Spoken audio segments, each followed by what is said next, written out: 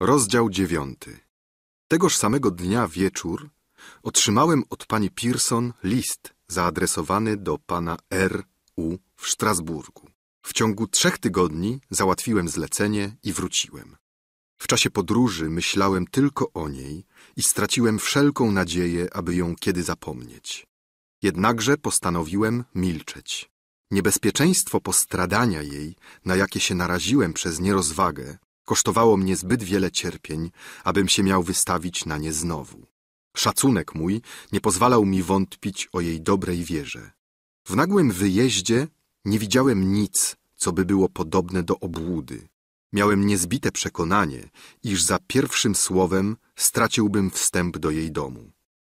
Zastałem panią Pearson wychudłą i zmienioną. Zwyczajny jej uśmiech, jak gdyby omdlewał na bladych wargach. Rzekła, iż była cierpiąca. Nie było mowy o tym, co zaszło. Ona robiła wrażenie, że nie chce pamiętać, ja zaś nie chciałem mówić o tym. Wróciliśmy niebawem do dawnych sąsiedzkich przyzwyczajeń. Było w tym jednak pewne skrępowanie i jakby sztuczna poufałość. Zdawało się czasem, jakbyśmy mówili, było tak niegdyś, niechże znów będzie tak samo. Ufność jej była niby moją rehabilitacją, niepozbawioną zresztą dla mnie uroku. Ale gawędy nasze wiele straciły na ożywieniu przez to samo, iż podczas gdyśmy mówili, spojrzenia nasze wiodły niemą rozmowę. W słowach naszych nie było już nic do zgadywania. Nie staraliśmy się jak wprzódy wniknąć wzajem w swoją duszę. Nie było już tej zagadki w każdym wyrazie, w każdym uczuciu, tego dawnego ciekawego odważania. Pani Pearson odnosiła się do mnie z dobrocią, ale nawet jej dobroć przyjmowałem z nieufnością. Przechadzaliśmy się po ogrodzie, ale nie podjęliśmy już wspólnych wycieczek. Nie przebiegaliśmy razem lasów i dolin. Kiedy byliśmy sami, Brygida siadała do fortepianu.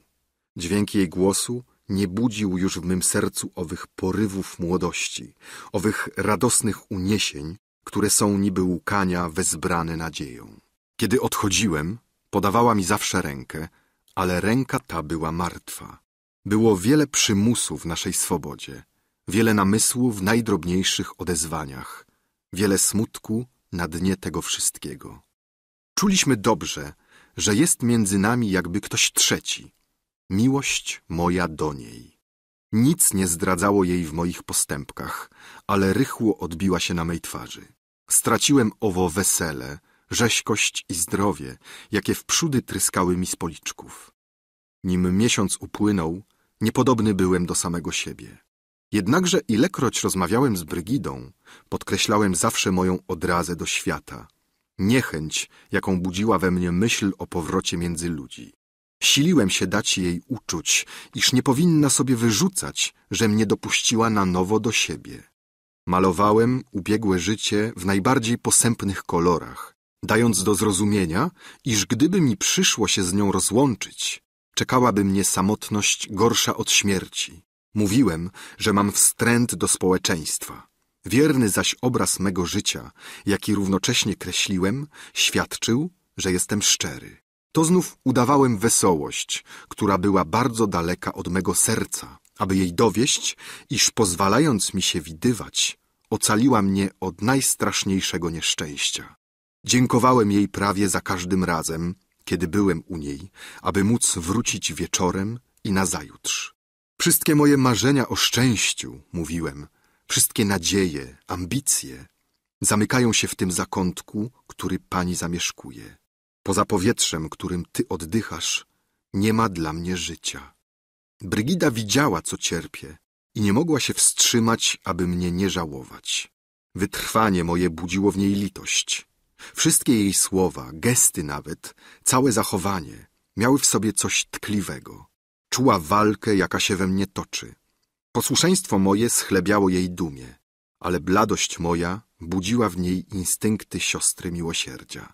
Czasem była podrażniona, prawie zalotna. Mówiła kapryśnym tonem, jutro niech pan nie przychodzi, nie będzie mnie w domu.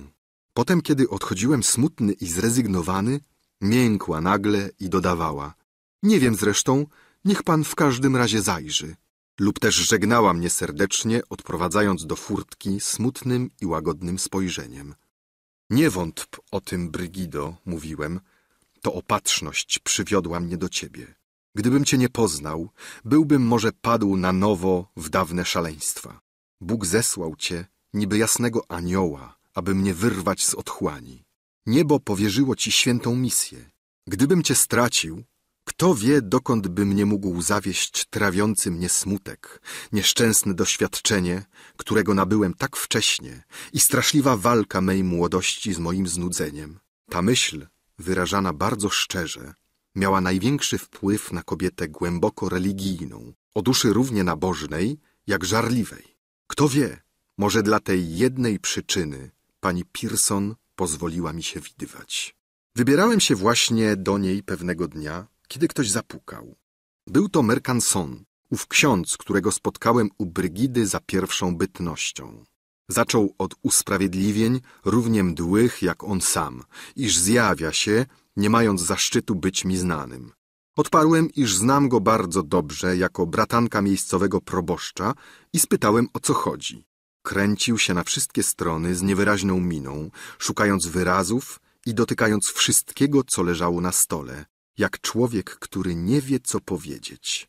Wreszcie oznajmił, że pani Pearson jest chora i zawiadamia, że mnie nie może dziś przyjąć. Chora? Ależ pożegnałem ją wczoraj dość późno i miała się zupełnie dobrze. Skłonił się. Ależ księże, jeżeli jest chora, dlaczegoż uwiadamia mnie o tym przez obcą osobę? Nie mieszka znów tak daleko i nie byłoby nieszczęścia, gdybym odbył tę drogę daremnie. Ten sam gest z jego strony. Nie mogłem pojąć, co znaczy jego wizyta, a tym mniej zlecenie, jakie mu poruczono. Dobrze, odparłem. Będę u pani Pearson jutro, wytłumaczy mi wszystko. Znów zaczął się kręcić. Pani Pearson powiedziała jeszcze, miał mi powiedzieć, podjął się. Cóż wreszcie? wykrzyknąłem zniecierpliwiony.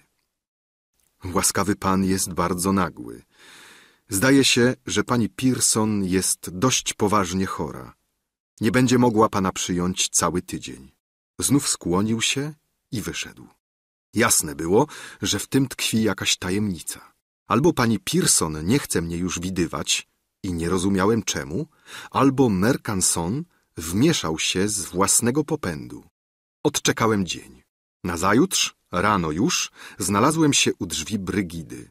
Służąca oświadczyła mi, iż w istocie pani jest bardzo chora. Mimo nalegań nie chciała ani przyjąć pieniędzy, które jej wciskałem, ani słuchać pytań. Wracając, spotkałem w alei Mercansona. Otoczony był dziatwą, uczęszczającą na lekcję do proboszcza. Przerwałem mu jakiś wykład i poprosiłem o dwa słowa. Udał się za mną. Tym razem mnie język się plątał. Nie wiedziałem bowiem, jak wziąć się do rzeczy, aby zeń wydobyć tajemnicę. Księże, rzekłem, błagam, abyś mi powiedział, czy to, co mi rzekłeś wczoraj, było prawdą, czy też kryje się coś innego na dnie. Poza tym, iż nie ma w okolicy lekarza, któremu by można zaufać, mam niezmiernie ważne przyczyny, aby się dowiedzieć istotnej prawdy. Bronił się na wszystkie sposoby, utrzymując, iż pani Pearson jest chora. Co do niego nie wie nic prócz tego, iż wysłała poń i dała mu to zlecenie. Tak wśród rozmowy zaszliśmy dość daleko, w odludne miejsce. Widząc, iż na nic się nie zdadzą podstęp ani prośba, zwróciłem się nagle i chwyciłem go za ramiona. Co to ma znaczyć? Czy chce pan użyć gwałtu? Nie, ale chcę, aby ksiądz mówił szczerze. Pogróżek się nie ulęknę, a powiedziałem to, com był powinien. To, co ksiądz powinien, a nie to, co wie. Pani Pearson nie jest chora. Wiem, jestem pewny. Na jakiej podstawie? Służąca mi powiedziała. Dlaczego broni mi wstępu i to za pośrednictwem pana? Przechodził jakiś wieśniak.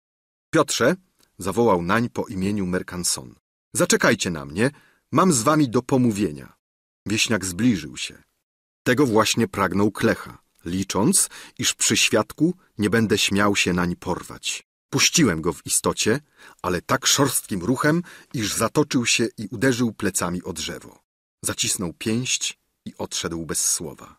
Przebyłem cały tydzień w najgwałtowniejszym poruszeniu, pukając po trzy razy dziennie do pani Pearson i zastając drzwi zamknięte. Otrzymałem od niej list. Pisała, iż moja natarczywość ściąga plotki całej okolicy. Dlatego prosi, abym na przyszłość odwiedzał ją mniej często. Żadnej wzmianki o Mercansonie ani o chorobie. Skrupuł ten był tak niezgodny z jej charakterem i stanowił taką sprzeczność z obojętną dumą, jaką objawiała zawsze na gadania tego rodzaju, iż trudno mi wręcz było uwierzyć w tę pobudkę. Mimo to nie umiejąc znaleźć innego wytłumaczenia, odpowiedziałem, iż wola jej jest dla mnie zawsze najświętszym rozkazem. Ale mimo wiednie słowa, w jakich skreśliłem mą odpowiedź, miały odcień goryczy.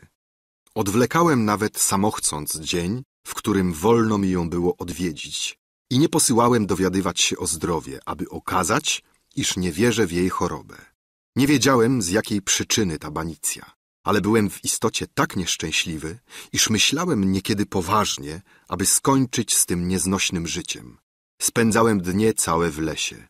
Pewnego dnia przypadek urządził, iż Brygida spotkała mnie tam w stanie godnym współczucia. Zaledwie zdobyłem się na to, aby ją prosić o jakieś wyjaśnienia. Nie odpowiedziała szczerze. Ja zaś nie wróciłem już do tego przedmiotu. Nie pozostało mi nic, jak tylko liczyć dni spędzone z dala od niej i żyć tygodnie całe nadzieją widzenia jej. Raz po raz czułem ochotę rzucenia się do jej kolan i odmalowania mojej rozpaczy. Powiadałem sobie, że nie może być tak nieczuła, aby mi nie odpłacić bodaj paru słowami litości. Ale przypomniałem sobie ów nagły wyjazd i jej surowość. Drżałem, aby jej nie stracić. Wolałem raczej umrzeć, niż narazić się na to. Przy takim życiu, nie mając nawet możności zwierzenia mych męczarni, podupadałem coraz więcej na zdrowiu. Smutno wlokłem się do domu Brygidy. Czułem, iż każde odwiedziny dadzą mi tylko nowy powód do zgryzoty. Przy każdym pożegnaniu coś się darło we mnie tak, jakbym już nigdy nie miał jej oglądać. Ona również nie miała ze mną dawnej swobody. Mówiła o planach, podróży, Rozmyślnie, lekkim tonem zwierzała mi, iż ma ochotę opuścić te strony. Ja zaś, słysząc to, martwiałem za każdym razem. Jeżeli przez chwilę była ze mną naturalniejsza, natychmiast potem zamykała się w rozpaczliwym chłodzie. Jednego dnia nie mogłem się powstrzymać, aby nie zapłakać z bólu. Ujrzałem, iż mimo woli zbladła. Kiedym już odchodził, rzekła. Wybieram się jutro do Saint-Luz. Była to wioska w okolicy. To za daleko, aby iść pieszo. Proszę wstąpić po mnie konno wczesnym rankiem, jeśli pan nie ma nic do czynienia. Odprowadzi mnie pan. Stawiłem się, jak można sobie wyobrazić, punktualnie. Układając się poprzedniego dnia do snu, nie posiadłem się z radości. Ale wyjeżdżając z domu, doświadczałem przeciwnie uczucia niezwalczonego smutku. Krok ten wydał mi się ze strony Brygidy okrutnym kaprysem, jeśli mnie nie kochała. Wiedziała, ile cierpię. Po cóż wtedy wystawiała na próbę moje męstwo, o ile nie zmieniła poglądów? Myśl ta, która nawiedziła mnie mimo woli, podziałała na mnie zupełnie niezwykle. Serce biło mi, kiedy podawałem Brygidzie strzemię, ale nie wiem, czy to było z miłości, czy z gniewu. Jeśli mi sprzyja, powiadałem sobie, po co tyle surowości? Jeśli jest tylko zalotnicą, czemu tyle swobody? Tacy są mężczyźni. Za pierwszym moim słowem spostrzegła, że patrzę koso i że twarz mi się mieni. Zamilkłem i trzymałem się drugiej strony drogi. Póki jechaliśmy przez równinę, Brygida zdawała się spokojna, jedynie od czasu do czasu odwracała głowę dla przekonania się, czy jadę za nią. Ale skoro wjechaliśmy do lasu, i kiedy stąpania koni zaczęły się rozlegać pod cienistym sklepieniem, ujrzałem nagle, że drży. Zatrzymała się, jak gdyby czekając na mnie. Trzymałem się bowiem wciąż nieco z tyłu. Z chwilą, gdyśmy się zrównali, puszczała się galopa. Niebawem dotarliśmy do stoku góry. Trzeba było jechać stępa. Wówczas zbliżyłem się do niej, ale oboje spuściliśmy głowy. Nadeszła chwila. Wziąłem ją za rękę. Brygido, rzekłem, czy cię nużyłem skargami? Od czasu jak wróciłem, Widuję cię niemal co dzień, co wieczór. Wracając do domu, pytam sam siebie, kiedy mi trzeba będzie umrzeć. Czy cię tym dręczyłem? Od dwóch miesięcy, przez które tracę spokój, siły i nadzieję, czy rzekłem choć słowo o tej nieszczęsnej miłości, która mnie pożera i która mnie zabija? Nie wiesz o tym? Spójrz na mnie. Czy trzeba ci mówić? Czy nie widzisz, że cierpię i że noce moje spływają we łzach? Czy nie spotkałaś kiedyś w tym posępnym lesie nieszczęśnika siedzącego z czołem utopionym w dłoniach? Czy nie dostrzegłaś nigdy łez na tych zaroślach? Spójrz na mnie, spójrz na te góry. Czy pamiętasz, że cię kocham? One to wiedzą, one były świadkami. Te skały, pustkowia wiedzą o tym. Po co wiedziesz mnie przed tych świadków? Czy nie jestem dość nieszczęśliwy? Czy zabrakło mi męstwa? Czy nie dość byłem posłuszny? Na jaką próbę, na jakie męczeństwo wydałaś mnie i za jakie zbrodnie? Jeśli mnie nie kochasz, po co tu jesteś ze mną? Jedźmy, rzekła. Wracajmy. Chwyciłem konia za uzdę. Nie, odparłem. Złamałem układ. Wszak prawda? Jeśli wrócimy, stracę cię, wiem o tym. Skoro znajdziemy się w domu, wiem z góry, co mi powiesz. Chciałaś się przekonać, dokąd sięga moja cierpliwość. Wydałaś na próbę mą męczarnię, umyślnie może, aby mieć prawo mnie wypędzić. Znużył cię ten smętny kochanek, który cierpiał bez skargi i z rezygnacją pił gorzki kielich twej wzgardy. Wiedziałaś, iż znalazłszy się sam z tobą w obliczu tych lasów, tych ustroni, gdzie zaczęła się miłość moja, nie zdołam zachować milczenia. Chciałaś, abym cię obraził. Więc dobrze, pani, stracę cię. Niech się spełni. Dość płakałem, dość cierpiałem. Dość gnębiłem w mym sercu szaloną miłość, która mnie pożera. Dosyć już byłaś okrutna. Uczyniła ruch, jakby chcąc zeskoczyć z konia. Chwyciłem ją w ramiona i przylgnąłem wargami do jej warg. Ale w tej samej chwili oczy jej zamknęły się.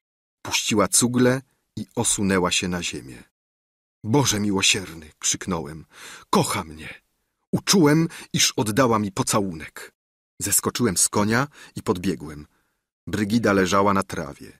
Podniosłem ją, otwarła oczy.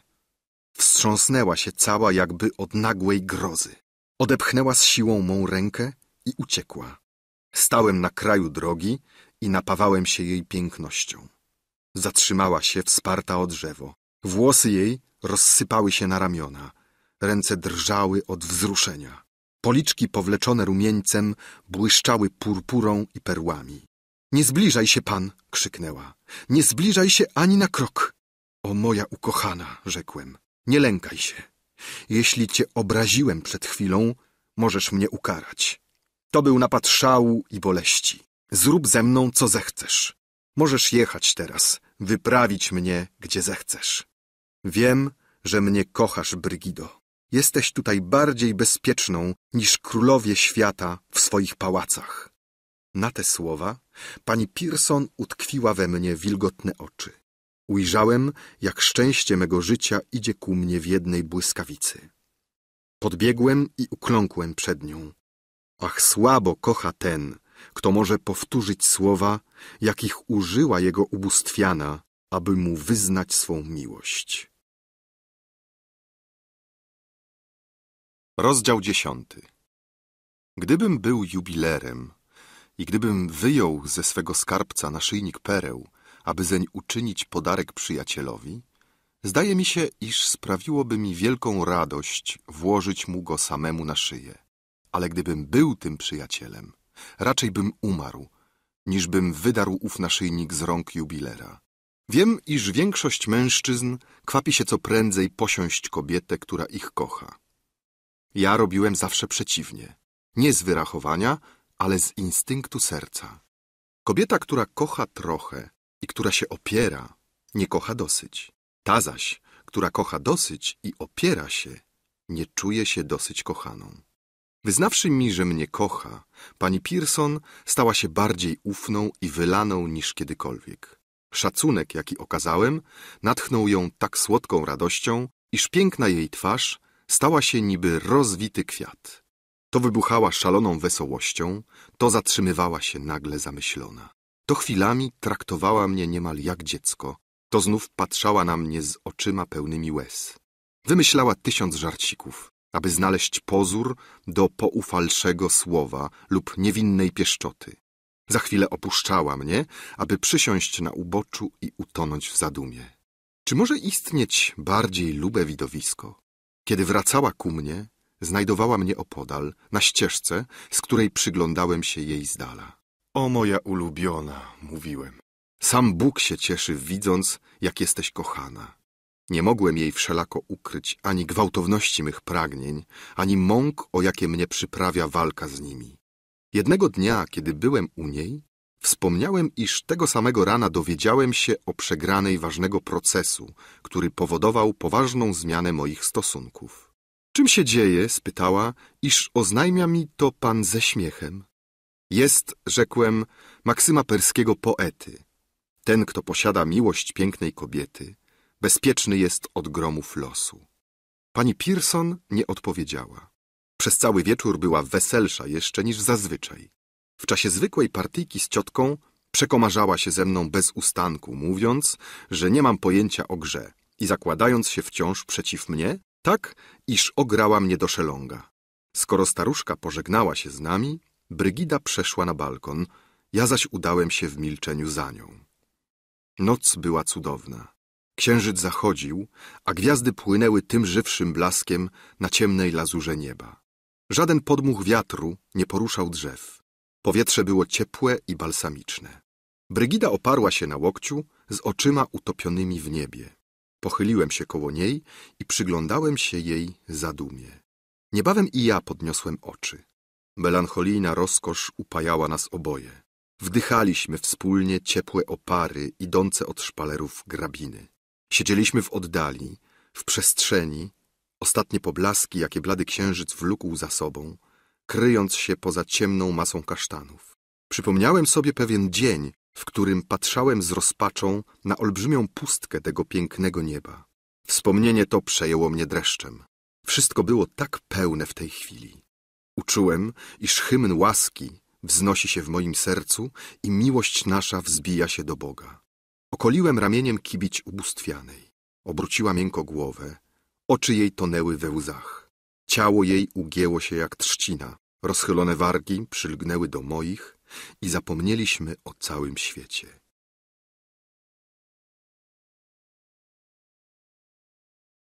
Rozdział jedenasty Aniele wiekuisty szczęśliwych nocy, któż opowie twoje milczenie? O pocałunku, tajemniczy napoju, który usta sączą sobie niby spragnione puchary, o pijaństwo zmysłów, o rozkoszy. Tak jak Bóg i Ty jesteś nieśmiertelna. Szczytny wzlocie stworzenia, wspólnoto powszechna istot, rozkoszy po trzykroć święta, co rzekli o Tobie ci, którzy Cię sławili. Nazwali Cię przelotną, otwórczyni. I rzekli, iż Twój krótki błysk rozświetla ich uciekające życie. O słowo krótsze zaiste niż oddech konającego. Prawdziwe słowo zmysłowego bydlęcia, które dziwi się, że żyje godzinę i które jasność wiekuistej lampy bierze za iskierkę tryskającą z krzemienia. Miłości, o treści świata, kosztowny płomieniu, którego natura cała, niby czujna westalka, strzeże bez ustanków świątyni Boga. Ognisko wszystkiego, przez które wszystko istnieje. Duchy zniszczenia nawet zginęłyby, zgasiwszy Ciebie. Nie dziwię się, iż ludzie bluźnią Twemu imieniu. Nie wiedzą bowiem, kim jesteś, ci, którzy myślą, iż spojrzeli Ci w twarz, ponieważ otworzyli oczy. Kiedy zaś spotkasz swoich prawdziwych wyznawców, zespolonych na ziemi pocałunkiem, każesz ich powiekom zawrzeć się niby zasłoną, iżby nie ujrzano szczęścia.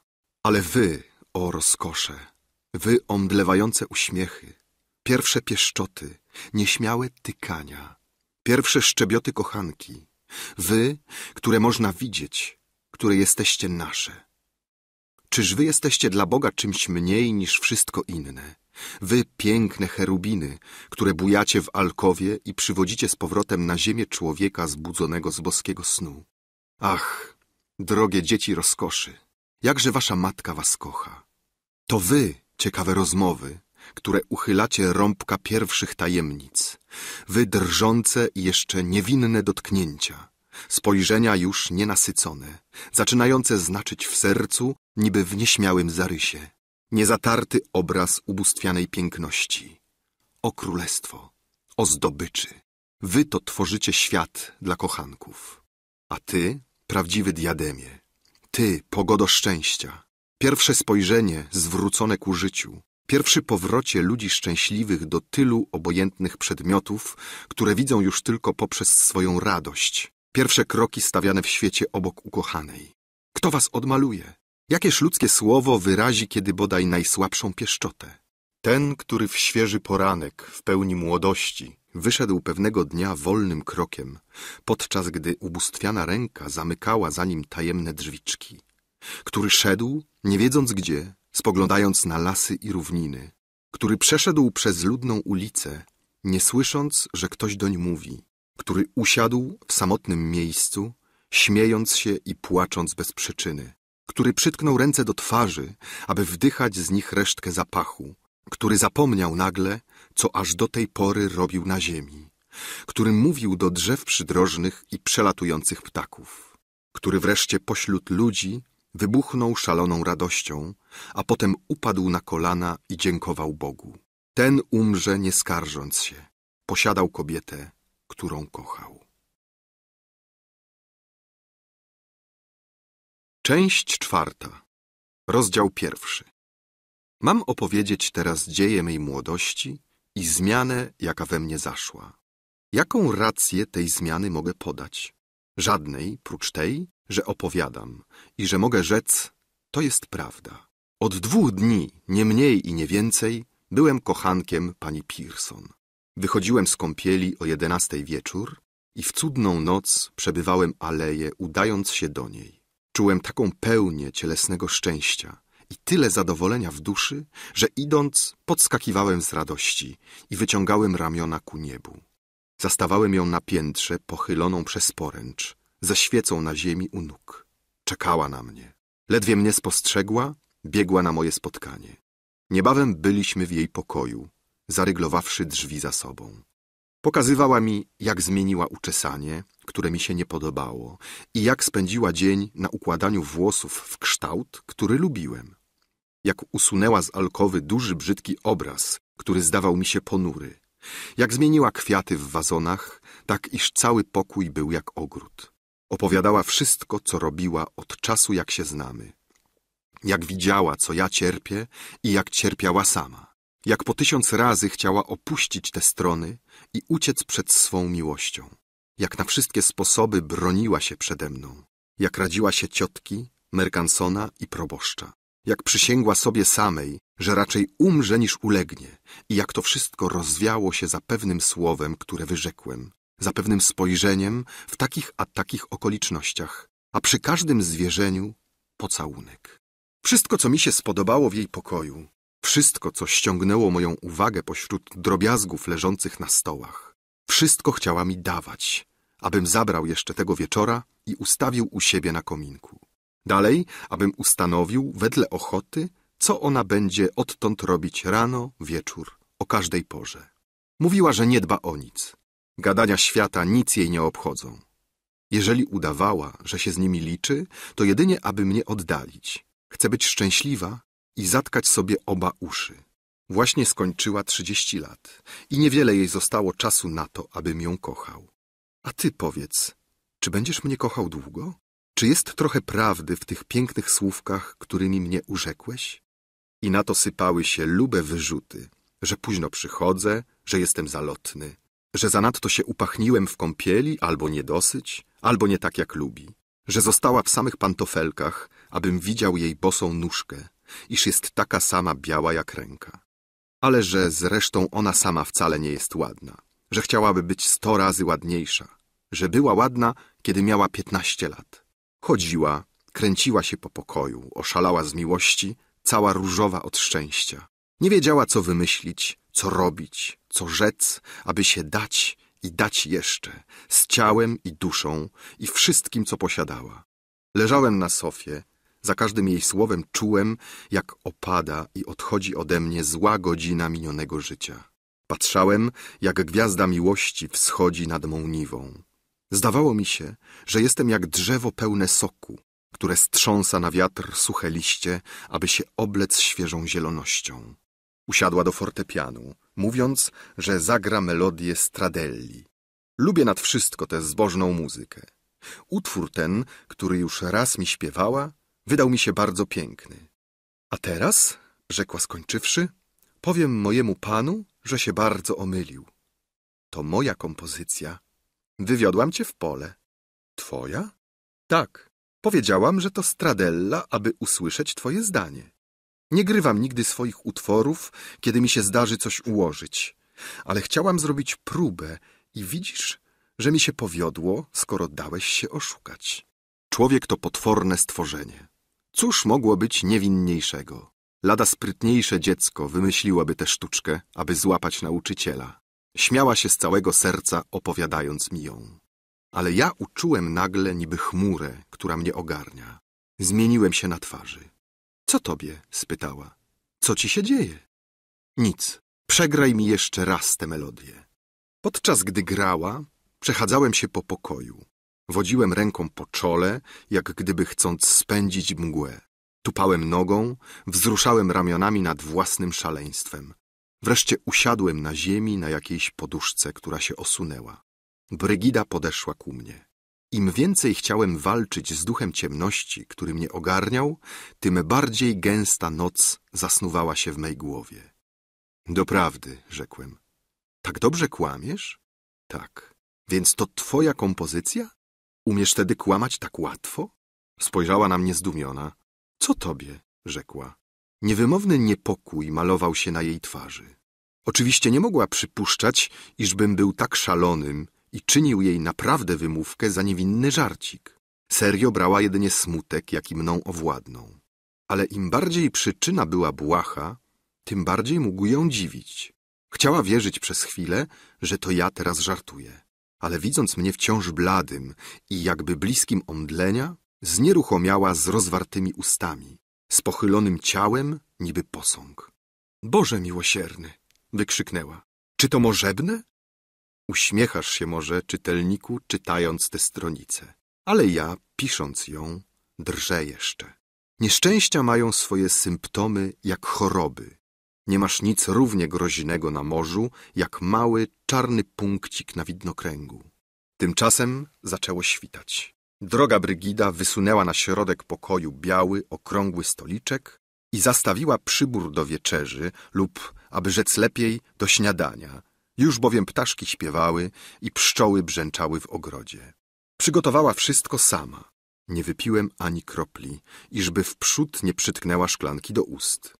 Niebieskawe światło brzasku, przechodząc przez pstre płócienko firanek, oświecało jej uroczą twarz i wielkie, nieco podkrążone oczy. Czuła się senna. Jakoż ściskając mnie i szepcąc słowa pieszczoty, osunęła głowę na moje ramię. Nie mogłem walczyć przeciw tak lubej ufności. Serce moje znów otwierało się słodyczy. Zdawało mi się, żem się już zupełnie otrząsnął ze złego snu, jaki przebyłem. Przeprosiłem Brygidę za chwilę niewytłumaczonego szaleństwa. Ukochana moja, rzekłem z głębi serca, bardzo mi przykro, żem ci uczynił niesłuszną wymówkę za niewinny żarcik. Ale jeżeli mnie kochasz, nie kłam mi nigdy, nawet w najdrobniejszych rzeczach. Kłamstwo mi się zdaje czymś okropnym. Nie mogę go znieść. Brygida położyła się. Była trzecia rano. Rzekłem, iż pragnę zostać, dopóki nie uśnie. Ujrzałem, jak zamyka piękne oczy. Usłyszałem, jak w pierwszym śnie szepce coś z uśmiechem, podczas gdy ja, nachylony nad wezgłowiem, dawałem jej pożegnalny całunek.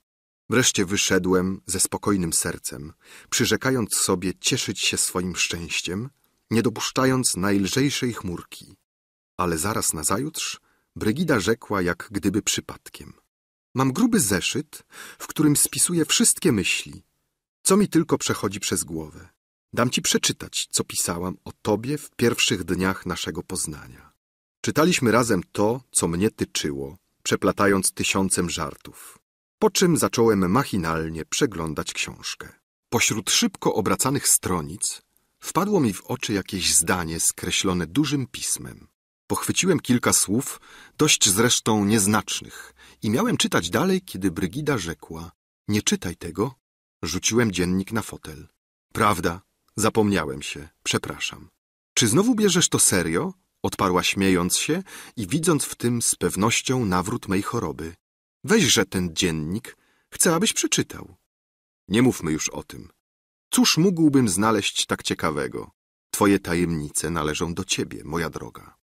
Dziennik leżał na fotelu. Ja zaś, mimo wszelkich wysiłków, nie spuszczałem zeń oka. Usłyszałem nagle niby głos szepcący mi do ucha i ujrzałem przed sobą suchą twarz Deżonego, wykrzywioną lodowatym uśmiechem. Skąd tu Deżone? Spytałem sam siebie, jak gdybym ujrzał go w rzeczywistości. Ukazał mi się tak, jak go widziałem pewnego wieczora, z czołem pochylonym nad lampą, kiedy świszczącym głosem recytował swój katechizm libertyna. Miałem wciąż oczy utkwione w dziennik. W pamięci mojej błąkały się mętnie jakieś słowa, słyszane dawno temu, ale tkwiące gdzieś na dnie serca. Duch zwątpienia, zawieszony nad mą głową, wsączył mi w żyły krople trucizny. Opar jej uderzył mi na mózg. Uczułem pierwszy zawrót złowrogiego pijaństwa. Jaką tajemnicę ukrywała mi Brygida? Wiedziałem dobrze, że wystarczy mi schylić się i otworzyć dziennik. Ale w którym miejscu? Jak odszukać stronicę, na którą przypadek naprowadził mnie w przódy? Zresztą duma broniła mi wziąć dziennik. Byłaż to w istocie duma? O Boże, mówiłem sobie ze straszliwym smutkiem. Czyż przeszłość jest jak widmo? Czy wstaje z grobu? Och, ja nędzny, czyżbym niezdolny był już kochać? Wszystkie moje wzgardliwe pojęcia o kobietach, wszystkie drwiące fanfaronady, powtarzane niby lekcja i niby rola przez czas mego szalonego życia, przeszły mi nagle przez mózg. Rzecz dziwna. Niegdyś popisując się nimi, nie wierzyłem w nie. Obecnie zdało mi się, że są lub bodaj były prawdą. Znałem panią Pearson od czterech miesięcy, ale nie wiedziałem nic o jej przeszłym życiu i nie pytałem o nie nigdy. Oddałem się mej miłości z bezgraniczną ufnością i wylaniem. Znajdowałem jakąś rozkosz w tym, aby nie pytać o nic tyczącego jej osoby ani nikogo, ani jej samej. Zresztą podejrzliwość i zazdrość tak dalece nie leżą w moim charakterze, iż bardziej od samej Brygidy byłem zdumiony tym ich przejawem. Nigdy za czasu mej pierwszej miłości, ani poza tym w życiu, nie byłem nieufny. Raczej przeciwnie, śmiały, niewątpiący, aby tak rzec o niczym. Trzeba mi było na własne oczy ujrzeć zdradę kochanki, abym uwierzył, że może mnie oszukiwać. Deżone nawet, katechizując mnie na swój sposób, dworował sobie ustawicznie z mojej podatności do oszukaństwa. Dzieje całego mego życia były dowodem, że jestem raczej łatwowierny niż podejrzliwy. To też kiedy widok tego dziennika uderzył mnie nagle, zdało mi się, jakbym uczuł w sobie nową, nieznaną istotę. Rozum mój buntował się przeciwko temu, czego doświadczałem. Nie śmiałem pytać, dokąd mnie to zaprowadzi. Ale męki, jakie wycierpiałem, Wspomnienie zdrad, jakich byłem świadkiem, okropna kuracja, jaką sobie nałożyłem, rozmowy przyjaciół, zepsuty świat, przez który przeszedłem, smutne prawdy, jakie tam widziałem, oraz te, które, nie poznawszy ich wprost, zrozumiałem i odgadłem wszelako złowrogą intuicją, rozpusta wreszcie, pogarda dla miłości, nadużycie wszystkiego, oto co miałem w sercu, nie domyślając się tego jeszcze. W chwili, gdym mniemał, iż odradzam się do nowego życia, wszystkie te uśpione furie chwyciły mnie za gardło, krzycząc, że są tuż przy mnie. Schyliłem się i otwarłem dziennik, po czym zamknąłem go natychmiast i rzuciłem na stół. Brygida patrzała na mnie. W pięknych oczach nie było zranionej dumy ani gniewu. Był tylko tkliwy niepokój, jakby miała przed sobą chorego. Czy myślisz w istocie, że mam jaką tajemnicę? Rzekła ściskając mnie. Nie, odparłem. Nic nie myślę prócz tego, że jesteś piękna i że chcę umrzeć w twoich ramionach. Wróciwszy do domu, przy obiedzie, spytałem Lariwa, kto to właściwie jest ta pani Pearson. Odwrócił się zdziwiony. Mieszkasz, rzekłem, tutaj od wielu lat. Musisz ją znać lepiej ode mnie. Co mówią o niej? Co o niej myślą we wsi? Jakie życie wiodła, zanim ją poznałem? Z kim żyła bliżej? Mój Boże, proszę pana, zawsze robiła to, co i teraz. Robiła wycieczki w okolice, grywała w pikietę z ciotką i troszczyła się o ubogich. Wieśniacy kochają ją. Nigdy nie słyszałem o niej złego słowa z niczyich ust. Chyba to, że ugania po wsiach sama jedna, nie dbając, czy jest noc, czy dzień. Ale czyni to w tak chwalebnym celu. Toć ona jest opatrznością okolicy. Z ludzi widuje jedynie proboszcza, no i pana Dalon podczas wakacji. Cóż to za pan Dalon? Właściciel zamku, tam za górą. Przyjeżdża tu tylko na polowania. Młody? Tak, proszę pana. Czy to krewny pani Pearson? Nie, był przyjacielem jej męża. Dawno mąż umarł? Będzie pięć lat, na wszystkich świętych. Zacności był człowiek. A ten pan Dalon, czy mówią, że zalecał się do niej? Niby myśli pan do wdowy? Ba, prawdę rzekłszy, urwał z zakłopotaną miną. Będziesz gadał? Mówiono i nie mówiono. Ja tam nie wiem, nic nie widziałem. Wszak rzekłeś przed chwilą, że nic nie gadają o niej w okolicy. Nie mówiono zresztą nigdy nic, a myślałem, że pan to wie. Ostatecznie mówią o tym, czy nie mówią? Tak, proszę pana. Zdaje mi się przynajmniej. Wstałem od stołu i wyszedłem w aleję. Spotkałem Mercansona. Sądziłem, iż będzie mnie unikał, ale przeciwnie, sam podszedł.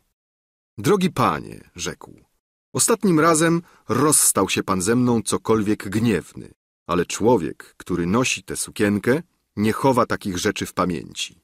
Pospieszam wyrazić moje ubolewanie, iż podjąłem się tego niepożądanego zlecenia. Lubował się w takich długich słowach. I ośmieliłem się stawić z pewnym natręctwem na wspak pańskim zamiarom. Odpowiedziałem coś równie uprzejmego, sądząc, iż rozstaniemy się na tym. Ale ksiądz szedł dalej obok mnie. Dalą, dalą, mruczałem przez zęby. Kto mi powie, co o tym dalą? Lariv bowiem powiedział mi tylko tyle, ile może powiedzieć służący. Skąd wiedział? Od kogo ze służby lub jakiego wieśniaka? Trzeba mi było świadka, który by widywał Dalą u pani Pearson i wiedział, co o tym rozumieć. Ów Dalon nie wychodził mi z głowy. Nie mogąc mówić o niczym innym, zagadnąłem oń natychmiast Mercansona. Czy Mercanson był człowiekiem złym, czy też głupim lub przebiegłym, tego nigdy jasno nie rozwikłałem. To pewna, iż musiał mnie nienawidzić i że postąpił ze mną niegodziwie. Pani Pearson, która żywiła i słusznie serdeczną przyjaźń dla proboszcza, powzięła w końcu prawie mimo woli pewną sympatię dla jego siostrzeńca. Był z tego dumny, a tym samym zazdrosny. Nie tylko sama miłość rodzi zazdrość. Okazana przychylność, życzliwe słowo, uśmiech pięknych ust mogą ją obudzić w pewnych ludziach i to aż do zapamiętania. Zrazu Mercanson, podobnie jak Larif, wydał się zdziwiony moimi pytaniami. Ja byłem nimi zdziwiony bardziej jeszcze, ale któż zna samego siebie? Z pierwszych odpowiedzi księdza ujrzałem, iż rozumie, o co mi chodzi i że nie chce mówić. W jaki sposób to być może, drogi panie, iż pan, który znasz panią Pearson od dość dawna i żyjesz z nią dość blisko, tak sądzę przynajmniej, nie spotkałeś u niej nigdy pana Delon. Widać ma pan jakąś przyczynę, którą nie do mnie należy zgłębiać, aby się wywiadywać o niego dzisiaj. Mogę powiedzieć tyle, że jest to godny człowiek, dobry, miłosierny. Bywał, podobnie jak pan, bardzo często u pani Pearson. Ma piękną sforę i prowadzi dom, co się zowie, otwarty. Bardzo lubił muzykować, jak i pan, drogi panie, u pani Pearson. Co się tyczy obowiązków miłosierdzia, wypełniał je bardzo punktualnie. Kiedy bawił w naszych stronach, towarzyszył, jak i pan nieraz pani Pearson, w wycieczkach w okolice.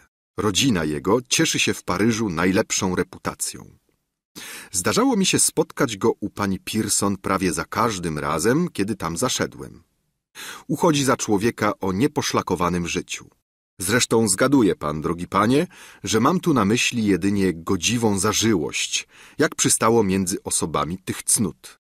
Sądzę, że przyjeżdża tu tylko dla polowania. Był przyjacielem męża. Powiadają, że jest bardzo bogaty i bardzo hojny. Zresztą prawie go nic nie znam, chyba ze słyszenia. Ilomaż krętymi zdaniami przywalił mnie ten kat o ciężkiej dłoni. Patrzałem nań wstydząc się, że go słucham, nie śmiejąc ani pytać, ani powstrzymać jego gadulstwa. Spotwarzał tyle i tak długo, ile sam zechciał. Obracał mi do woli zakrzywioną klingę w sercu. Kiedy już skończył, pożegnał mnie, nie pozwalając się zatrzymać. I ostatecznie nic nie powiedział. Zostałem sam w alei. Zaczynało się zmierzchać. Nie wiem, czy przeważała we mnie wściekłość, czy smutek. Ufność, z jaką oddałem się ślepo mej miłości, była mi tak luba i tak zgodna z mą naturą, iż nie mogłem uwierzyć, że tyle szczęścia było jeno oszukaństwem. Naiwne i wierzące uczucie, które mnie przywiodło do niej bez żadnej walki lub wątpienia z mej strony, wydało mi się samo przez się dowodem, że była go godna. Byłoż wtedy możliwe, aby te tak szczęsne cztery miesiące stały się już tylko snem? Hm, rzekłem znowuż do siebie. Ostatecznie ta kobieta oddała się bardzo prędko. Czy nie był kłamstwem ów zamiar ucieczki przede mną, który objawiła zrazu, a który rozwiało jedno słowo? Czy nie miałem przypadkiem do czynienia z kobietą, jakich się spotyka tyle? Tak, w ten sposób one wszystkie biorą się do rzeczy. Uciekają po to, aby je gonić. Nawet sarny robią to samo. To instynkt samicy. Czyż nie z własnego popędu wyznała mi miłość w samejże chwili, gdy myślałem, że nigdy nie będzie moją? Pierwszego dnia, kiedy ją ujrzałem, czyż nie przyjęła mego ramienia, nie znając mnie, z łatwością, która powinna była obudzić mą nieufność? Jeśli ten Delon był jej kochankiem, prawdopodobnie jest nim jeszcze. To są owe światowe stosunki, które nie zaczynają się ani nie kończą. Kiedy się ludzie widzą, wracają do siebie, a zapominają o sobie, kiedy się rozstaną. Jeśli ten człowiek wróci tu na wakacje, Brygida będzie go widywała z pewnością i prawdopodobnie nie zrywając ze mną. Któż jest ta ciotka? Cóż to jest owo tajemnicze życie, mające za godło miłosierdzie? Cóż to jest owa wolnomyślność, nie troszcząca się o ludzkie języki? Czyżby te dwie kobiety ze swoim domkiem, swoją surowością i cnotą, które tak łatwo mamią ludzi, były po prostu awanturnicami? To jasne. Wpadłem od z zamkniętymi oczami w awanturkę, którą wziąłem za wielką miłość. Ale co teraz począć? Nie mam tu nikogo prócz tego księdza, który nie chce mówić jasno, i jego wuja, który tym bardziej nic nie powie. O mój Boże, kto mnie ocali? Jak dowiedzieć się prawdy? Tak mówiła zazdrość. Tak, zapominając tylu łez i wszystkiego, co wycierpiałem, zaczynałem po upływie dwóch dni niepokoić się tym, że Brygida mi uległa. Jak wszyscy ludzie, którzy wątpią, odkładałem już na bok uczucia i myśli, aby dysputować z faktami, czepiać się litery i sekcjonować mą miłość. Zatapiając się w dumaniach, zbliżałem się zwolna do domu Brygidy. Furtka była otwarta. Mijając dziedziniec, ujrzałem światło w kuchni. Przyszło mi na myśl pociągnąć za język służącą. Skierowałem się więc w tę stronę i obracając w kieszeni parę sztuk monety, zbliżyłem się do progu. Powstrzymało mnie wrażenie wstrętu. Służąca ta była to chuda i pomarszczona staruszka, z plecami zawsze zgiętymi, jak ludzie pracujący na roli. Zastałem ją myjącą naczynia nad brudnym ściekiem. Ohydna łojówka drżała jej w ręku. Dokoła niej rondle, półmiski, resztki obiadu, które obwąchiwał pies przybłęda, wkradłszy się tam, jak ja, wstydliwie. Ciepły i mdły zapach wychodził z wilgotnych murów. Spostrzegłszy mnie, stara spojrzała z uśmiechem, z porozumiewawczą miną. Widziała mnie wyślizgującego się rano z pokoju pani. Zadrżałem z obrzydzenia do samego siebie. I do tego, co zamierzałem zrobić w miejscu tak dostojnym do szpetnego postępku, który miałem w myśli. Uciekłem od tej starej, niby od mojej ucieleśnionej zazdrości i jak gdyby woń pomyj wyszła z mego własnego serca. Brygida stała przy oknie, podlewając ukochane kwiaty.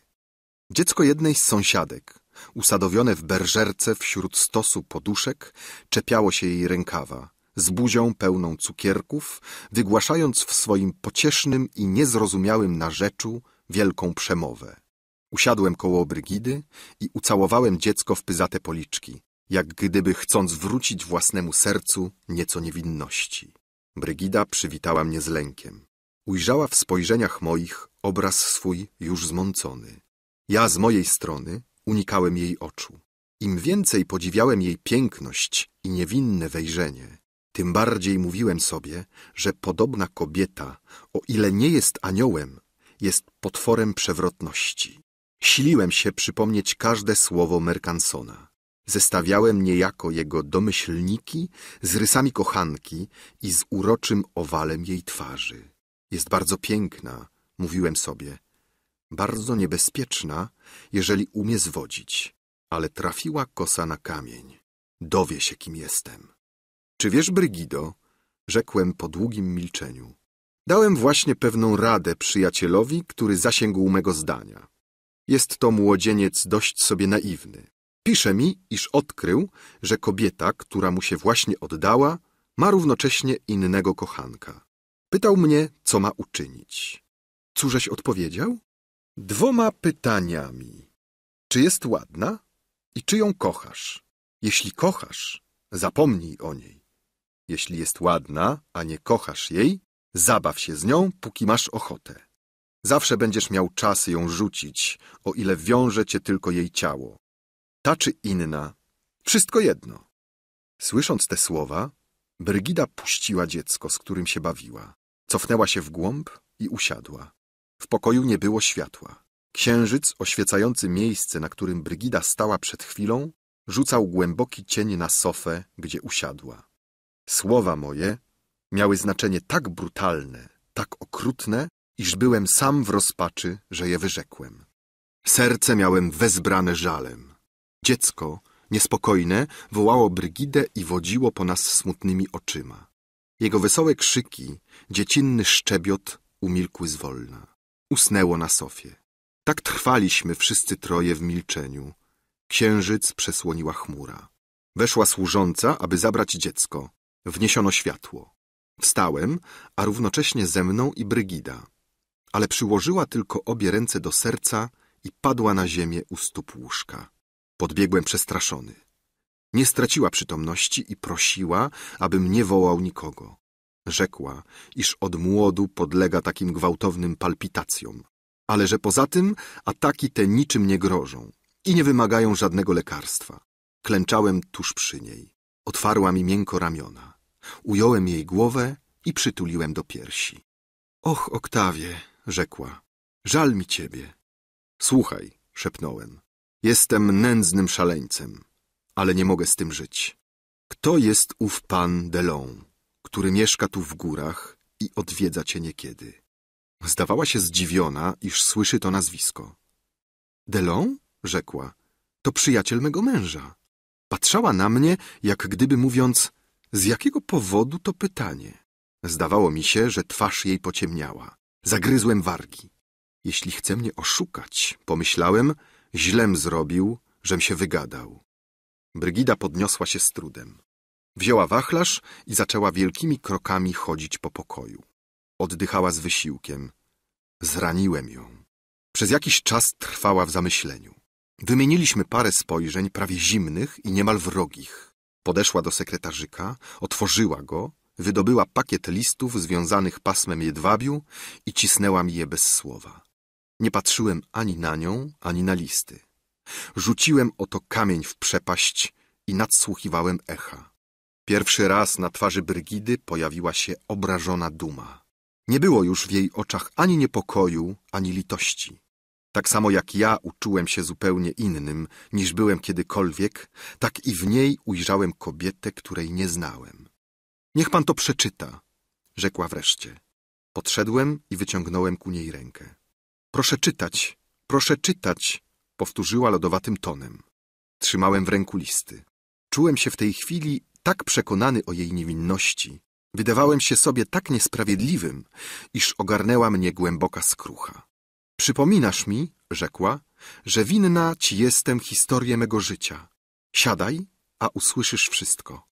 Otworzysz następnie te szuflady i przeczytasz wszystko, co tu jest pisanego, moją albo cudzą ręką. Usiadła i wskazała mi fotel. Widziałem, z jakim wysiłkiem mówiła. Blada była jak śmierć. Zmieniony głos zaledwie wydobywał się ze ściśniętego gardła. Brygido, Brygido, wykrzyknąłem. Na miłość boską, nic nie mów. Bóg mi świadkiem, nie urodziłem się takim, jak myślisz. Nie byłem nigdy w życiu ani podejrzliwym, ani nieufnym. Zgubiono mnie. Spaczono mi serce. Opłakane doświadczenie zawiodło mnie w przepaść. Od roku widziałem jedynie to, co jest najgorszego na ziemi. Bóg mi świadkiem, że aż do tego dnia sam nie przypuszczałem, abym był zdolny do tej roli ohydnej, ostatniej ze wszystkich roli zazdrośnika. Aż dotąd miałem do czynienia tylko z kobietami, które mnie oszukiwały, albo też były niegodne miłości. Pędziłem życie rozpustnika. Mam w sercu wspomnienia, które nie zatrą się nigdy. Czy to moja wina, jeżeli potwarz jeżeli najbardziej mętne, najbardziej bezzasadne oskarżenie porusza dziś w mym sercu struny jeszcze obolałe, gotowe przyjąć wszystko, co tylko jest cierpieniem? Wspomniano mi dziś o człowieku, którego nie znam, o którego istnieniu nie wiedziałem. Dano mi do zrozumienia, że języki ludzkie łączyły wasze imiona. Nie chcę o nic pytać. Cierpiałem. Dałem ci to uczuć. To błąd nie do naprawienia ale raczej wrzucę wszystko w ogień, niżbym się miał zgodzić na to, co mi ofiarujesz. Och, ubóstwiana moja, nie upokarzaj mnie, nie zniżaj się do usprawiedliwień, nie każ mnie za to, żem cierpiał. W jaki sposób mógłbym w głębi serca podejrzewać cię o oszukaństwo? Nie, jesteś piękna i jesteś szczera. Jedno spojrzenie twoje, Brygido, mówi mi więcej niż trzeba, aby cię ubóstwiać.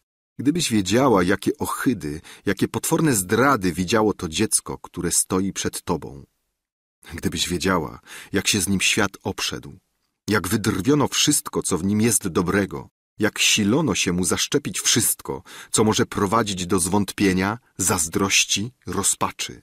Ach tak, najdroższa moja, gdybyś mogła wiedzieć, kogo kochasz, nie czyń mi wymówek, ach raczej użal się nade mną. Potrzeba mi zapomnieć, że istnieją inne kobiety prócz ciebie. Kto wie, jakie próby, jakie okropne chwile męki trzeba mi będzie przebyć. Nie podejrzewałem, że może przyjść do tego. Nie przypuszczałem, iż trzeba mi będzie walczyć. Od czasu, jak jesteś moją, widzę, co uczyniłem. Pieszcząc ciebie, uczułem, jak bardzo wargi moje są zbrukane. Na imię nieba, pomóż mi żyć. Bóg mnie uczynił lepszym niż się wydaje. Brygida wyciągnęła ramiona. Utuliła mnie najtkliwszymi pieszczotami. Prosiła, abym jej opowiedział, co dało powód do tej smutnej sceny. Powtórzyłem tylko to, co rzekł mi Larif. Nie śmiałem wyznać, iż badałem Mercansona. Chciała koniecznie, abym wysłuchał jej wyjaśnień. Pan Delon kochał ją niegdyś, ale był to człowiek lekki, bardzo światowy i bardzo niestały, Dała mu do zrozumienia, iż nie mając zamiaru powtórnie wyjść za mąż, nie życzy sobie jego nadskakiwań. Poddał się jej żądaniu bez urazy, ale od tego czasu bywał u niej coraz rzadziej, a dziś przestał już bywać zupełnie. Wydobyła z całego pliku jeden list, o dacie bardzo świeżej, i pokazała mi go. Nie mogłem się powstrzymać od rumieńca, znajdując potwierdzenie wszystkiego, co mówiła. Upewniła mnie, że mi przebacza wymogła za całą karę przyrzeczenie, iż odtąd podzielę się z nią natychmiast wszystkim, co mogłoby obudzić we mnie jakieś podejrzenie. Układ przypieczętowaliśmy pocałunkiem i kiedy żegnałem się z nią o świcie, zapomnieliśmy dawno oboje, że pan Delon istnieje na świecie. Rozdział drugi Jakiś martwy bezwład, zamącony gorzką rozkoszą, Oto stan zwyczajny rozpustnikom. Jest to następstwo życia pod znakiem kaprysu, gdzie nic nie wspiera się na potrzebach ciała, ale na zachceniach myśli i gdzie ciało musi być wciąż gotowe do posłuchu. Młodość i wola mogą oprzeć się nadużyciom, ale natura mści się w milczeniu i w dniu, w którym postanowi odbudować swoje siły, wola umiera, aby czekać na nie i aby nadużyć ich znowu. W tym stanie, widząc dokoła siebie przedmioty, które kusiły go poprzedniego dnia, człowiek, który nie ma już siły po nie sięgać, znajduje wobec tego, co go otacza, jedynie uśmiech przesytu. Zważcie, iż do tych przedmiotów, które budziły jego pragnienia, nie zbliżał się nigdy z zimną krwią. Do wszystkiego, co go nęci, rozpustnik wyciąga ręce z całą gwałtownością. Życie jego jest ciągłą gorączką. Zmysły jego, chcąc znaleźć rozkosz, zniewolone są dotrzymywać kroku palącym napojom, kurtyzanom i bezsennym nocom. W ciągu dni tedy wypełnionych nudą i lenistwem czuje większy daleko niż inni ludzie rozdźwięk między swoją niemocą a swymi pokusami. Aby się im uprzeć, potrzebuje, aby przyszła mu na pomoc duma i wmówiła weń, że nimi gardzi. Tak oto plwa bez ustanku na wszystkie biesiady życia i pomiędzy palącym pragnieniem a głębokim przesytem gnuśna próżność wiedzie go ku śmierci. Mimo iż nie byłem już rozpustnikiem, stało się nagle, iż ciało moje przypomniało sobie, że byłem nim niegdyś. Bardzo proste jest, iż aż dotąd nie spostrzegłem się na tym. Wobec boleści spowodowanej zgonem ojca, wszystko w pierwszej chwili umilkło. Przyszła gwałtowna miłość. Dopóki żyłem samotnie, nuda nie miała pola do walki. Smutek, wesołość, wszystkie te zmiany atmosferyczne Cóż znaczą człowiekowi, który jest sam? Tak jak cynk, ów półmetal, wydobyty z sinawej żyły, w której drzemie, rodzi sam z siebie promień słońca, skoro zbliży się do dziewiczej miedzi. Tak pocałunki Brygidy obudziły stopniowo w mym sercu to, co w nim było zagrzebane. Z chwilą, gdy się znalazłem wobec niej, spostrzegłem, czym jestem. Bywały dnie, w których czułem się od rana w stanie ducha tak osobliwym, iż niepodobna go określić. Budziłem się bez przyczyny, jak człowiek, który poprzedniego dnia nadużył rozkoszy stołu. Wszystkie wrażenia z zewnątrz nużyły mnie niewypowiedzianie. Wszystkie znane i zwykłe przedmioty mierziły mnie i nudziły. Jeślim się odzywał, to tylko po to, aby obrócić w śmieszność to, co mówiła ona, albo ja sam myślałem. Wówczas, wyciągnięty na kanapie, jakby niezdolny do ruchu, Udaremniałem z rozmysłu wszystkie projekty spacerów planowane w Wilije. Siliłem się odnaleźć w pamięci wszystko to, co w moich dobrych chwilach mogłem powiedzieć szczerego i tkliwego. I nie miałem spokoju, dopóki moje ironiczne żarciki nie zepsuły i nie zatruły tych szczęśliwych wspomnień. Czy nie mogłeś mi tego zostawić? pytała smutno Brygida. Jeśli są w tobie dwaj różni ludzie, czy nie mógłbyś wówczas, kiedy zły wstaje, zadowolić się tym, aby zapomnieć o dobrym? Cierpliwość, z jaką Brygida znosiła te szaleństwa, podsycała jedynie mój posępny humor. Dziwna rzecz, aby człowiek, który cierpi, potrzebował zadawać cierpienie ukochanej istocie. Taki brak władzy nad sobą, czyż to nie jest okropna choroba? Cóż okrutniejszego dla kobiety, jak widzieć mężczyznę, który zaledwie wyszedłszy z jej ramion, obraca przez jakiś czas szaleństwo nie do wybaczenia w pośmiewisko to, co jest najbardziej świętego i tajemniczego w szczęśliwych nocach miłości. Brygida nie opuszczała mnie wszelako w owych chwilach. Siedziała przy mnie, pochylona nad haftem, podczas gdy ja w napadzie okrucieństwa Znieważałem miłość i miotałem bluźnierstwa ustami wilgotnymi jeszcze od jej pocałunków. Wtedy nie, wbrew memu zwyczajowi, bawiło mnie mówić o Paryżu i przedstawiać swoje hulaszcze życie jako najlepszą rzecz pod słońcem. Ty jesteś od dewotka, mówiłem śmiejąc się do Brygidy. Nie wiesz, co to życie. Nie ma nic lepszego niż ludzie, co o nic nie dbają i bawią się w miłość, nie wierząc w nią. Czyż to nie znaczyło wyraźnie, że ja nie wierzę w miłość? Więc dobrze, odpowiadała Brygida. Naucz mnie, co robić, aby ci się zawsze podobać. Jestem być może równie ładna jak te damy, do których wzdychasz. Jeśli nie jestem równie dowcipna i zabawna, mam najlepszą wolę po temu. Rób tak, jakbyś mnie nie kochał i pozwól, bym cię kochała, nie mówiąc ci o tym. Jestem religijna nie tylko w kościele, ale i w miłości. Co trzeba robić, abyś w to uwierzył? I stawała przed lustrem, ubierając się w biały dzień, niby na bal lub zabawę, udając zalotność, której nie mogła znosić, siląc się dostroić do mego tonu, śmiejąc się i skacząc po pokoju. Czy podobam ci się? pytała. Do której z kochanek wydaje ci się podobna? Czy jestem dość ładna, aby ci dać zapomnieć, że można jeszcze wierzyć w miłość? Czy wyglądam na taką, co sobie drwi ze wszystkiego? Nagle, wśród tej sztucznej wesołości, odwracała się plecami i mimowolny dreszcz wstrząsał na jej włosach smutne kwiaty, które upinała. Rzucałem się jej do stóp. Przestań, mówiłem. Zanadto podobna jesteś do tych, które chcesz naśladować, a które moje niecne usta śmią wspominać przy tobie. Zdejm te kwiaty, zdejm te suknie. Obmyjmy tę wesołość szczerymi łzami. Nie każ mi przypominać sobie, że jestem marnotrawnym synem. Zanadto dobrze znam swoją przeszłość. Ale nawet ta skrucha była okrucieństwem. Dowodziła, że widma, jakie miałem w sercu, były czymś bardzo realnym. Poddając się uczuciu grozy, mówiłem jej o tym samym jasno, że jej poddanie i chęć podobania się przywodzą mi jedynie nieczyste obrazy. I to była prawda. Wchodziłem w dom Brygidy przepełniony radością, przysięgając zapomnieć w jej ramionach mych cierpień i minionego życia. Zaklinałem się na kolanach o mym szacunku aż do samej krawędzi jej łóżka. Wchodziłem w nie jak do sanktuarium. Wyciągałem do niej ramiona, wylewając łzy. I oto zdejmując suknię, Brygida uczyniła ruch, zbliżając się do mnie, wyrzekła jakieś słowo. I nagle przypomniałem sobie jakąś dziewkę, która zdejmując suknię wieczór i zbliżając się do mego łóżka, uczyniła ten sam gest, wyrzekła to samo słowo. Biedna, oddana duszo, coś ty cierpiała wówczas, widząc, jak blednę przy tobie, kiedy moje ramiona, gotowe cię przyjąć, opadały martwo na twoje gładkie i świeże ramię.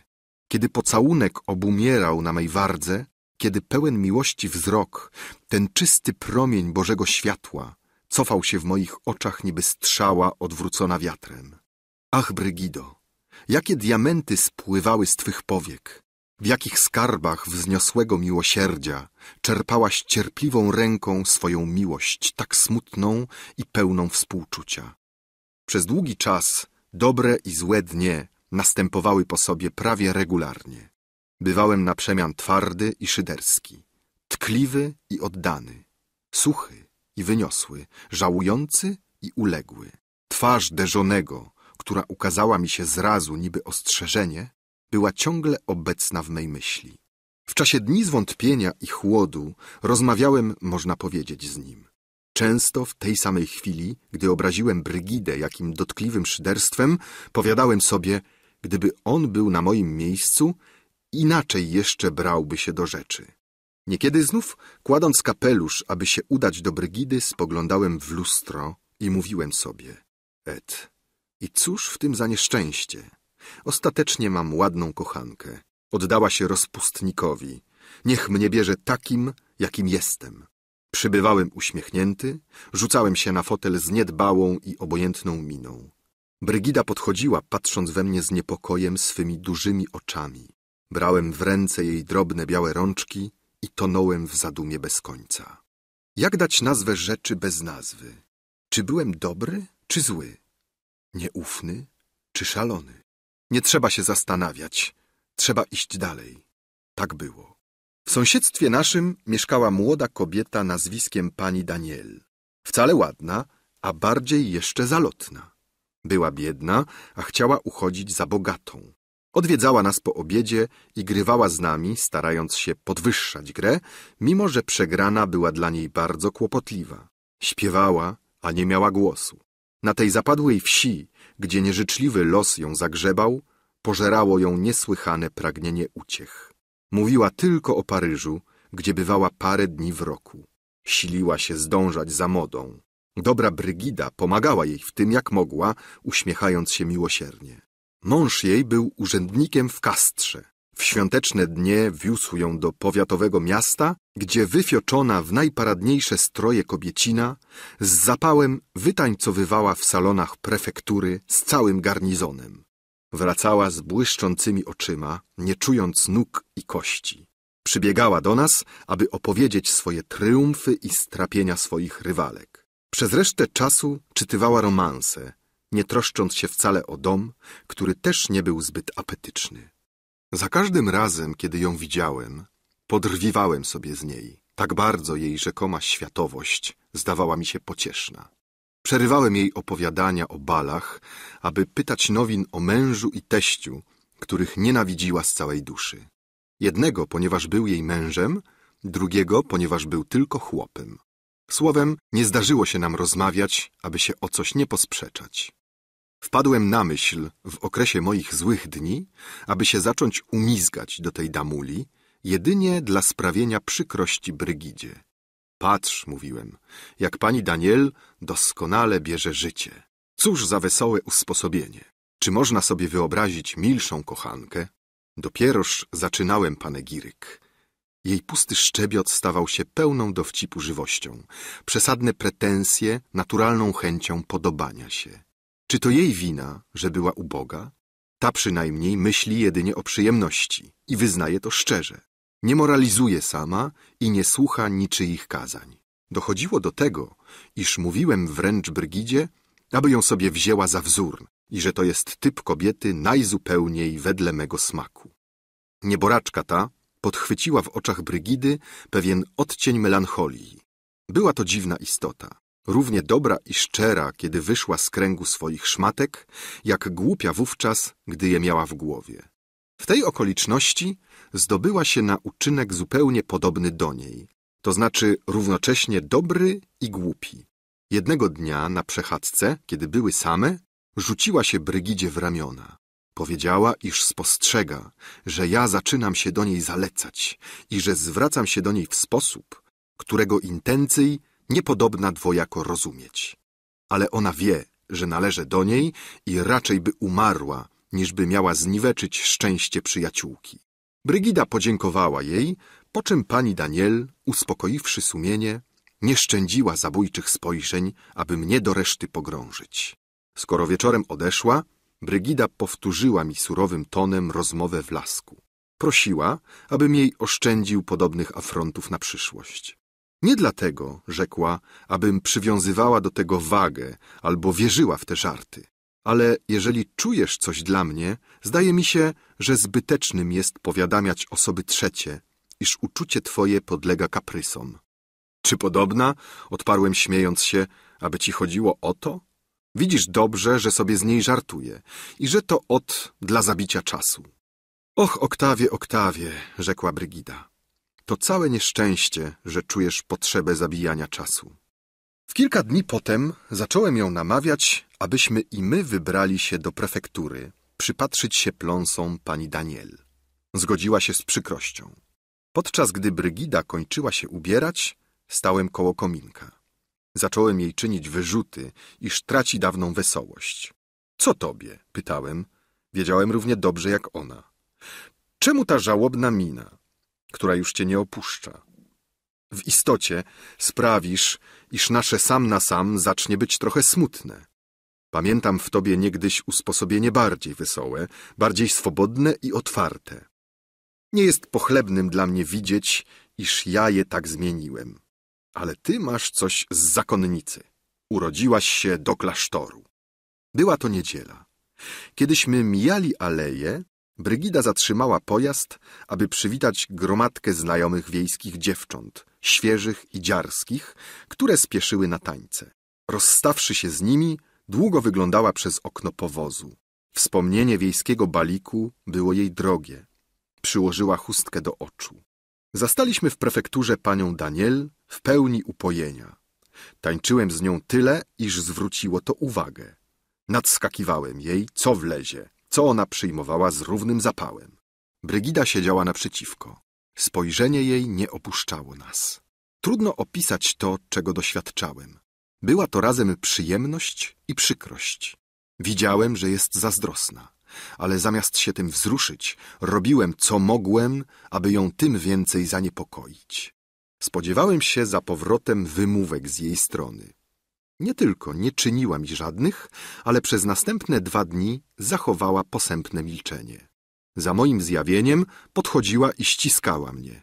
Po czym siadaliśmy naprzeciwko, oboje pogrążeni w zadumie, wymieniając jedynie parę nieznaczących słów. Trzeciego dnia przemówiła wreszcie. Wybuchnęła gorzkimi wyrzutami. Rzekła, iż postępowanie moje jest niezrozumiałe, że nie wie, co o nim myśleć. Chyba to, że jej już nie kocham. Ale nie może dłużej znieść tego życia i raczej gotowa jest na wszystko, niżby miała znosić moje dziwactwa i humory. Miała oczy pełne łez i już miałem błagać ją o przebaczenie, kiedy nagle wymknęło się jej parę słów tak gorzkich, iż duma moja stanęła dęba. Odparłem z tego samego tonu i sprzeczka zaogniła się. Rzekłem, iż śmiesznym jest, abym nie miał u niej tyle zaufania, by mogła polegać na mnie w najzwyklejszych okolicznościach. Pani Daniel jest tylko pozorem. Ona wie dobrze, że mi nie w głowie myśleć o tej kobiecie. Ta rzekoma zazdrość jest jedynie bardzo prawdziwym despotyzmem. Zresztą, jeśli ją to życie męczy, od niej jedynie zależy przerwać je. Więc dobrze, odparła. Wiem tyle, iż od czasu, jak należę do ciebie, nie poznaję cię. Grałeś zapewne komedię, aby mnie przekonać, że mnie kochasz. Ta komedia cię nuży i znajdujesz już dla mnie tylko same przykrości. Za pierwszym słowem, które ktoś ci rzuci, posądzasz mnie, że cię oszukuję, a ja nie mam prawa odczuć zniewagi, jaką mi wyrządzasz. Nie jesteś już tym oktawem, którego kochałam. Wiem, rzekłem, co to są te twoje cierpienia. Czemuż by nie miały się objawiać za każdym krokiem, który zrobię? Niebawem nie będzie mi wolno odezwać się do innej kobiety prócz ciebie. Udajesz męczennicę, aby móc sama obrzucać mnie obelgami. Oskarżasz mnie o tyranię, aby ze mnie zrobić niewolnika. Skoro mącę twój spokój, miejże go dosyta. Nie ujrzysz mnie już więcej. Rozstaliśmy się w gniewie i spędziłem dzień bez widzenia się z Brygidą. Nazajutrz około północy uczułem taki smutek, że nie mogłem dać sobie rady. Z oczu puścił mi się strumień łez. Obsypałem się zniewagami, na które zasługiwałem. Rzekłem sobie, że jestem szaleńcem i to nędznym szaleńcem, aby tak dręczyć najszlachetniejszą, najlepszą istotę. Pobiegłem rzucić się do stóp Brygidy. Wchodząc do ogrodu, ujrzałem w jej pokoju światło. Podejrzliwa myśl przeszła mi przez głowę. Nie spodziewa się mnie o tej porze, pomyślałem. Kto wie, co ona robi? Zostawiłem ją wczoraj we łzach. Zastanę ją może ze śpiewem na ustach, równie mało troszczącą się o mnie, co gdybym nie istniał. Stroi się może przygotowalni, jak tamta. Muszę wejść po cichu, iżbym wiedział, czego się trzymać. Zakradłem się na palcach. Że zaś drzwi były przypadkiem uchylone, mogłem widzieć Brygidę, nie będąc widziany. Siedziała przy stole i pisała w tym samym dzienniku, który obudził pierwsze moje podejrzenia. Trzymała w lewej ręce białe drewniane puzderko, na które spoglądała od czasu do czasu z nerwowym drżeniem. Było coś dziwnie złowróżbnego w nerwowym spokoju, jaki tu panował. Sekretarzyk był otwarty, leżały na nim papiery w kilku plikach, jak gdyby świeżo uporządkowane. Pchnąłem drzwi, czyniąc lekki hałas. Brygida wstała, podeszła do sekretarzyka, aby go zamknąć, następnie zbliżyła się do mnie z uśmiechem. Oktawie, rzekła, jesteśmy istne dzieci. Ta cała sprzeczka nie ma najmniejszego sensu. I gdybyś nie przyszedł dziś wieczór, ja byłabym u ciebie jeszcze tej nocy. Daruj mi. To ja zawiniłam. Pani Daniel będzie jutro na obiedzie. Ukaż mnie, jeśli chcesz, za to, co nazywasz moim despotyzmem. Bylebyś mnie kochał. Jestem szczęśliwa. Zapomnijmy o tym, co się stało i nie psujmy naszego szczęścia. Rozdział trzeci Sprzeczka nasza była, aby tak rzec, mniej smutna niż to pojednanie. W postępowaniu Brygidy tkwiła jakaś tajemnica, która przeraziła mnie w pierwszej chwili, a która później zostawiła mi w duszy ustawiczny niepokój. Im dalej brnąłem, tym bardziej rozwijały się we mnie, mimo wszelkich wysiłków, dwa czynniki nieszczęścia, mające źródło w przeszłości. To wściekła zazdrość pełna wyrzutów i obelg, to okrutna wesołość, udana płochość, znieważająca wśród żalu to, co mi było najdroższe. Tak oto ścigały mnie bez chwili przerwy nieubłagane wspomnienia. Brygida, widząc, iż obchodzę się z nią na przemian, niby z niewierną kochanką lub spłatną dziewczyną, zapadała stopniowo w smutek, który zżerał całe nasze życie. A co najgorsze, iż ten smutek, mimo że znałem jego przyczyny i czułem się jego sprawcą, nie mniej był mi ciężarem. Byłem młody i lubiłem życie. To codzienne sam na sam z kobietą starszą ode mnie, która cierpiała i więdła, ta coraz bardziej poważna twarz, którą miałem przed sobą, wszystko to pobudzało do buntu moją młodość i rodziło we mnie gorzkie tęsknoty za straconą wolnością. Kiedy w piękną noc księżycową wędrowaliśmy zwolna przez las, pławiliśmy się oboje w głębokiej melancholii. Brygida patrzała na mnie ze współczuciem. Siadaliśmy na skale wznoszącej się nad pustym wąwozem. Spędzaliśmy tam całe godziny. Oczy jej na wpół przysłonięte zatapiały się w me serce poprzez moje oczy, po czym Brygida obracała je znów na przyrodę, na niebo, na dolinę. Ach, drogie dziecko, mówiła, jak mi cię żal, ty mnie nie kochasz. Aby dotrzeć do tej skały, trzeba było zrobić dwie mile lasem. Tyleż z powrotem, razem cztery. Brygida nie lękała się zmęczenia ani nocy. Wyruszaliśmy o jedenastej wieczór, aby wrócić niekiedy aż rano. Kiedy puszczaliśmy się na takie wyprawy, brała niebieską bluzę i męski strój, mówiąc wesoło, że jej zwyczajne suknie nie nadają się do drogi przez gąszcze.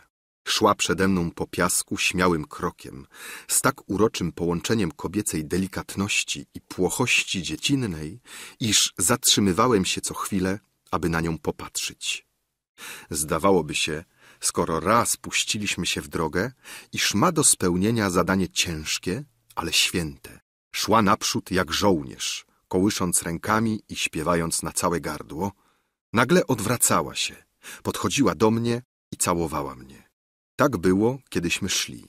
Za powrotem opierała się na mym ramieniu. Wówczas już milkła piosenka. Wówczas przychodziły zwierzenia, tkliwe słówka szeptane półgłosem, mimo że byliśmy sami na więcej niż dwie mile w koło. Nie przypominam sobie jednego słowa wymienionego w czasie powrotu, które by nie było wylewem miłości lub przyjaźni. Jednego wieczora puściliśmy się do skały drogą naszego wymysłu, to znaczy brnęliśmy przez las bez żadnej drogi.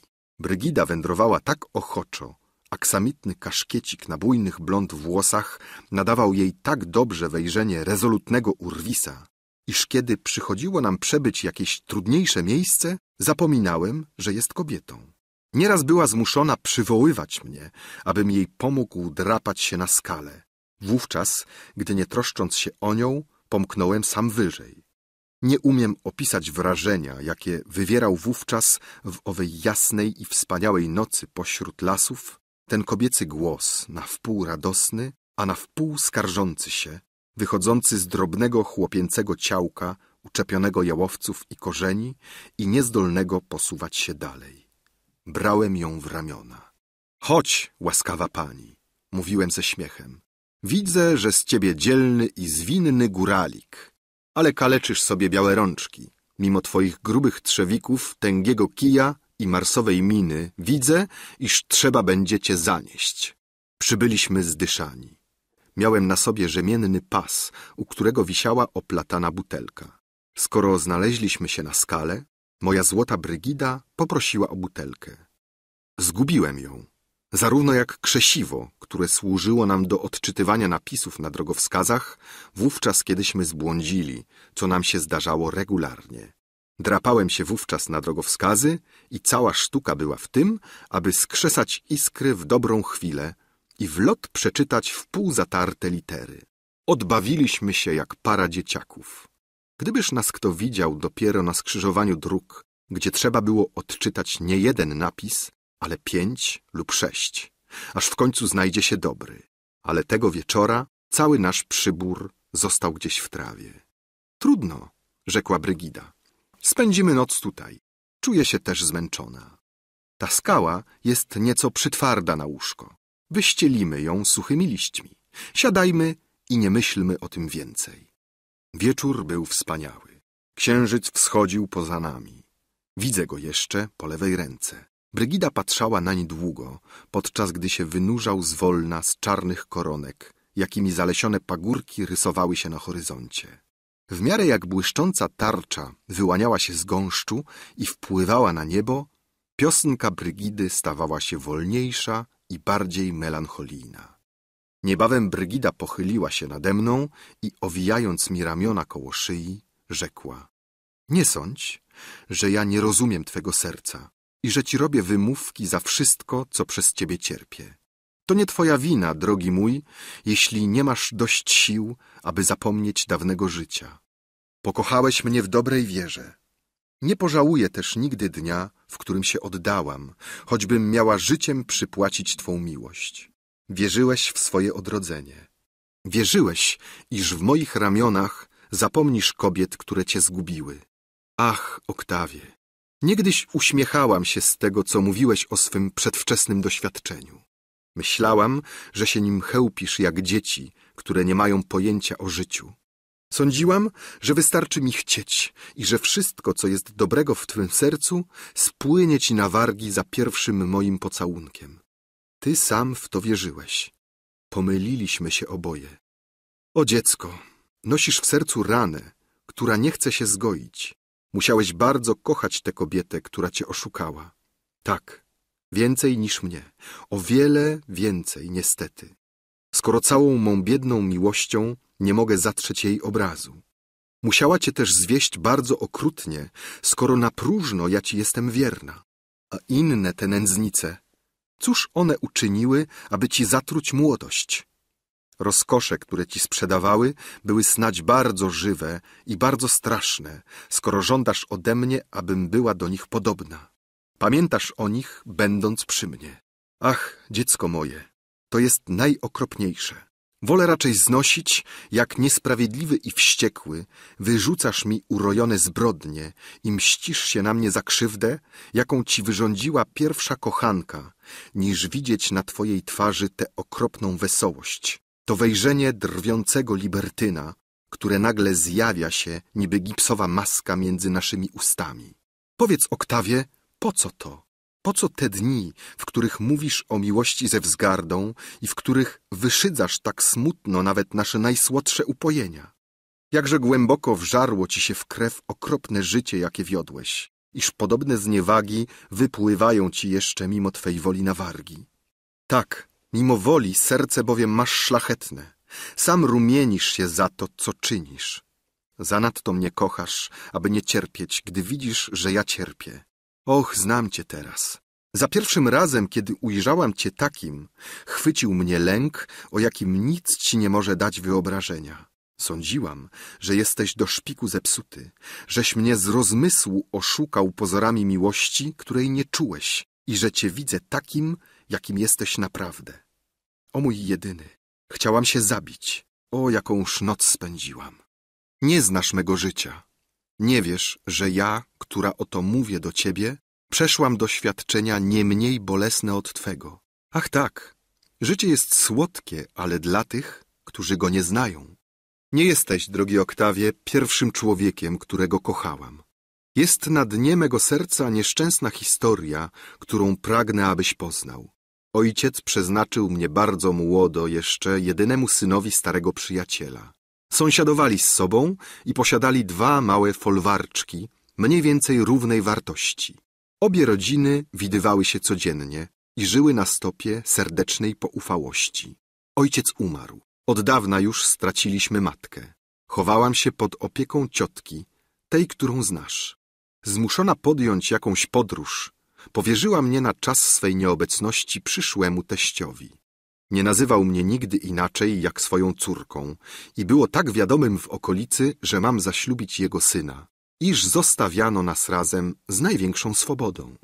Ów młody człowiek, którego nazwiska zbytecznym byłoby wymieniać, zawsze okazywał mi żywe uczucie. To, co było od lat dziecinną przyjaźnią, stało się z czasem miłością. Ilekroć byliśmy sami, mówił mi o szczęściu, które nas czeka. Malował mi swą niecierpliwość. Byłam tylko o rok młodsza od niego, ale on wszedł w sąsiedztwie w zażyłość z człowiekiem lichego życia, awanturnikiem, którego radom zaczął ulegać. Podczas gdy ja poddawałam się jego pieszczotom z ufnością dziecka, on postanowił oszukać ojca, chybić wiary obu rodzinom i porzucić mnie, zgubiwszy mnie w przódy. Jednego rana ojciec wezwał nas do swego pokoju i w obecności całego domu naznaczył dzień naszego ślubu. Wieczorem tego samego dnia narzeczony mój spotkał mnie w ogrodzie. Wynurzył mi swoją miłość żywiej niż kiedykolwiek. Oświadczył, iż skoro termin ślubu jest postanowiony, on uważa się za mego męża i że jest nim wobec Boga od swego urodzenia. Na moje usprawiedliwienie mogę przytoczyć jedynie mą młodość, nieświadomość i ufność, jaką w nim pokładałam. Oddałam mu się, zanim zostałam jego żoną, a w tydzień później opuścił dom ojcowski. Uciekł z jakąś kobietą, z którą zapoznał go nowy przyjaciel. Napisał, że jedzie do Niemiec i nigdyśmy go już nie ujrzeli. Oto w jednym słowie dzieje mego życia.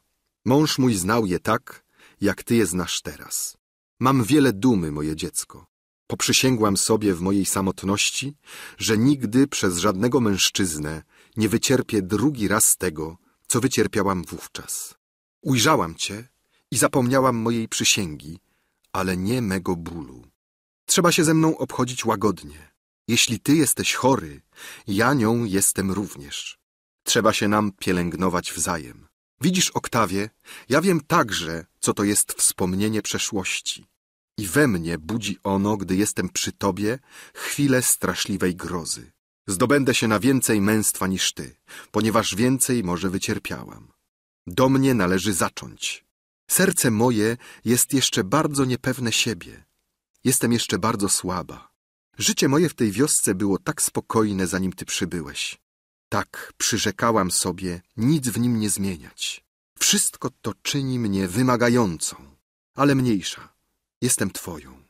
Mówiłeś mi w swoich dobrych chwilach, iż opatrzność stworzyła mnie, iżbym czuwała nad tobą niby matka. To prawda, drogi mój. Ja nie co dzień jestem twoją kochanką. Są dni, w których jestem, w których chcę być twoją matką. Tak, kiedy znęcasz się nade mną, wówczas nie widzę już w tobie kochanka. Jesteś wówczas dla mnie jedynie dzieckiem chorym, dzikim lub kapryśnym, które trzeba mi pielęgnować i leczyć, aby odnaleźć tego, którego kocham i kochać chcę zawsze.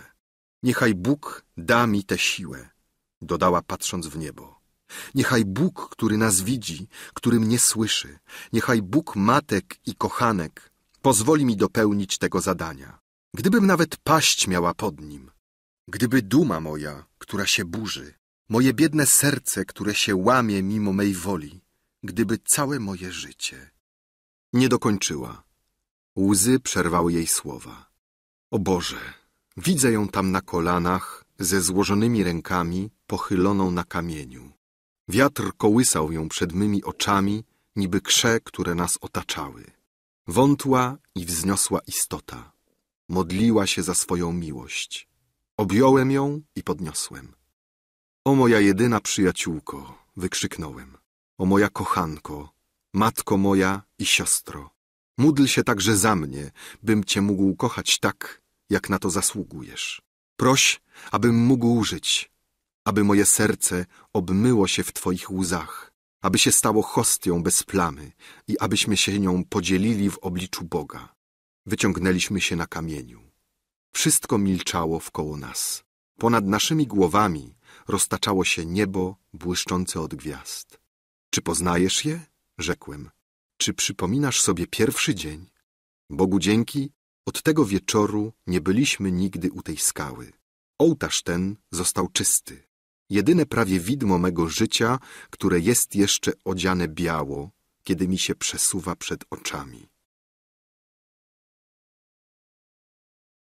Rozdział czwarty. Przechodząc przez wieś, Natknąłem się pewnego wieczora na dwóch ludzi, z których jeden mówił dość głośno. Podobno znęca się nad nią. To jej wina, odparł drugi. Jak można wybrać podobnego człowieka? Miewał do czynienia jedynie z ulicznicami. Brygida ponosi karę za swoje szaleństwo. Podsunąłem się w ciemności, aby rozpoznać osoby mówiących i starać się posłyszeć coś więcej, ale na mój widok oddalili się. Zastałem Brygidę zaniepokojoną. Ciotka była poważnie chora. Zaledwie miała czas szepnąć mi parę słów. Nie mogłem dotrzeć do niej przez cały tydzień. Wiedziałem, że sprowadzała lekarza z Paryża. Wreszcie jednego dnia posłała po mnie. Ciotka umarła, rzekła. Straciłam jedyną istotę, jaką miałam jeszcze na ziemi. Jestem obecnie sama na świecie. Wyjadę stąd. Czyż w istocie nie jestem niczym dla ciebie? Owszem, mój drogi, wiesz, że cię kocham i wierzę często, że ty mnie kochasz. Ale w jaki sposób mogłabym liczyć na ciebie? Ja jestem twoją, ale ty niestety nie jesteś moim. Ciebie to Szekspir określił tym smutnym słowem Każ sobie zrobić ubranie z mieniącej tafty, serce twoje bowiem podobne jest do opalu o tysiącznych kolorach. A ja, Oktawie, dodała wskazując żałobną suknię, skazana jestem na jeden kolor i na długo już go nie zmienię. Wyjedź stąd, jeśli chcesz. Zabiję się albo pójdę za tobą. Ach, Brygido, dodałem padając na kolana. Myślałaś, że jesteś sama, dlatego że straciłaś ciotkę. To najokrutniejsza kara, jaką mi mogłaś wymierzyć. Nigdy boleśniej nie odczułem, jak nędzną jest moja miłość do ciebie. Musisz cofnąć tę okropną myśl. Zasługuję na nią, ale mnie zabija. O Boże, byłożby prawdą, iż nie liczę się za nic w twoim życiu lub też gram w nim rolę jedynie przez ból, jaki ci zadaję. Nie wiem, rzekła, kto się zajmuje nami ale od pewnego czasu rozchodzą się tu i w okolicy osobliwe powieści. Jedni mówią, że cię gubię. Obwiniają mnie o nierozwagę i szaleństwo. Drudzy przedstawiają ciebie jako okrutnego i niebezpiecznego człowieka. Wcisnęli się, nie wiem w jaki sposób, w nasze najpoufniejsze myśli. To, co sądziłam, że wiadome jest tylko mnie, owe nierówności twego postępowania i smutne sceny, jakie z nich wynikły, wszystko to jest publiczną tajemnicą. Biedna ciotka wspomniała mi o tym, a od dawna wiedziała, nic nie mówiąc. Kto wie, czy to wszystko nie przyspieszyło, nie zatruło jej zgonu. Gdy spotkam na przechadzce dawne przyjaciółki, witają mnie chłodno lub oddalają się za mym zbliżeniem. Nawet moje kochane wieśniaczki, te dobre dziewczyny, które mnie tak kochały, wzruszają ramionami, kiedy widzą moje miejsce próżne tuż koło orkiestry na tańcach. Dlaczego? Jak się to dzieje? Nie wiem. Ty także z pewnością. Ale trzeba mi jechać stąd. Nie zniosę tego. I ta śmierć, ta nagła i okropna choroba, a ponad wszystko ta samotność, ten pusty pokój. Brak mi odwagi, jedyny mój. Drogi, nie opuszczaj mnie. Płakała.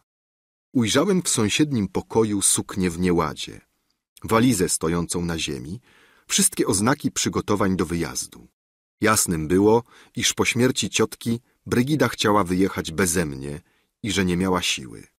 Była w istocie tak przybita, iż ledwie mogła mówić. Położenie jej było straszne i to ja byłem jego sprawcą. Nie tylko była nieszczęśliwa, ale lżono ją publicznie a człowiek, w którym powinna była znaleźć podporę i pociechę, był dla niej jedynie obfitszym jeszcze źródłem niepokoju i udręczeń. Uczułem tak żywo moje winy, iż zawstydziłem się sam siebie. Po tylu przyrzeczeniach, tylu próżnych zapałach, tylu zamiarach i nadziejach. Oto w rezultacie, com uczynił, i to w przeciągu trzech miesięcy. Sądziłem, że mam w sercu skarb, a wysączyła się zeń jedynie gorzka żółć, czczy majak i nieszczęście kobiety, którą ubóstwiałem. Po raz pierwszy spojrzałem sobie prosto w oczy. Brygida nie wyrzucała mi nic. Chciała wyjechać i nie mogła. Gotowa była cierpieć jeszcze. Spytałem nagle sam siebie, czy nie powinienem jej opuścić, czy nie mnie to należało się oddalić i uwolnić ją od tej plagi. Wstałem i przeszedłszy do sąsiedniego pokoju, usiadłem na walizie. Utopiłem czoło w rękach i zapadłem w jakąś martwotę. Patrzałem dokoła siebie na wszystkie te na wpół gotowe pakunki, na suknie rozrzucone po sprzętach. Ach, znałem je tak dobrze. Coś z mego serca było we wszystkim, co jej dotknęło. Zacząłem przechodzić w myśli wszystkie krzywdy, jakie jej wyrządziłem.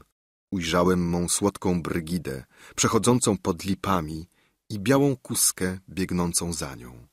Ha! wykrzyknąłem. Jakim prawem? Kto cię ośmielił zbliżać się do niej i ściągać rękę na tę kobietę? Kto zezwolił, aby istota ludzka cierpiała dla ciebie? Trefisz włosy przed lustrem i idziesz jak fircyk na podboje do smętnej kochanki. Rzucasz się na poduszki, na których ona przed chwilą modliła się za ciebie i za siebie i trącasz lekko, z niedbałą miną te wątłe ręce, które drżą jeszcze. Umiesz wcale nieźle rozpalać swoją biedną głowę. W chwilach miłosnych uniesień jesteś dosyć wymowny, podobnie jak ów adwokat, który wychodzi z czerwonymi oczami z audiencji, na której przegrał szalbierczy proces. Bawisz się w zepsute dziecko i grasz sobie z cierpieniem. Za pomocą szpilki do włosów dopuszczasz się wytwornego morderstwa.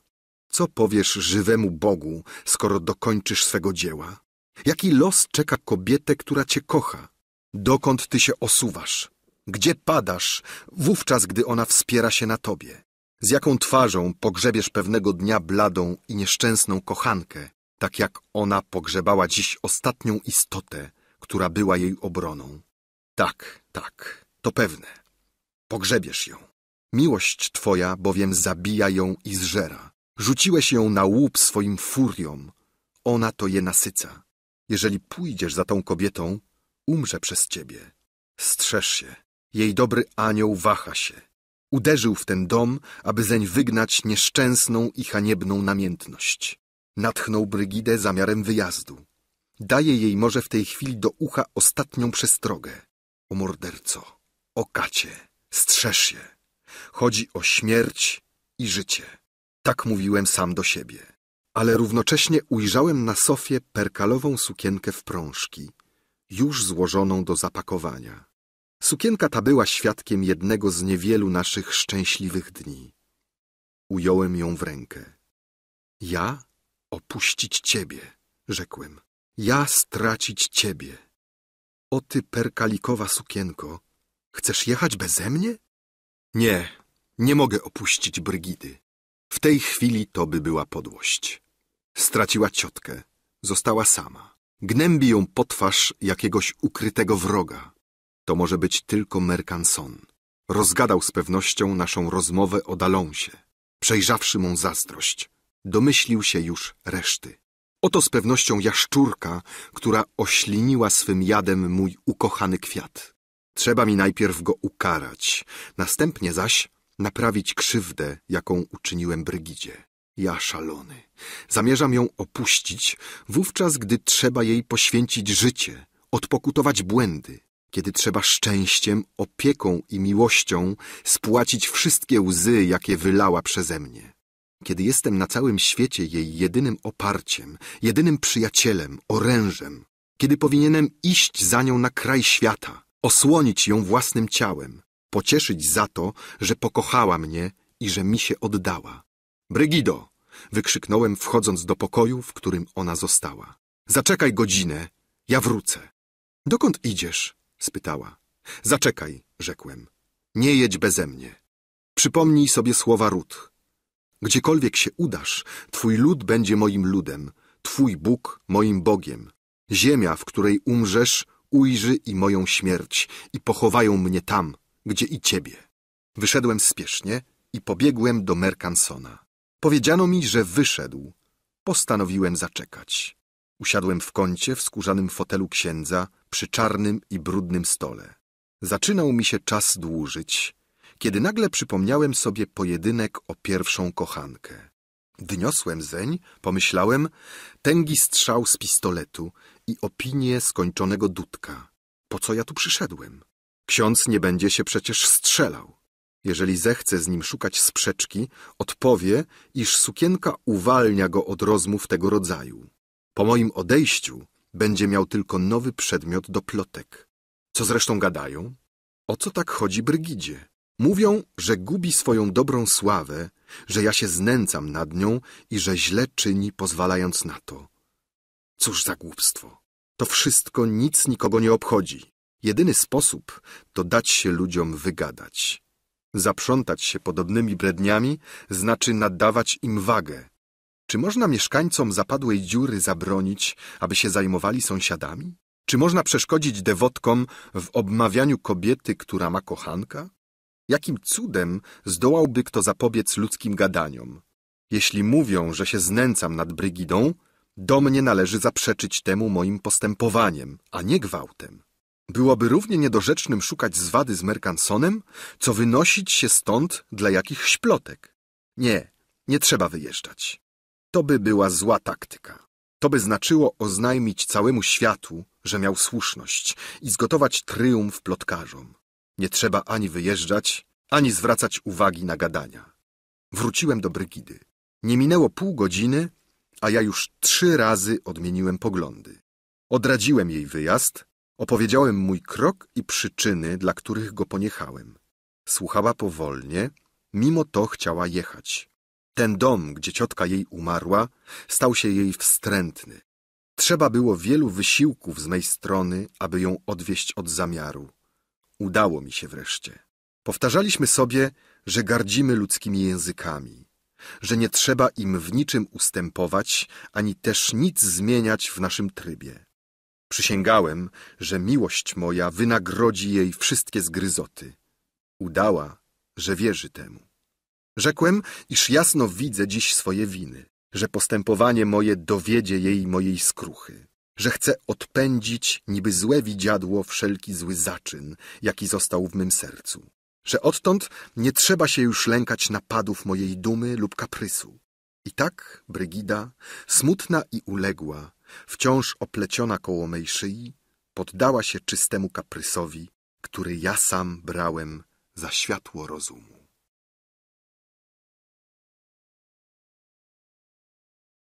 Rozdział piąty Jednego dnia, wszedłszy do jej domu, ujrzałem otwarty mały pokoik, który Brygida nazywała swoją modlitewnią. W istocie był tam za cały sprzęt jedynie klęcznik oraz ołtarzyk. Na nim krzyż i parę doniczek z kwiatami. Ściany, firanki, wszystko było białe jak śnieg. Brygida zamykała się tam niekiedy, ale od czasu jak żyliśmy z sobą, rzadko. Uchyliłem drzwi i ujrzałem ją siedzącą na ziemi pośród porzuconych kwiatów. Trzymała w ręku wianuszek, uwity jakby z zeschłych ziół i kruszyła go w palcach. — Co ty robisz? — spytałem. Zadrżała i podniosła się. — To nic — odparła. — Od dziecinna zabawka. Dawny wianuszek z róż, który zwiądł w tej modlitewni. Dawno już temu zawiesiłam go tutaj. Przyszłam, aby zmienić kwiaty. Głos jej drżał. Zdawała się bliska omdlenia. Przypomniałem sobie miano Brygidy Róży, które niegdyś dawano jej we wsi. Spytałem, czy przypadkiem kwiaty, które kruszy, to nie ów wieniec dziewiczej cnoty. Nie, odparła blednąc. Tak, wykrzyknąłem. Na mą duszę, daj mi te szczątki. Zebrałem je i złożyłem na ołtarzu, po czym stałem niemy, z oczyma utkwionymi w te resztki. Czyż niesłusznie uczyniłam, rzekła, gdyby to był mój wieniec, iż zdjęłam go ze ściany, gdzie wisiał tak długo? Na co te strzępy? Brygidy róży nie ma już na świecie, tak samo jak róż, od których wzięła miano. Wyszła. Usłyszałem szloch i drzwi zamknęły się za mną. Padłem na kolana na kamiennej posadzce i zapłakałem gorzko. Skoro udałem się za Brygidą, siedziała przy stole. Obiad był gotów. Czekała na mnie. Zająłem w milczeniu miejsce i nie było mowy o tym, co mieliśmy w sercu. Rozdział szósty W istocie to Mercanson rozpowiedział we wsi i okolicznych dworach rozmowę naszą o Dalonsie i podejrzenia, jakie mimo woli wyraźnie zdradziłem. Wiadomo, w jaki sposób na prowincji rozchodzi się obmowa, jak biegnie z ust do ust i rośnie. I to właśnie się zdarzyło. W stosunku moim do Brygidy zaszła zmiana. Mimo iż zamiar wyjazdu objawiła dość miękko, był on wszelako faktem. Została na moją prośbę. Tkwiło w tym dla mnie zobowiązanie. Zobowiązałem się nie mącić jej spokoju, ani zazdrością, ani płochością. Każde twarde i szydercze słowo z mej strony było występkiem. Każde smutne spojrzenie Brygidy dotkliwym i zasłużonym wyrzutem. Dzięki swej dobrej i prostej naturze znajdowała zrazu w swym osamotnieniu jedynie nowy urok. Mogła mnie widywać o każdej porze, bez żadnego skrępowania. Być może korzystała z tej swobody z umysłu, aby mi dowieść, iż przekłada swą miłość ponad dobrą sławę. Zdawało się, iż żałuje uprzedniej wrażliwości na gadania plotkarzy. Faktem jest, iż zamiast przestrzegać pozorów i chronić się przed ciekawością, przyjęliśmy przeciwnie tryb życia bardziej swobodny i wyzywający niż kiedykolwiek. Zjawiałem się w porze śniadania. Nie mając nic do roboty przez cały dzień, wychodziłem tylko z nią. Zatrzymywała mnie na obiedzie. Wieczór rozumiał się sam przez się. Niebawem, skoro nadchodziła godzina rozstania, wymyślaliśmy oboje tysiąc pozorów, tysiąc złudnych osłonek, które nikogo nie były zdolne oszukać. Słowem, mieszkaliśmy po prostu razem, a udawaliśmy oboje, że nikt o tym nie wie. Dotrzymałem jakiś czas słowa i żadna chmurka nie zmąciła naszego sam na sam. Były to szczęsne dni. Nie o tych też trzeba mi mówić. Opowiadano wszędzie w okolicy, że Brygida żyje publicznie z hulaką przybyłym z Paryża, że kochanek znęca się nad nią, że ustawicznie tylko się rozchodzą i schodzą, ale że to wszystko źle się skończy. Z równym zapałem, z jakim przedtem wysławiano prowadzenie Brygidy, potępiano ją obecnie. Nawet w dawniejszym prowadzeniu, tak godnym wszelkich pochwał, nie było okoliczności, której by nie nicowano, aby jej nadać ujemne znaczenie. Jej samotne wycieczki, których celem było czynienie dobrego i które nigdy nie obudziły żadnego posądzenia, stały się nagle przedmiotem szyderstw i domyślników. Mówiono o niej jak o kobiecie, która zatraciła wszelki wstyd i którą słusznie czekają nieuchronne i straszne nieszczęścia. Powtarzałem Brygidzie, iż trzeba pozwolić ludziom gadać i nie chciałem zdradzić, że mnie te sądy obchodzą, ale faktem jest, iż stały mi się nie do zniesienia. Niekiedy umyślnie wybierałem się w odwiedziny gdzieś w okolice, aby posłyszeć jakieś słówko, o które mógłbym się uczepić i zażądać porachunku. Nasłuchiwałem bacznie wszystkiego, co mówiono, ale nie mogłem nic podchwycić. Aby mnie wziąć na języki, czekano mego odejścia. Wracałem tedy do domu i mówiłem Brygidzie, że wszystkie te bajania to wielkie nic i że trzeba być szalonym, aby się nimi zaprzątać, że mogą o nas mówić, ile się komu podoba i że nie chcę nic o tym wiedzieć. Czyż nie byłem winny ponad wszelki wyraz? Jeżeli Brygida była nierozważna, czyż nie moją rzeczą było mieć zastanowienie i ostrzec ją o niebezpieczeństwie? Zupełnie przeciwnie. Stawałem, można powiedzieć, po stronie świata, przeciwko niej. Zaczęło się od braku względów. Niebawem doszło do jawnej złośliwości z mej strony. W istocie, mówiłem, świat krytykuje mocno twoje nocne wyprawy.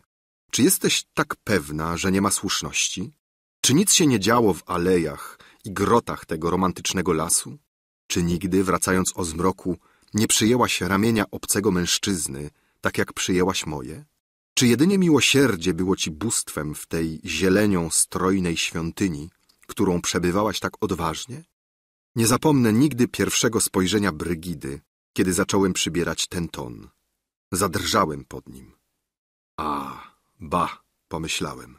Gdybym kruszył kopię za nią, zrobiłaby jak moja pierwsza kochanka.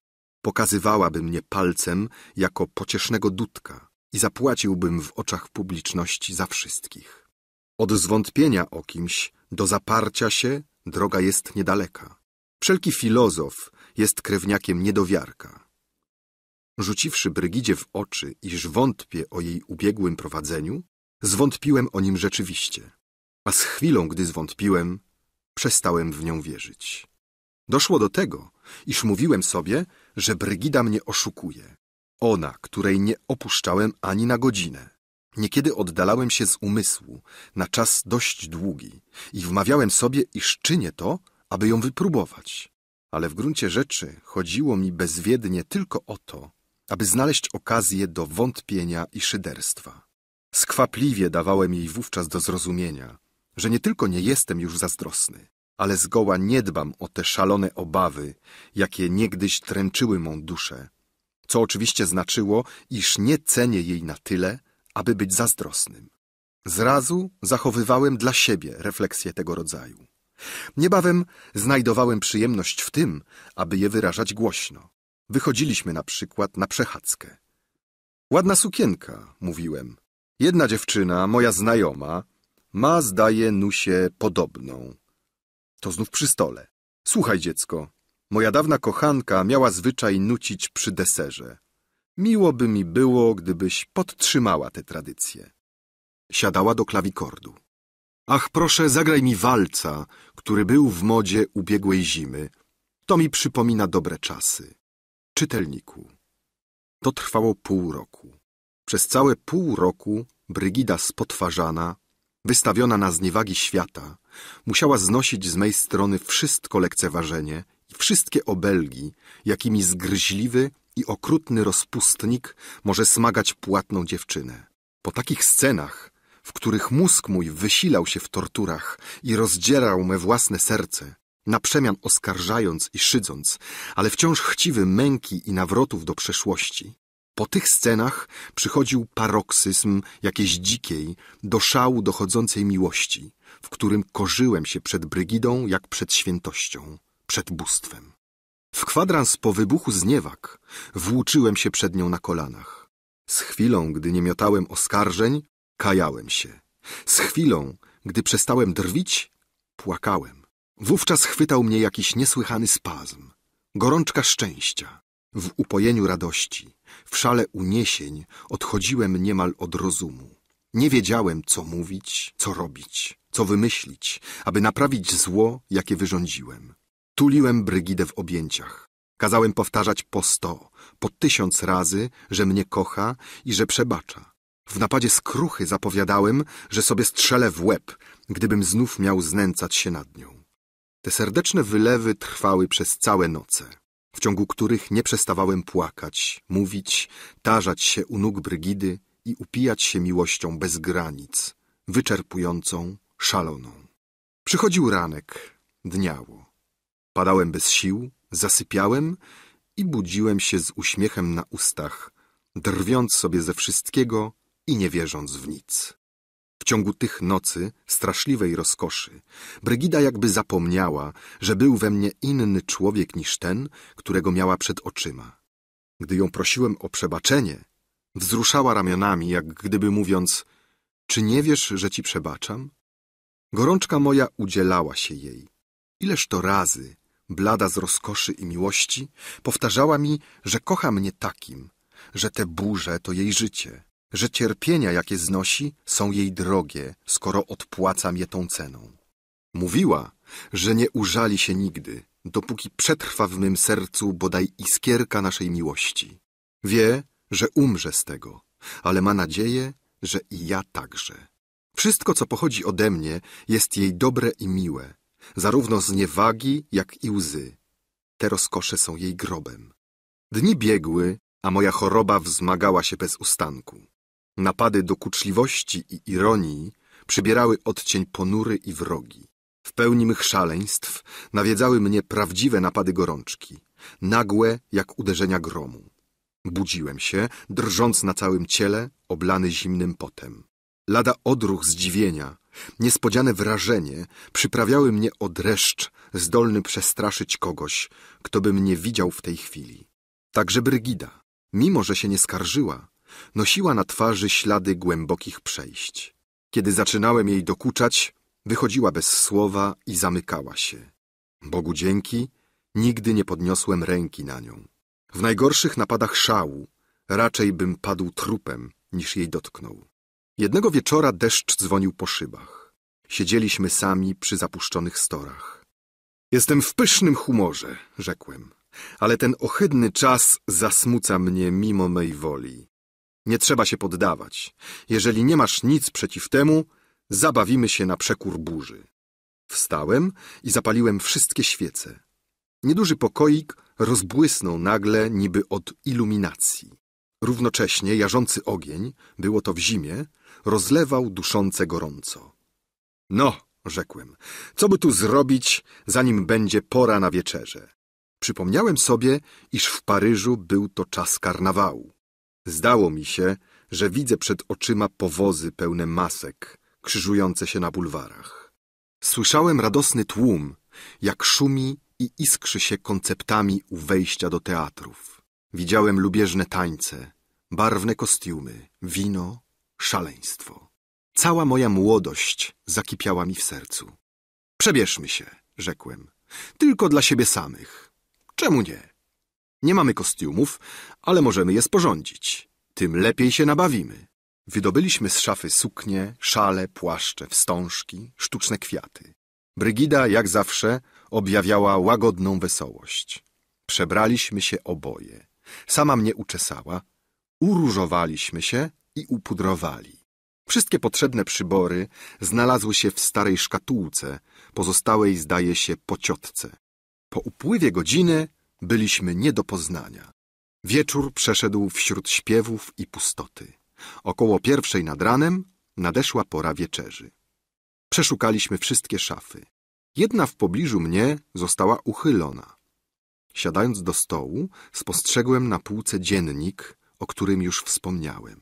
Czy to nie jest ów zbiorek twoich myśli? spytałem, wyciągając rękę po dziennik.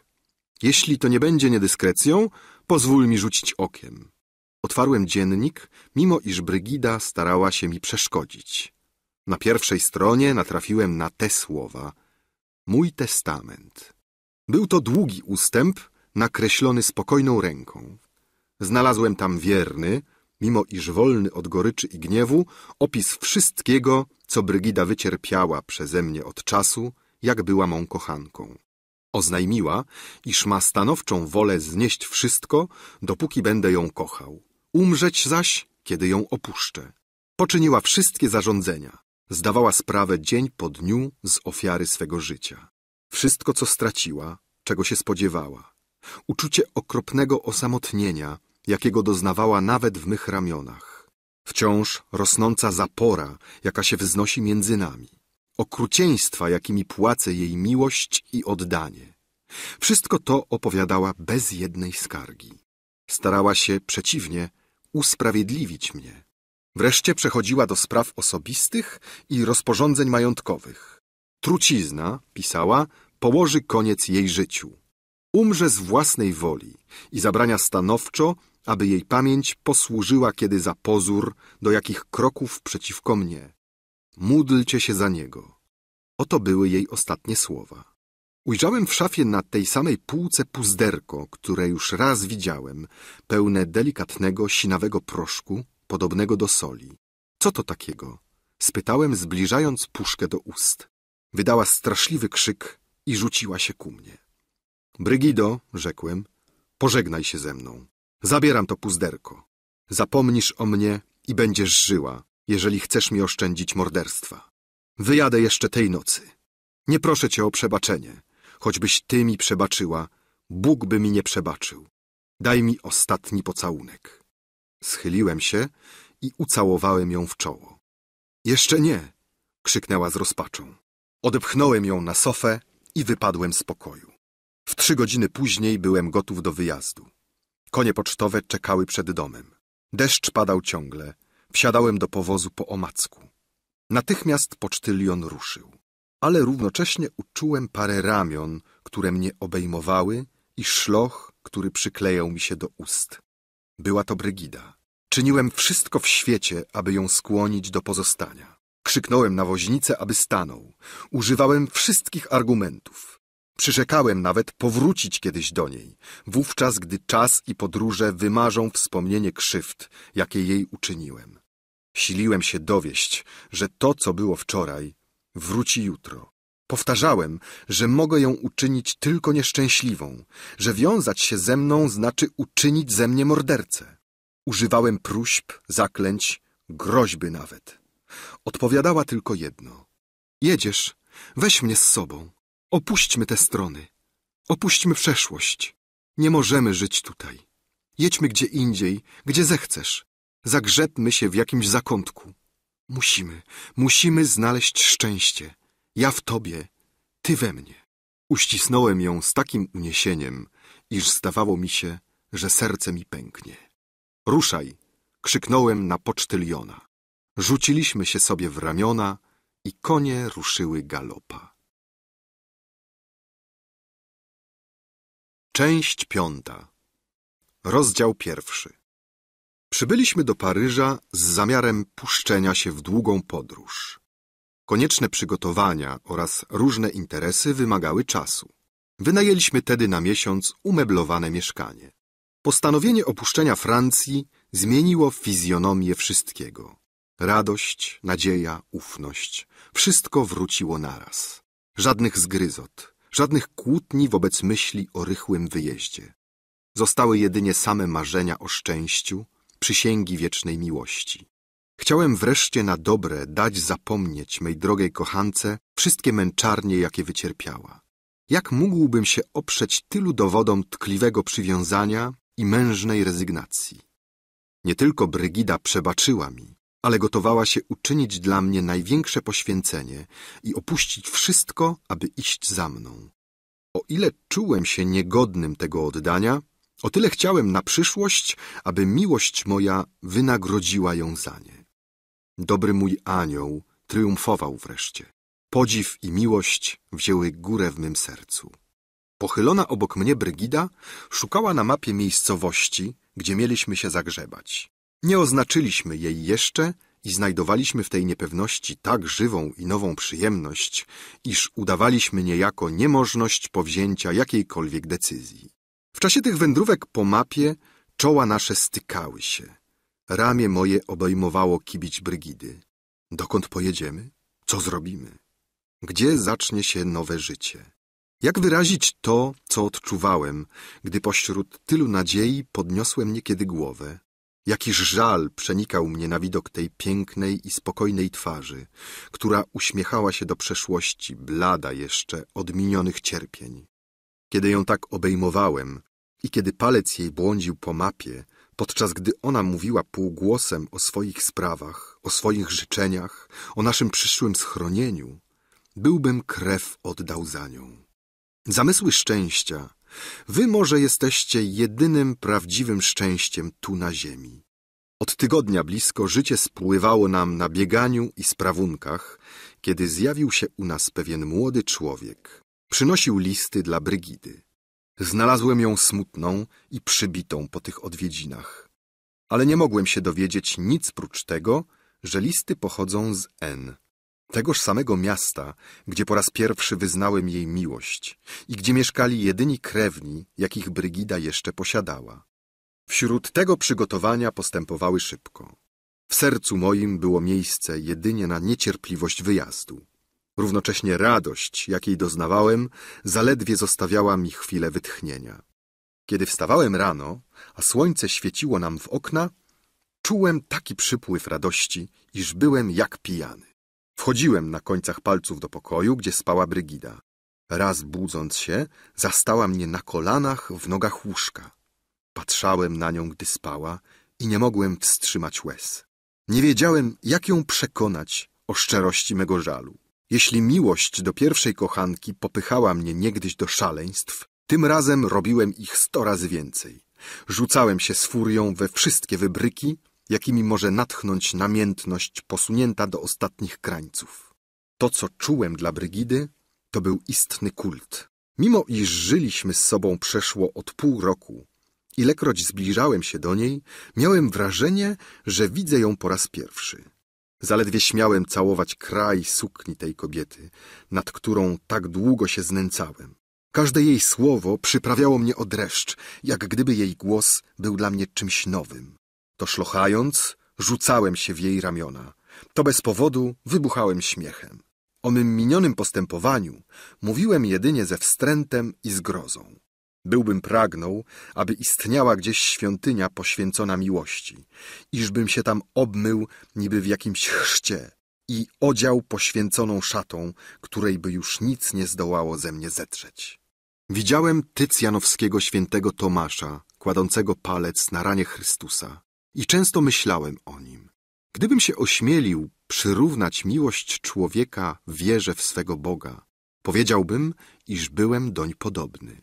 Jakie imię dać uczuciu, które wyraża niespokojna głowa, prawie wątpiąca jeszcze, a już pełna ubóstwienia? Dotyka rany. Bluźnierstwo zdumione zatrzymuje się na rozchylonych wargach, na których zwolna wykwita modlitwa. Czy to wyznawca, czy niedowiarek? Czy kaja się tyle, ile obraził? Ani on sam, ani malarz, ani ty, który patrzysz, nie wiecie. Zbawiciel uśmiecha się i wszystko roztapia się niby krople rosy w promieniu bezmiernej dobroci. Tak ja w obliczu Brygidy byłem niemy i jakby bez ustanku zdziwiony.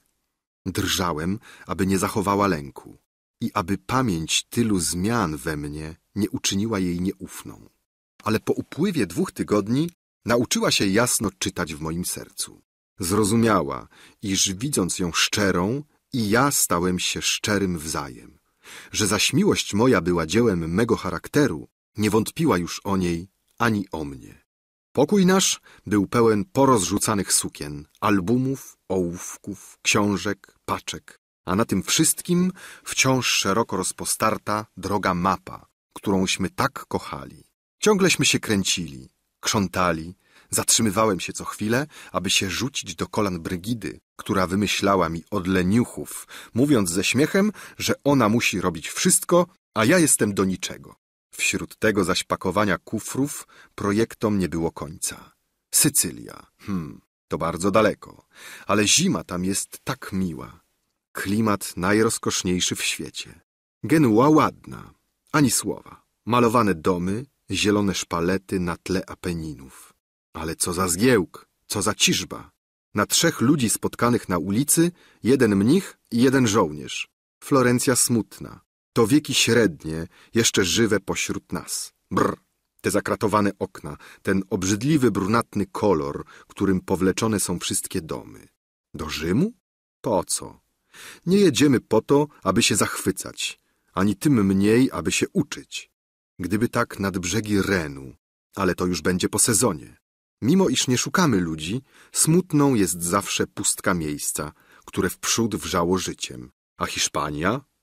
Nadto kłopotu. Trzeba podróżować jak w czasie wojny i oczekiwać wszystkiego wyjąwszy spokoju. Jedźmy do Szwajcarii. Niech głupców to mierzi, że taka już wyjeżdżona. Tam to lśnią w całym blasku trzy najmilsze Bogu barwy. Lazur nieba, zieloność łąk i biel śniegu na szczytach lodowców. Jedźmy, jedźmy, mówiła Brygida. Pofruńmy jak dwoje ptasząt.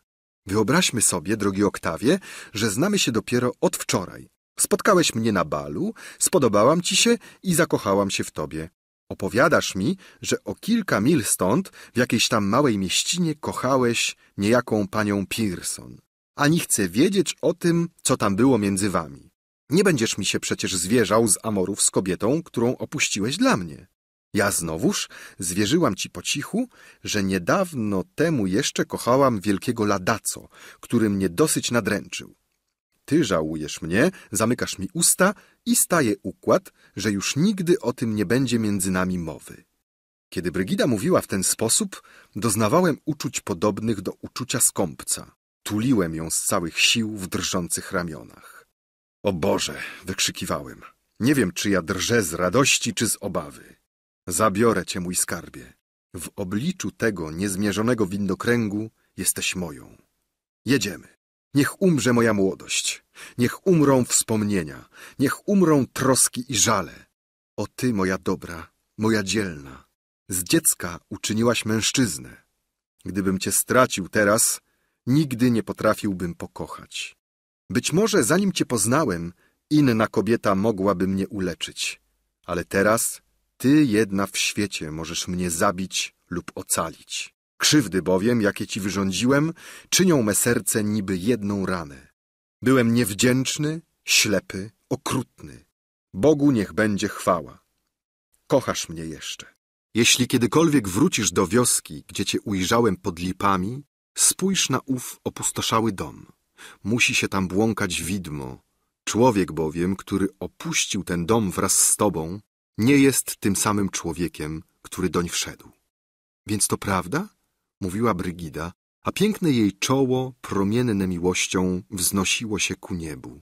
Więc to prawda, że jestem twoją. Tak, z dala od tego wstrętnego świata, który postarzył cię przed czasem. Tak, dziecko, będziesz mnie kochał. Będę cię miała takim, jakim jesteś.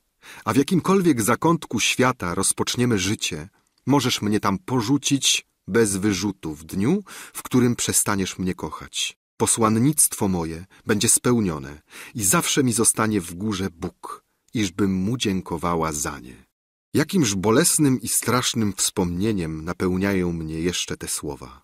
Wreszcie zapadło postanowienie, iż udamy się najpierw do Genewy i wyszukamy u stóp Alp spokojne miejsce, aby tam spędzić wiosnę. Już Brygida sławiła piękność jeziora. Już wdychałem w sercu powiew wiatru, który je porusza i ożywczy zapach zielonej doliny. Lozanna, Wewej, Oberland i poza wierzchołkami Monterossa olbrzymia równina Lombardii. Już zapomnienie, spokój, ucieczka od świata. Wszystkie duchy szczęśliwej samotności zapraszały nas i przyzywały. Kiedy wieczorem ze złączonymi dłońmi patrzyliśmy na siebie w milczeniu, czuliśmy, iż wznosi się w nas owo pełne osobliwej wielkości uczucie, jakie ogarnia serce w przeddzień dalekich podróży. Tajemniczy i niewytłumaczony zawrót, który ma coś zarazem z grozy wygnania i z nadziei pielgrzymstwa. O Boże! To Twój głos woła wówczas i ostrzega człowieka, że ma zbliżyć się do Ciebie. Czyż myśl ludzka nie posiada jak gdyby skrzydeł, które drżą i dźwięcznych strun, które się napinają? Cóż wam powiem? Czy nie mieści się cały świat w tych paru słowach? Wszystko było gotowe, mieliśmy jechać. Naraz Brygidzie robi się słabo. Opuszcza głowę, milknie. Kiedy jej pytam, czy cierpi, odpowiada zgasłym głosem, że nie. Kiedy mówię o dniu wyjazdu, wstaje zimna i zrezygnowana i krząta się koło przygotowań. Kiedy jej przysięgam, że będzie szczęśliwa i że chcę jej poświęcić życie, zamyka się i płacze. Kiedy ją obejmuję, blednie i odwraca oczy, podając mi wargi. Kiedy jej mówię, że nic się jeszcze nie stało, że może przekreślić nasze plany, marszczy brew z twardą i surową twarzą. Kiedy ją błagam, aby mi otworzyła serce, kiedy powtarzam, że choćbym miał umrzeć, poświęcę moje szczęście, o ile ma być okupione jej żalem, rzuca mi się na szyję, następnie martwieje i odpycha mnie jakby mimo woli. Wreszcie jednego dnia wchodzę do pokoju, trzymając w ręku bilet dla nas obojga aż do Besakon. Zbliżam się do niej, kładę jej bilet na kolana, ona wyciąga rękę, wydaje krzyk i pada bezprzytomna u mych stóp. Rozdział drugi. Wszystkie moje wysiłki, aby odgadnąć przyczynę tak niespodziewanej zmiany, pozostały daremne. Również wszystkie pytania, które zadawałem. Brygida była chora i milczała uparcie. Straciwszy cały dzień to na błaganiu jej o wyjaśnienia, to na gubieniu się w domysłach, wyszedłem, nie wiedząc dokąd idę. Kiedy przechodziłem koło opery, posługacz podsunął mi bilet i machinalnie wszedłem, jak zwykłem był niegdyś. Nie byłem zdolny zwrócić uwagi na to, co działo się na scenie ani na sali. Byłem przejęty taką boleścią, a równocześnie tak zdumiony, iż żyłem, można powiedzieć, jedynie wewnątrz, a zewnętrzne przedmioty nie dochodziły mej świadomości. Wszystkie moje siły skupiły się na jednej myśli, a im dłużej w niej się grzebałem, tym stawała mi się mętniejsza. Jaka straszliwa przeszkoda obalała tak nagle w wiliję wyjazdu tyle planów i nadziei. Jeśli chodziło o zwyczajny wypadek lub nawet prawdziwe nieszczęście, jak klęska majątkowa lub strata przyjaciela, dlaczego to uparte milczenie? Po wszystkim, co uczyniła Brygida, w chwili, gdy nasze najdroższe sny zdawały się bliskie ziszczeniu, jakiejś natury mogła być tajemnica, która niweczyła nasze szczęście – a której ona wzbraniała mi się powierzyć. Jak to? Kryje się przede mną. Jeśli zgryzoty, interesy, wreszcie obawa przyszłości, jakiś przypływ smutku, nieufności lub gniewu zatrzymują ją na jakiś czas lub też każą wyrzec się na zawsze tej tak upragnionej podróży, dlaczego nie wyzna mi wszystkiego? W ówczesnym stanie mego serca nie mogłem wszelako przypuszczać, aby w postępowaniu Brygidy mogło być coś zdrożnego. Sam cień podejrzenia oburzał mnie i przejmował grozą. Jak z drugiej strony przypuszczać jedynie zmienność lub kaprys w kobiecie takiej, jaką znałem Brygidę. Gubiłem się w otchłani, nie widząc nawet najsłabszego światełka, najmniejszego punktu, który by mi mógł wytyczyć kierunek. Naprzeciw mnie na balkonie siedział młody człowiek, którego rysy nie były mi obce. Jak często się zdarza, kiedy umysł jest mocno pochłonięty, patrzałem nań bezwiednie i siliłem się rozpoznać te rysy. Naraz przejrzałem. To on, jak wspomniałem wyżej, przywiózł Brygidzie list z N. Niepodobna mi było przedostać się doń, nie niepokojąc znacznej ilości widzów. Byłem tedy zmuszony doczekać końca aktu. Pierwszym odruchem moim była myśl, że jeśli kto może mnie oświecić w przedmiocie mej jedynej i gnębiącej troski, to on. Zachodził do pani Pearson od kilku dni na dłuższe rozmowy. Przypomniałem sobie, iż kiedy ją opuszczał, zawsze zastawałem ją smutną. Nie tylko pierwszego dnia, ale za każdym razem. Był u niej jeszcze wczoraj rano, tego samego dnia, którego zasłabła. Brygida nie pokazała mi listów, które przywiózł. Być może on zna istotną przyczynę, która opóźniła nasz wyjazd. Nie wie może wszystkiego, ale zdoła mnie niechybnie objaśnić bodaj, co mieściło się w listach. Miałem zaś prawo sądzić, iż zdaje sobie na tyle sprawę z mego stosunku do Brygidy, abym mógł pytać bez obawy. Uszczęśliwiony tym spotkaniem, pobiegłem, aby go dopaść w korytarzu. Nie wiem, czy mnie zauważył, ale oddalił się i wszedł do jakiejś loży. Postanowiłem zaczekać. Przechadzałem się dobry kwadrans z oczyma wciąż utkwionymi w drzwi. Otwarły się wreszcie, młody człowiek wyszedł. Skłoniłem się z daleka i posunąłem się ku niemu. Postąpił kilka kroków z widocznym wahaniem, następnie zwróciwszy się nagle, skręcił ku schodom i znikł. Objawiłem zamiar zbliżenia się tak wyraźnie, iż w postępku tym musiałem widzieć stanowczą chęć unikania mnie. Musiał mnie znać z widzenia, a zresztą, gdyby nawet nie znał, człowiek, który widzi, iż ktoś drugi podchodzi ku niemu, powinien bodaj zaczekać. Byliśmy wówczas w korytarzu sami. Jasne było tedy, że nie chce ze mną mówić. Nie dopatrywałem się w tym chęci obrażenia mnie. Człowiek, który bywał codziennie w moim pomieszkaniu, którego ilekroć zdarzyło się nam spotkać, witałem zawsze najgrzeczniej, człowiek wreszcie o uprzejmym i skromnym obejściu, jak przypuścić, aby mnie chciał znieważyć? Chciał jedynie umknąć przede mną i uniknąć przykrej rozmowy. Ale dlaczego? Ta druga tajemnica zaskoczyła mnie niemal tak samo jak pierwsza. Co bądź uczyniłem, aby oddalić tę myśl, ucieczka tego młodego człowieka kojarzyła mi się nieodbicie w mej głowie z upartym milczeniem Brygidy. Niepewność jest ze wszystkich męczarni najtrudniejszą do zniesienia. W wielu okolicznościach życia naraziłem się na wielkie nieszczęścia, dlatego że nie umiałem spokojnie czekać. Wróciwszy do domu, zastałem Brygidę czytającą właśnie owe fatalne listy z N. Oświadczyłem jej, iż niepodobna mi dłużej zostać w tym stanie ducha, że muszę się wydobyć zeń za każdą cenę. Jaki bądź jest powód nagłej zmiany, jaka w niej zaszła, chcę go poznać. Jeśli mi odmówi odpowiedzi, będę uważał jej milczenie za stanowczą odmowę jechania ze mną, a nawet za stanowcze zerwanie. Z wielką niechęcią pokazała mi list, który trzymała w ręce. Krewni pisali jej, że ten wyjazd okrywa ją hańbą na zawsze, że nikomu nie jest tajną jego przyczyna i że czują się zmuszeni oświadczyć jej z góry, jakie będą jego następstwa. Że żyje ze mną publicznie jako moja kochanka, że mimo, że jest wdową i wolną, ma pewne obowiązki względem nazwiska, które nosi.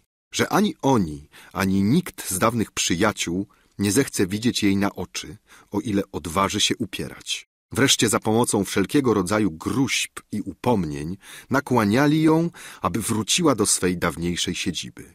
Ton listu oburzył mnie. Zrazu odczułem go jedynie jako obelgę. Ów młody panicz, który przynosi ci takie upomnienia, wykrzyknąłem, podjął się zapewne powtarzać ci je jeszcze ustnie i sumiennie tego dopełnia, nieprawdaż? Głęboki smutek Brygidy przywiódł mnie do zastanowienia i ochłodził mój gniew. Zrobisz, rzekła, co zechcesz i zgubisz mnie do reszty. Tak, los mój jest w twoich rękach. Od dawna jesteś jego panem. Mścij się, jak ci się podoba, za to ostatnie usiłowanie, jakie podjęli moi starzy przyjaciele, aby mnie przywołać do rozsądku, do świata, który szanowałam niegdyś i do czci, którą straciłam. Nie mam ani słowa do powiedzenia. Jeżeli chcesz sam podyktować odpowiedź, dam taką, jakiej sobie życzysz. Życzę sobie jedynie, odparłem, poznać twoje intencje.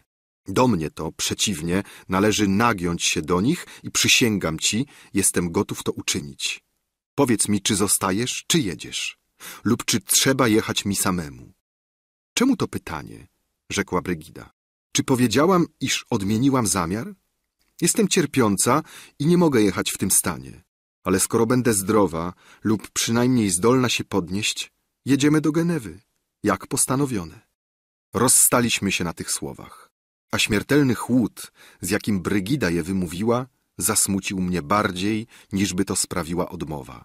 Nie pierwszy to raz silono się za pomocą tego rodzaju ostrzeżeń rozerwać nasz związek, ale aż dotąd mimo wrażenia, jakie podobne listy czyniły na Brygidzie, rychło otrząsała się z niego. Jak przypuścić, aby ta jedna pobudka miała dziś tyle siły, wówczas gdy nie mogła nic sprawić w czasach mniej szczęśliwych? Łamałem sobie głowę, czy od czasu jak byliśmy w Paryżu, nie mam sobie nic do wyrzucenia w moim postępowaniu. Byłażby to, mówiłem sobie, jedynie słabość kobiety, która chciała popełnić szaleństwo i która w chwili wykonania cofa się przed własną wolą? Byłożby to to, co cynicy nazywają ostatnim skrupułem? Ale ta wesołość, którą przed tygodniem Brygida okazywała od rana do wieczora, te lube projekty porzucane i podejmowane bez ustanku, te przyrzeczenia, zaklęcia, wszystko to było wszelako szczere, prawdziwe, bez żadnego przymusu. Chciała przecież jechać wbrew moim perswazjom. Nie, jest w tym jakaś tajemnica. Ale jak ją przeniknąć, skoro teraz, kiedy ją pytam, zbywa mnie argumentem, który nie może być prawdziwym? Nie mogę jej powiedzieć, że kłamie, ani zmusić, by podała co innego. Powiada, iż wciąż chce jechać. Ale skoro mówi to tym tonem, czyż nie należy mi bezwarunkowo odmówić? Czy mogę przyjąć takie poświęcenie, kiedy je ktoś spełnia jak obowiązek, jak wyrok? kiedy to, co uważałem za ofiarę miłości, przychodzi mi niejako wymuszać na mocy danego słowa? O Boże, czyż tę oto bladą i omdlewającą osobę przyjdzie mi unieść w ramionach? Czy mam uwieść daleko od ojczyzny, na długo, na całe życie może, jedynie zrezygnowaną ofiarę? Uczynię, rzekła, co sobie życzysz. Nie, to pewna. Nie życzę sobie nic zawdzięczać uległości. Jeśli mam bodaj tydzień jeszcze patrzeć na tę zbolałą twarz, jeśli uprze się milczeć, raczej pojadę sam. O ja szalony! Alboż miałem siłę? Zanadto byłem szczęśliwy od dwóch tygodni, aby odważyć się spojrzeć wstecz. Nie tylko nie czułem w sobie tej odwagi, ale myślałem jedynie o sposobach uwiezienia Brygidy. Całą noc nie zmrużyłem oka. Wczesnym rankiem postanowiłem, co bądź padnie, udać się do młodego człowieka, którego widziałem w operze.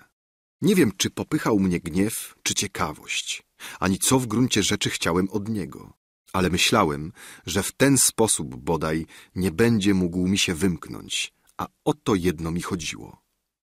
Nie znałem jego adresu. Wszedłem tedy do pokoju Brygidy, aby oń poprosić. Jako pozór podałem obowiązek grzeczności wobec jego kilkakrotnych odwiedzin.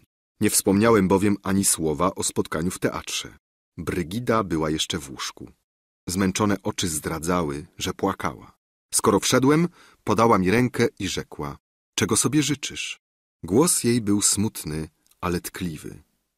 Wymieniliśmy parę przyjaznych słów i wyszedłem z sercem mniej osmuconym. Młody człowiek, do którego szedłem, nazywał się Smith. Mieszkał w pobliżu. Kiedym zapukał do drzwi, zdjął mnie jakiś dziwny niepokój. Wszedłem zwolna, jakby olśniony niespodzianym światłem. Za pierwszym jego ruchem krew mi się ścięła. Leżał w łóżku i z tym samym akcentem, co przed chwilą Brygida, z twarzą równie bladą i zmienioną, podał mi rękę i wyrzekł te same słowa. Czego pan sobie życzy? Mówcie, co chcecie, ale istnieją w życiu przypadki, których rozum ludzki nie umiałby wytłumaczyć. Usiadłem, nie mogąc nic odpowiedzieć. Jak gdyby obudzony ze snu, powtórzyłem sam sobie pytanie, które mi zadał. W istocie, co ja robiłem u niego? Jak powiedzieć, co mnie sprowadza? Przypuściwszy, iż mnie było na rękę zadać mu parę pytań, skąd miałem prawo wnosić, iż on zechce odpowiadać? Przywiózł listy i znał osoby, które je pisały. Ale po tym, co mi Brygida pokazała, czyż nie wiedziałem w tej kwestii tyle, co i on? Słowa nie chciały mi przejść przez gardło. Lękałem się, aby się nie domyślił, co się dzieje w mym sercu. Pierwsze zdania, któreśmy wymienili, były grzeczne i nieznaczące. Podziękowałem mu, iż się podjął zleceń od rodziny pani Pearson. Natrąciłem, iż opuszczając Francję, poprosimy go i my, aby nam wyświadczył pewne usługi. Po czym zmilkliśmy zdumieni, iż znaleźliśmy się oto naprzeciw siebie. Wodziłem oczyma dokoła, jak czynią ludzie zakłopotani. Pokój młodego człowieka znajdował się na czwartym piętrze. Wszystko w nim zwiastowało uczciwe, a pracowite ubóstwo. Nieco książek, narzędzia muzyczne, białe drewniane półki, papiery leżące w porządku na stole nakrytym dywanem, stary fotel, kilka krzeseł. Oto wszystko. Ale całość nosiła ujmujące znamie schludności i ładu. Co się tyczy samego Smitha, bystra i ożywiona jego fizjonomia uprzedzała od razu na jego korzyść. Spostrzegłem na kominku portret starszej osoby. Zbliżyłem się na wpół zamyślony. Powiedział mi, że to jego matka. Przypomniałem sobie wówczas, iż Brygida mówiła mi często o nim i tysiąc zapomnianych rysów stanęło mi w pamięci. Dawniej widywała go niekiedy w N, ale od czasu mego przybycia wybrała się tam tylko raz, a Smita wówczas nie było. Tylko zatem przypadkiem dowiedziałem się o nim paru szczegółów, które mnie wszelako uderzyły. Zajmował skromny urząd, przy pomocy którego utrzymywał matkę i siostrę. Postępowanie jego wobec tych kobiet było ponad wszelkie pochwały. Dla nich wyrzekł się wszystkiego. Mimo, że posiadał niepospolite talenty muzyczne, które mogły mu otworzyć świetne widoki, uczciwość jego i skromność zawsze kazały mu przekładać spokój zacisznego życia. Słowem, należał do tej szczupłej liczby istot, które żyją bez rozgłosu i wdzięczne są ludziom, iż nie poznają się na ich wartości. Przytaczano mi z jego życia parę rysów, wystarczających, aby odmalować człowieka. Kochał gorąco piękną dziewczynę w sąsiedztwie i po roku starań uzyskał przyrzeczenie jej ręki. Była równie biedna jak on. Już miało się podpisywać kontrakt ślubny i wszystko było gotowe do wesela, kiedy matka rzekła doń, a kto wyda za mąż twoją siostrę? To jedno słowo otworzyło mu oczy. Zrozumiał, iż jeśli się ożeni, wyda na dom wszystko, co zarobi swą pracą i że tym samym siostra nie będzie miała posagu. Zerwał natychmiast wszystkie przygotowania i wyrzekł się po rycersku małżeństwa i miłości. Wówczas to przybył do Paryża i uzyskał posadę, którą obecnie zajmował. Ilekroć zdarzyło mi się słyszeć tę historię znaną w całej okolicy, zawsze odczuwałem chęć poznania jej bohatera. To spokojne i ciche poświęcenie wydało mi się godniejszym podziwu niż wszystkie chwały wojenne. Widząc portret matki Smitha, przypomniałem sobie natychmiast wszystko. Spojrzałem nań i zdziwiłem się, widząc go tak młodym.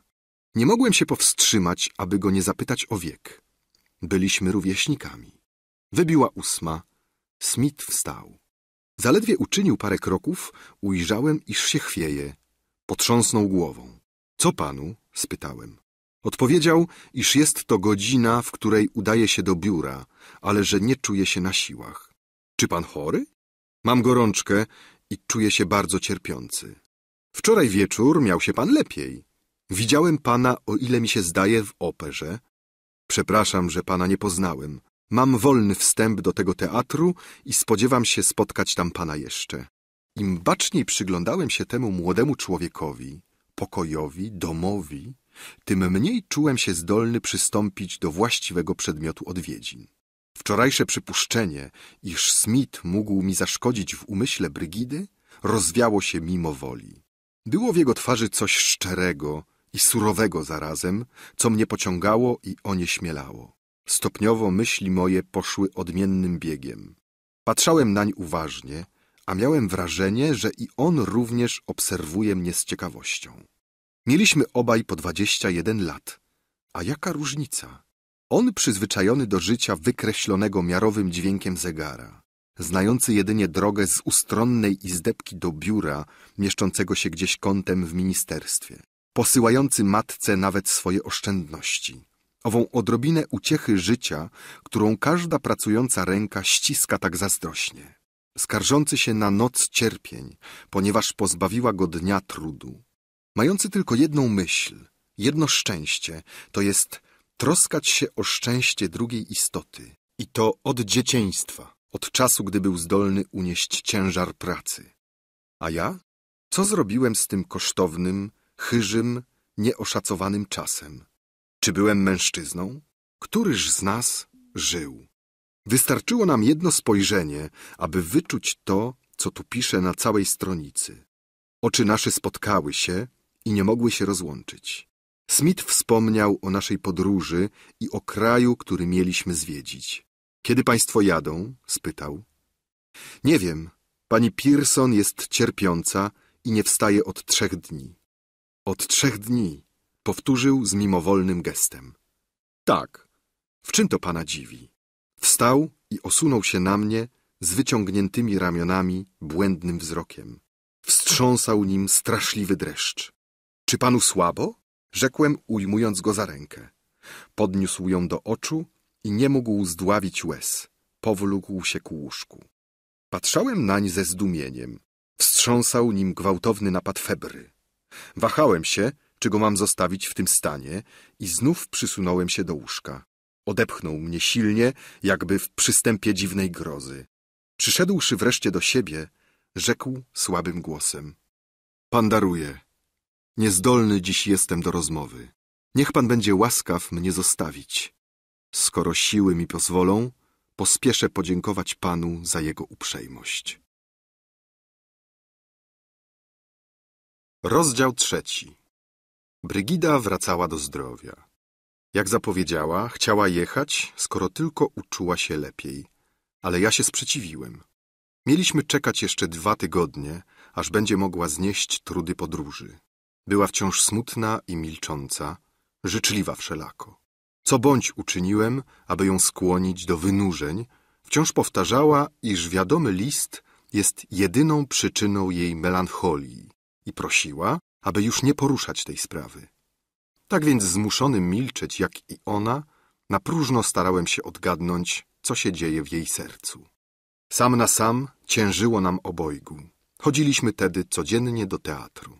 Tam siedząc koło siebie w głębi loży, ściskaliśmy się niekiedy za ręce. Od czasu do czasu jakaś piękna fraza muzyczna, jakieś słowo, które nas uderzyło, sprawiało, iż wymienialiśmy przyjazne spojrzenia. Ale w drodze, zarówno tam, jak z powrotem, pozostawaliśmy niemi, zatopieni w myślach. Dwadzieścia razy na dzień chciałem się rzucić do jej stóp i błagać, aby mi zadała śmiertelny cios, lub wróciła szczęście, które mi rozbłysło. Dwadzieścia razy w chwili, gdy miałem to uczynić, widziałem, iż Brygida mieni się na twarzy. Wstawała i oddalała się lub chłodnym słowem ścinała mi serce na wargach. Smith przychodził prawie codziennie. Mimo, że jego zjawienie stało się przyczyną wszystkiego złego i mimo, że bytność w jego domu zostawiła w mym umyśle osobliwe podejrzenia, sposób, w jaki mówił o naszej podróży, jego dobra wiara i prostota wracały mi ufność. Wspomniałem mu o listach, które przywiózł. Wydawał się nie tak oburzony, ale bardziej jeszcze zasmucony nimi ode mnie. Nie znał wprzód ich treści. Na mocy zaś dawnej przyjaźni, jaką żywił dla Brygidy, potępiał głośno postępek jej rodziny. Nie byłby się podjął do ręczenia listów, mówił, gdyby wiedział, co zawierają. Z powściągliwego tonu, z jakim pani Pearson odnosiła się do Smitha, nie mogłem przypuszczać, aby mu się zwierzała. Widywałem go tedy w domu z przyjemnością, mimo iż wciąż trwało między nami pewne skrępowanie i ceremonialność. Podjął się po naszym wyjeździe być pośrednikiem między Brygidą a jej rodziną i zapobiec jawnemu zerwaniu. Szacunek, jakiego zażywał w tamtych stronach, mógł mieć niemałe znaczenie w tej negocjacji. Niepodobna mi było nie czuć dlań za to wdzięczności. Trudno sobie wyobrazić szlachetniejszy charakter. Kiedyśmy byli we troje, ilekroć spostrzegł jakiś chłód albo przymus, dokładał wszelkich wysiłków, aby sprowadzić między nas wesołość. Jeżeli zdawał się niepokoić tym, co się dzieje, czynił to zawsze bez niedyskrecji, z widoczną troską o nasze szczęście. Ilekroć mówił o naszym związku, zawsze czynił to z odcieniem szacunku, jak człowiek, dla którego miłość jest węzłem świętym wobec Boga. Słowem odnosił się do nas jak przyjaciel i budził we mnie zupełne zaufanie. Ale pomimo wszystko i wbrew własnym usiłowaniom był smutny. Jakoż nie mogłem przezwyciężyć osobliwych myśli, jakie mnie oblegały. Łzy, które widziałem płynące z ucz tego młodzieńca, zasłabnięcie jego równoczesne z chorobą Brygidy, jakaś nieokreślona melancholijna sympatia zadzierzgnięta między nimi, wszystko to dawało mi do myślenia i niepokoiło mnie. Niespełna miesiąc w przódy, najlżejsze podejrzenie wystarczyłoby, aby mnie przyprawić o furię zazdrości. Ale obecnie, o co podejrzewać Brygidę? Jakiej bądź natury był sekret, który mi ukrywała, czyż nie miała jechać ze mną? Gdyby nawet Smith był powiernikiem jakiejś tajemnicy, której ja nie znałem, jakiego rodzaju mogła być ta tajemnica? Co mogło być nagannego w ich smutku i przyjaźni? Znała go dzieckiem. Spotykała go po latach, w chwili, gdy miała opuścić Francję. Znajdowała się w przykrym położeniu. Przypadek zaś chciał, aby on wiedział o tym, aby stał się nawet poniekąd narzędziem jej niedoli. Czyż nie było zupełnie proste, iż wymieniali niekiedy smutne spojrzenia, że widok tego młodego człowieka przypominał Brygidzie przeszłość, z którą łączyły się wspominki i żale? Czy znowuż on mógł bez lęku patrzeć na jej wyjazd, nie pomyślawszy mimowoli o niebezpieczeństwach długiej podróży, o przykrościach życia koczowniczego, odtąd niemal poza nawiasem społeczeństwa? Niewątpliwie tak być musiało. I czułem, kiedy myślałem o tym, że do mnie to należało wstać, podejść do nich dwojga, upewnić ich, wzbudzić w nich wiarę we mnie, powiedzieć jej, iż ramię moje będzie ją podtrzymywać, dopóki zechce przyjąć to oparcie. Jemu zaś, że wdzięczen mu jestem za przywiązanie, jakie nam objawia i za przyrzeczone usługi. Czułem to i nie mogłem tego uczynić. Śmiertelny chłód ściskał mi serce. Nie mogłem ruszyć się z fotela. Wieczorem, skoro Smith odszedł, albo milczeliśmy, albo mówiliśmy o nim. Jakiś niezrozumiały pęd kazał mi domagać się od Brygidy co dzień nowych szczegółów o tym człowieku. Nie umiała mi wszelako powiedzieć nic więcej, niż ja powiedziałem czytelnikowi. Życie jego nie miało żadnych zawikłań. Było biedne, ciche i uczciwe. Nie trzeba było wielu słów, aby je opowiedzieć ale kazałem je sobie powtarzać bez ustanku i sam nie wiem dlaczego. Zaciekawiało mnie ono. Ściśle rzecz wziąwszy, było na dnie mego serca tajemne cierpienie, do którego nie przyznawałem się przed sobą. Gdyby ów młody człowiek zjawił się za naszych szczęśliwych dni, gdyby przyniósł Brygidzie jakiś obojętny list, czyż byłbym nań zwrócił jaką bądź uwagę? Czy by mnie poznał w operze, czy nie? czy by mu się wymknęły w mojej obecności łzy, których bym przyczyny nie znał i cóż by mi to znaczyło, gdybym był szczęśliwy. Ale jakkolwiek nie umiałem odgadnąć pobudek smutku Brygidy, rozumiałem dobrze, iż co bądź by mówiła, dawne moje postępowanie nie było i dziś obcym jej zgryzocie. Gdybym od sześciu miesięcy naszego pożycia był tym, czym powinienem, nic w świecie, wiedziałem o tym, nie byłoby zdolne zmącić naszej miłości.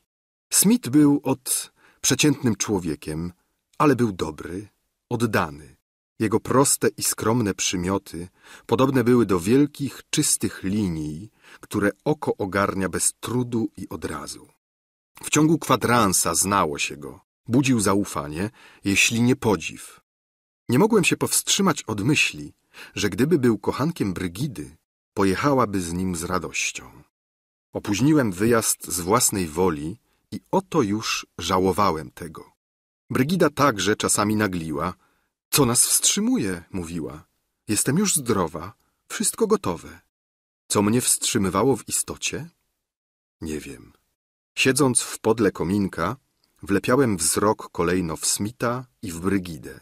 Oboje byli bladzi, poważni, niemi. Nie wiedziałem, czemu są tacy. Mimo woli powtarzałem sobie, że może to wynikać z jednej i tej samej przyczyny i że te dwie zagadki mieszczą się być może w jednej. Ale nie było to jedno z owych mętnych, chorobliwych podejrzeń, jakie mnie dręczyły niegdyś.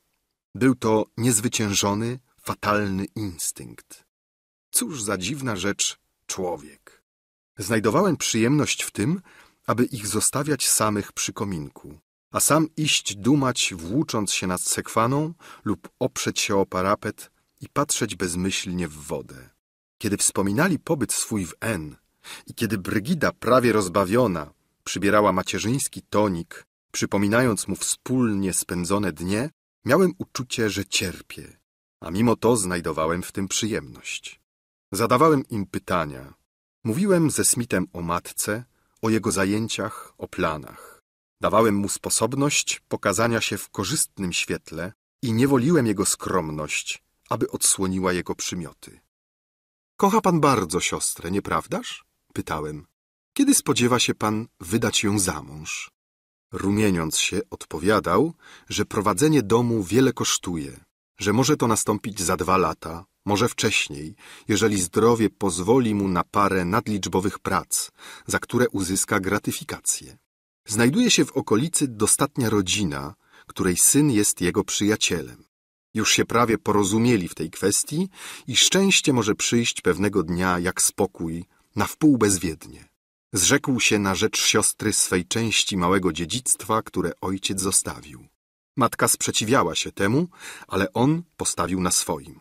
Młody człowiek powinien żyć z własnej pracy, podczas gdy o losie panny rozstrzyga małżeństwo.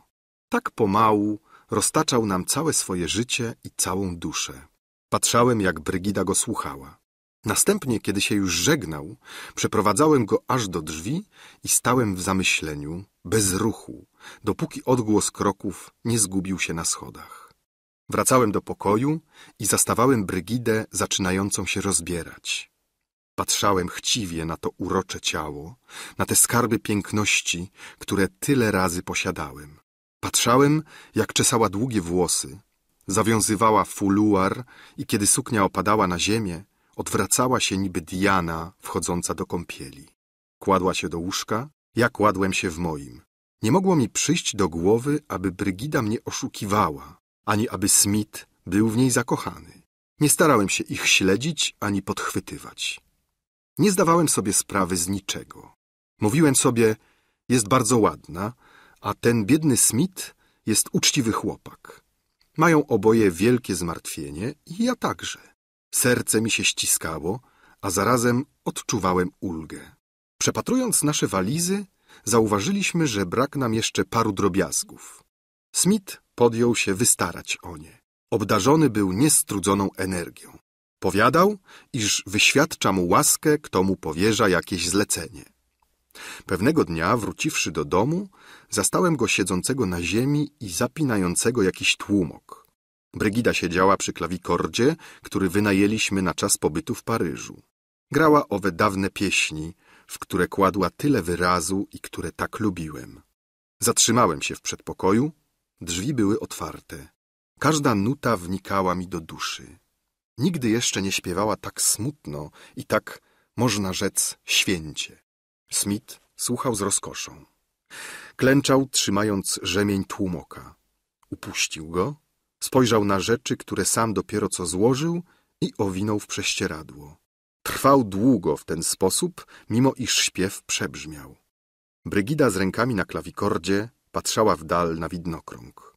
Po raz drugi ujrzałem łzy cieknące z jego oczu.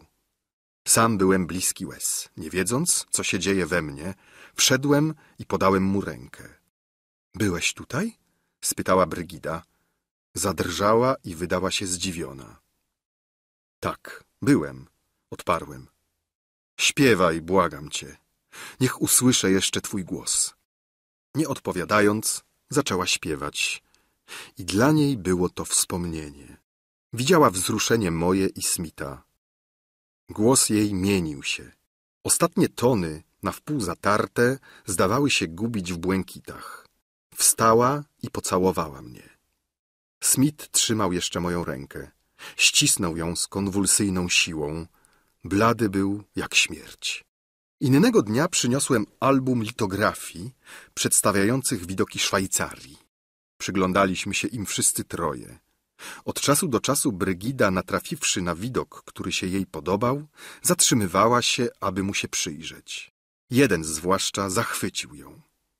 Był to krajobraz z kantonu Wod. Zielona dolina obsadzona jabłoniami, bydło pasące się w cieniu. W oddali kilkanaście domków rozrzuconych po łące i po otaczających pagórkach. Na pierwszym planie młoda dziewczyna w dużym słomkowym kapeluszu siedziała u stóp drzewa. Przed nią stał chłopiec z okutym kijem w dłoni i zdawał się jej wskazywać drogę, którą przebył. Krętą ścieżkę gubiącą się w górach. Ponad nimi widać było Alpy. Obraz zaś wieńczyły trzy szczyty pokryte śniegiem i skrzące się w odblaskach zachodu słońca. Trudno o coś prostszego, a piękniejszego zarazem niż ten krajobraz.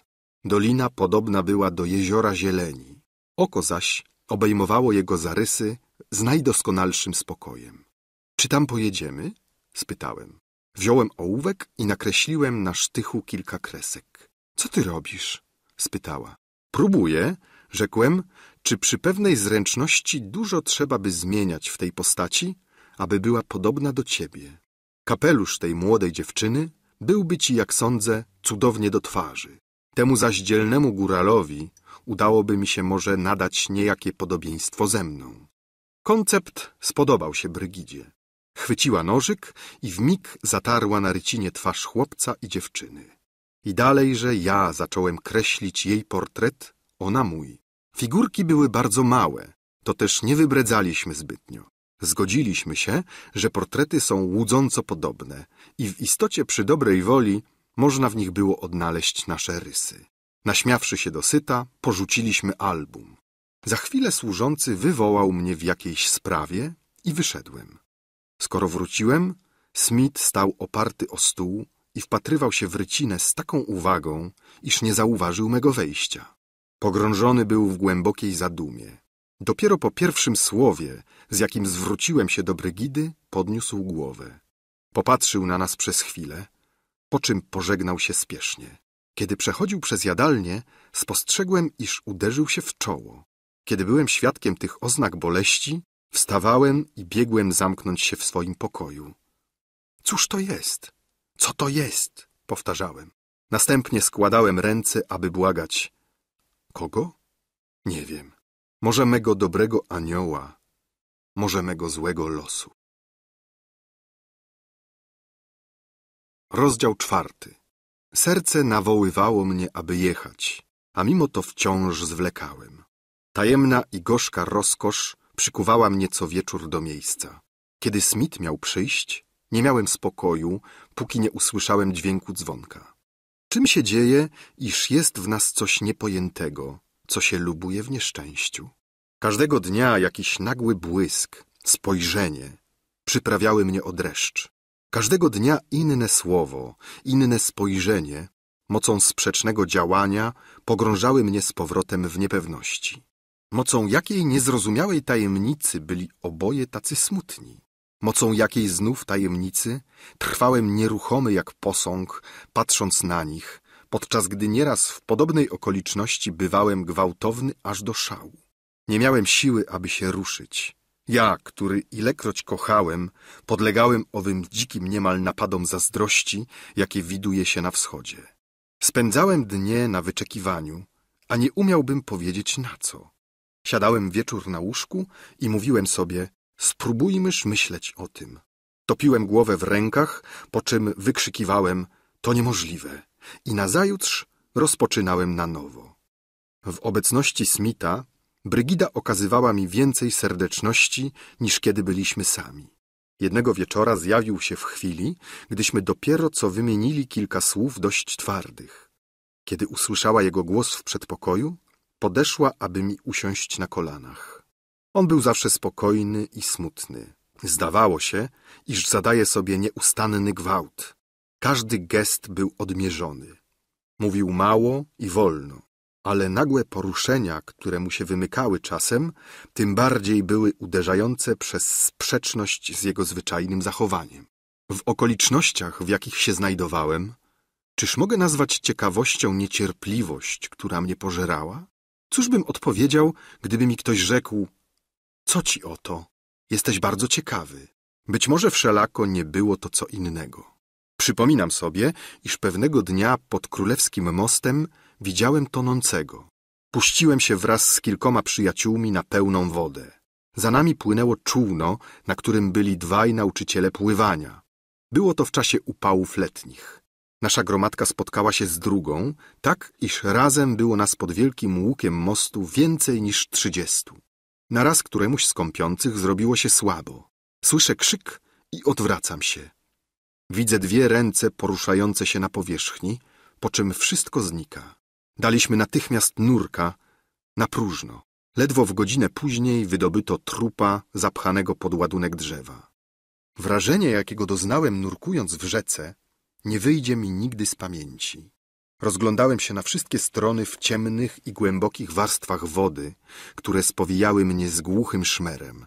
Dopóki mogłem wstrzymać oddech, posuwałem się w głąb. Następnie wracałem na powierzchnię, wymieniałem pytania z jakimś innym pływakiem, równie zaniepokojonym jak ja, po czym wracałem pod wodę. Wstrząsała mną na przemian groza i nadzieja. Myśl, iż może mnie pochwycić para konwulsyjnych ramion, podejmowała mnie z niewymowną radością i przerażeniem. Dopiero zupełne wyczerpanie skłoniło mnie do powrotu na łódkę. O ile rozpusta nie stępi zupełnie człowieka, jednym z jej nieuchronnych następstw jest dziwna ciekawość. Opisałem wyżej ową ciekawość, jaką odczułem za pierwszą bytnością uderzonego. Wytłumaczę się jaśniej. Prawda, ów szkielet pozorów, żąda, aby wszelki człowiek, bez względu na to, kim jest, dotknął w swoim dniu i godzinie jej wiekuistych piszczeli na dnie jakiejś przemijającej rany. To się nazywa znać świat. Tą ceną opłaca się doświadczenie. Owóż zdarza się, iż w obliczu tej próby jedni cofają się w przerażeniu. Drudzy, słabi i wylęknieni, powstają chwiejni niby cienie. Niektóre istoty, najlepsze może, nie są zdolne tego przeżyć. Większość zapomina i tak wszystko płynie ku śmierci. Ale są ludzie, nieszczęśliwi, to pewna, którzy nie cofają się ani nie chwieją, nie umierają ani nie zapominają. Kiedy przychodzi na nich kolej, aby dotknąć palcem nieszczęścia, inaczej mówiąc prawdy, zbliżają się doń pewnym krokiem, wyciągają rękę i, rzecz straszna, rodzi się w nich uczucie miłości dla sinego topielca, którego ujrzeli na dnie wód. Chwytają go, macają, ściskają. Pijani pragnieniem poznania, wszystko na co patrzą chcą przejrzeć na wylot. Już tylko wątpią i kuszą. Szperają w świecie niby szpiegi Boże. Myśli ich robią się ostre jak strzały. Ryś czai się w ich piersi. Rozpustnicy bardziej od innych podlegają temu szaleństwu. A przyczyna tego jest bardzo prosta. Jeśli przyrównamy zwykłe życie do gładkiej i przezroczystej powierzchni, rozpustnicy płynąc w wartkich wirach, co chwila dotykają dna. Wychodząc z balu na przykład, spieszą do podejrzanego domu. Naściskawszy się do woli w tańcu wstydliwych dłoni dziewicy, przyprawiwszy ją może o drżenie, wychodzą, biegną, rzucają płaszcze i rozwalają się u stołu, zacierając ręce. Ostatnie zdanie zwrócone do pięknej i uczciwej kobiety drga im jeszcze w ustach. Powtarzają je, wybuchając śmiechem. Co mówię? Czyż za kilka sztuk monety nie podnoszą owego stroju, będącego istotą wstydu, chcę rzec sukni, owej tajemniczej zasłony, zdającej się otaczać szacunkiem istotę, którą zdobi i którą okala, nie dotykając jej? Jakież pojęcie muszą sobie tedy tworzyć o świecie? Czują się w nim raz po raz, niby aktor za kulisami. Kto bardziej od nich przyzwyczajony jest do owego szukania samego dna rzeczy i, jeśli można tak rzec, do tych poufnych i cynicznych obmacywań. Posłuchajcie, jak oni mówią o wszystkim. Zawsze określenia najbardziej jaskrawe, grube, ohydne. Te tylko wydają się im prawdziwe. Reszta to tylko szych, pozór, przesądy. Jeśli opowiadają jakieś wydarzenie, jeśli zdają sprawę z własnych wrażeń, zawsze słowo plugawe, ziemskie, zawsze dosłowna litera, zawsze śmierć. Nie powiedzą, ta kobieta mnie kochała, ale miałem tę kobietę. Nie mówią, kocham, ale palę się. Nie mówią nigdy, jeśli Bóg zechce. Mówią zawsze, gdybym ja zechciał. Sam już nie wiem, co myślą o sobie samych i co wyplatają w swoich monologach. Stąd nieodbicie lenistwo albo ciekawość. Podczas bowiem, gdy się tak ćwiczą w widzeniu we wszystkich najgorszej strony, widzą wszelako, że inni nadal wierzą w dobro. O ile zatem w obojętności swojej nie posuwają się aż do zatkania sobie uszu, musi ich budzić nagle od czasu do czasu odgłos owego innego świata.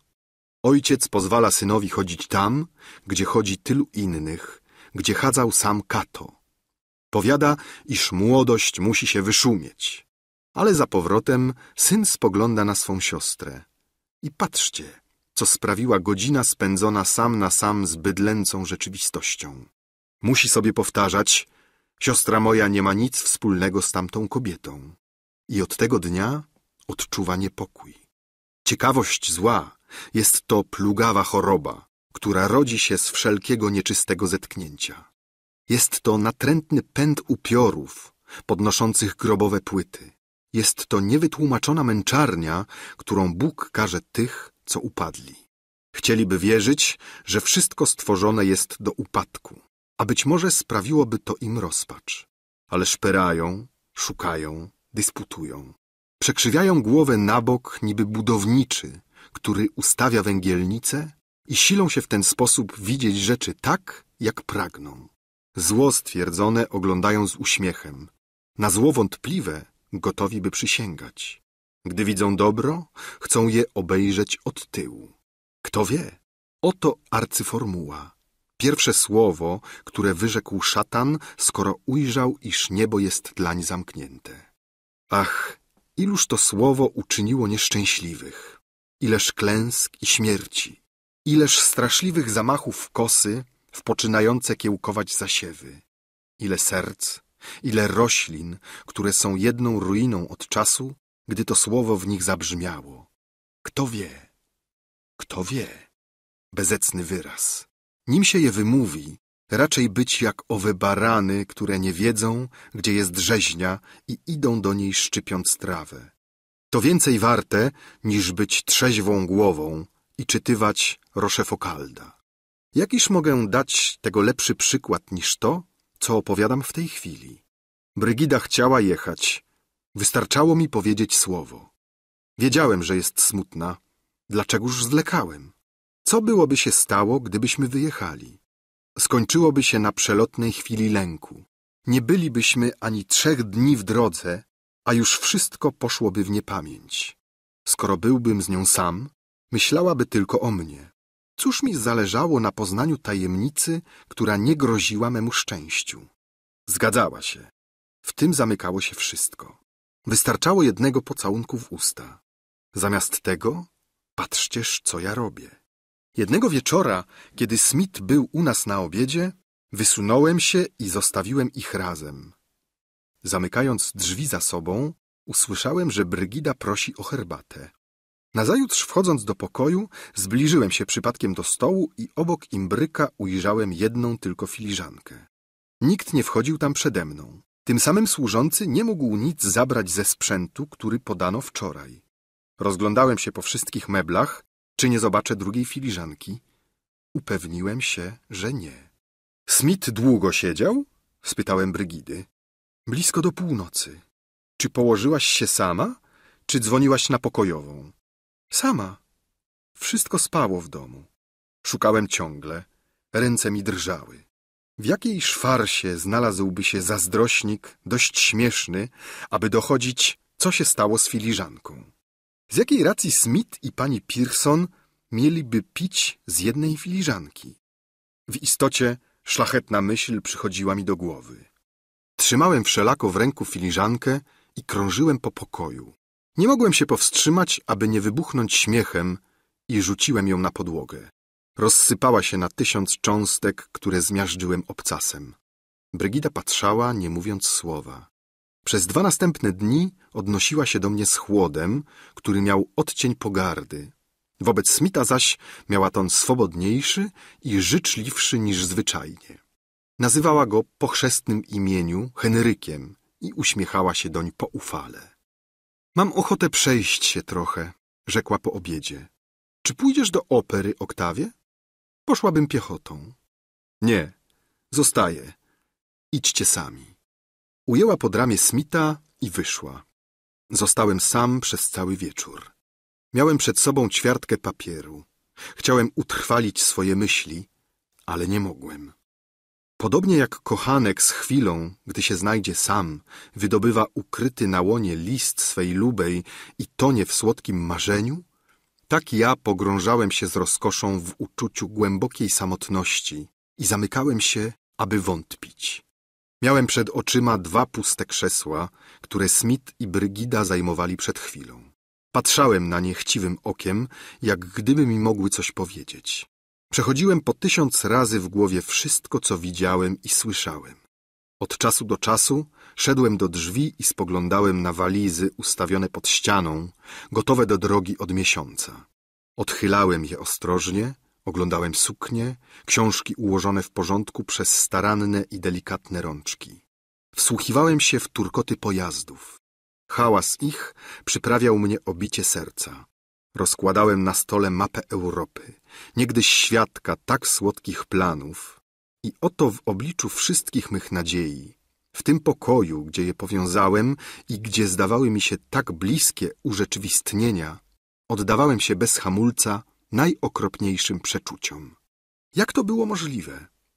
Nie doznawałem gniewu ani zazdrości. Czułem wszelako bezgraniczny ból. Nie podejrzewałem, a jednak wątpiłem.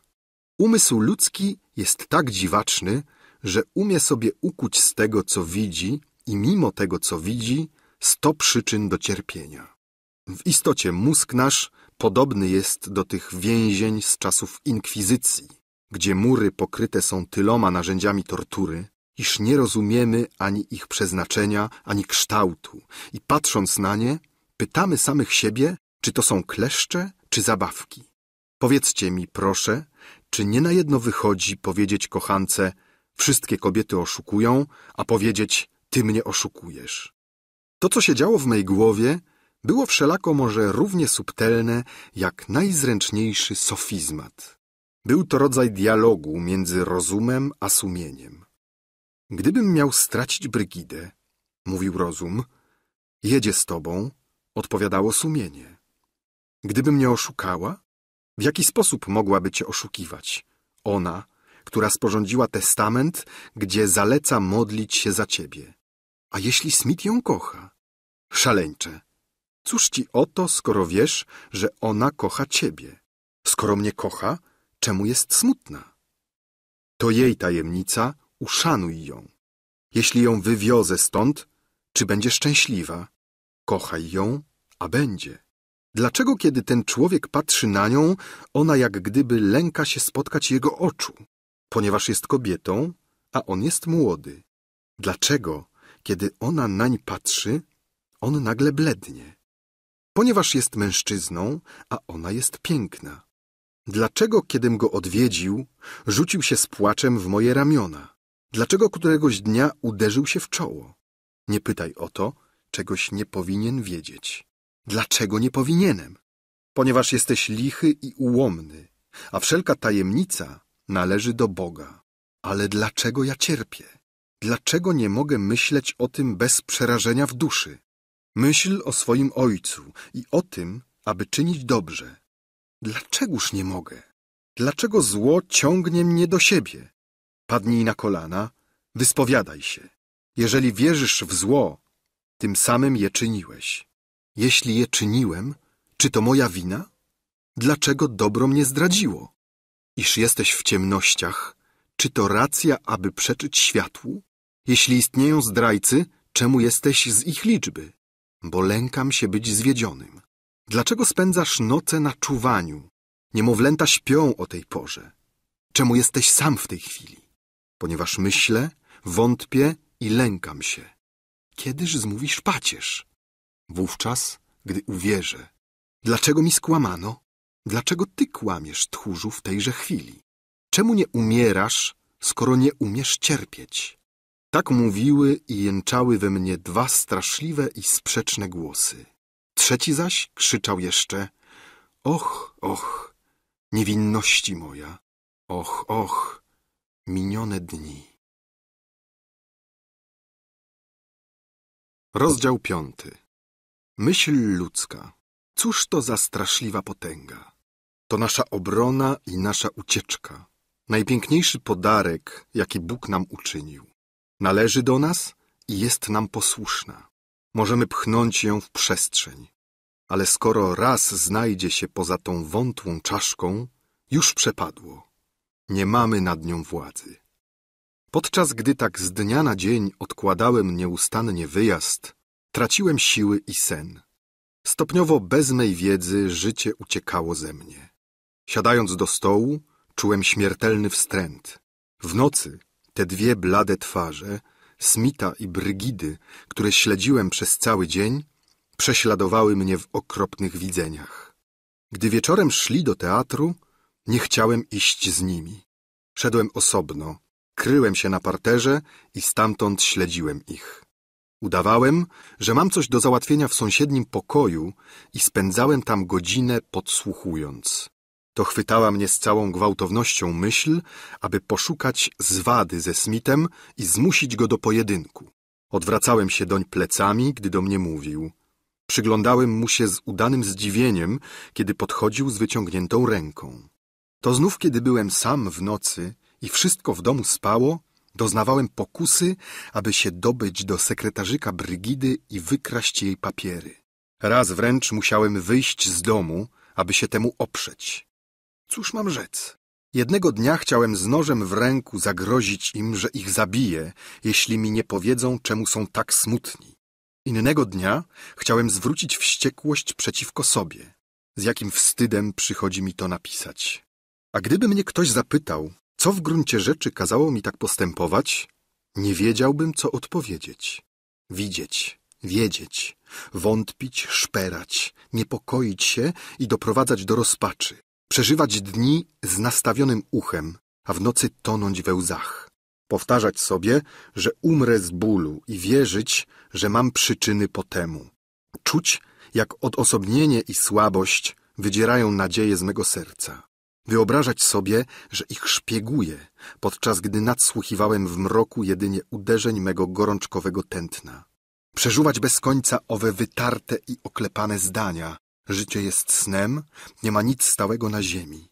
Wreszcie złorzeczyć, bluźnić Bogu mieszkającemu we mnie przez własną nędzę i kaprys. Oto jakie były moje rozkosze, moje ulubione zatrudnienie, dla którego wyrzekałem się miłości, powietrza, swobody.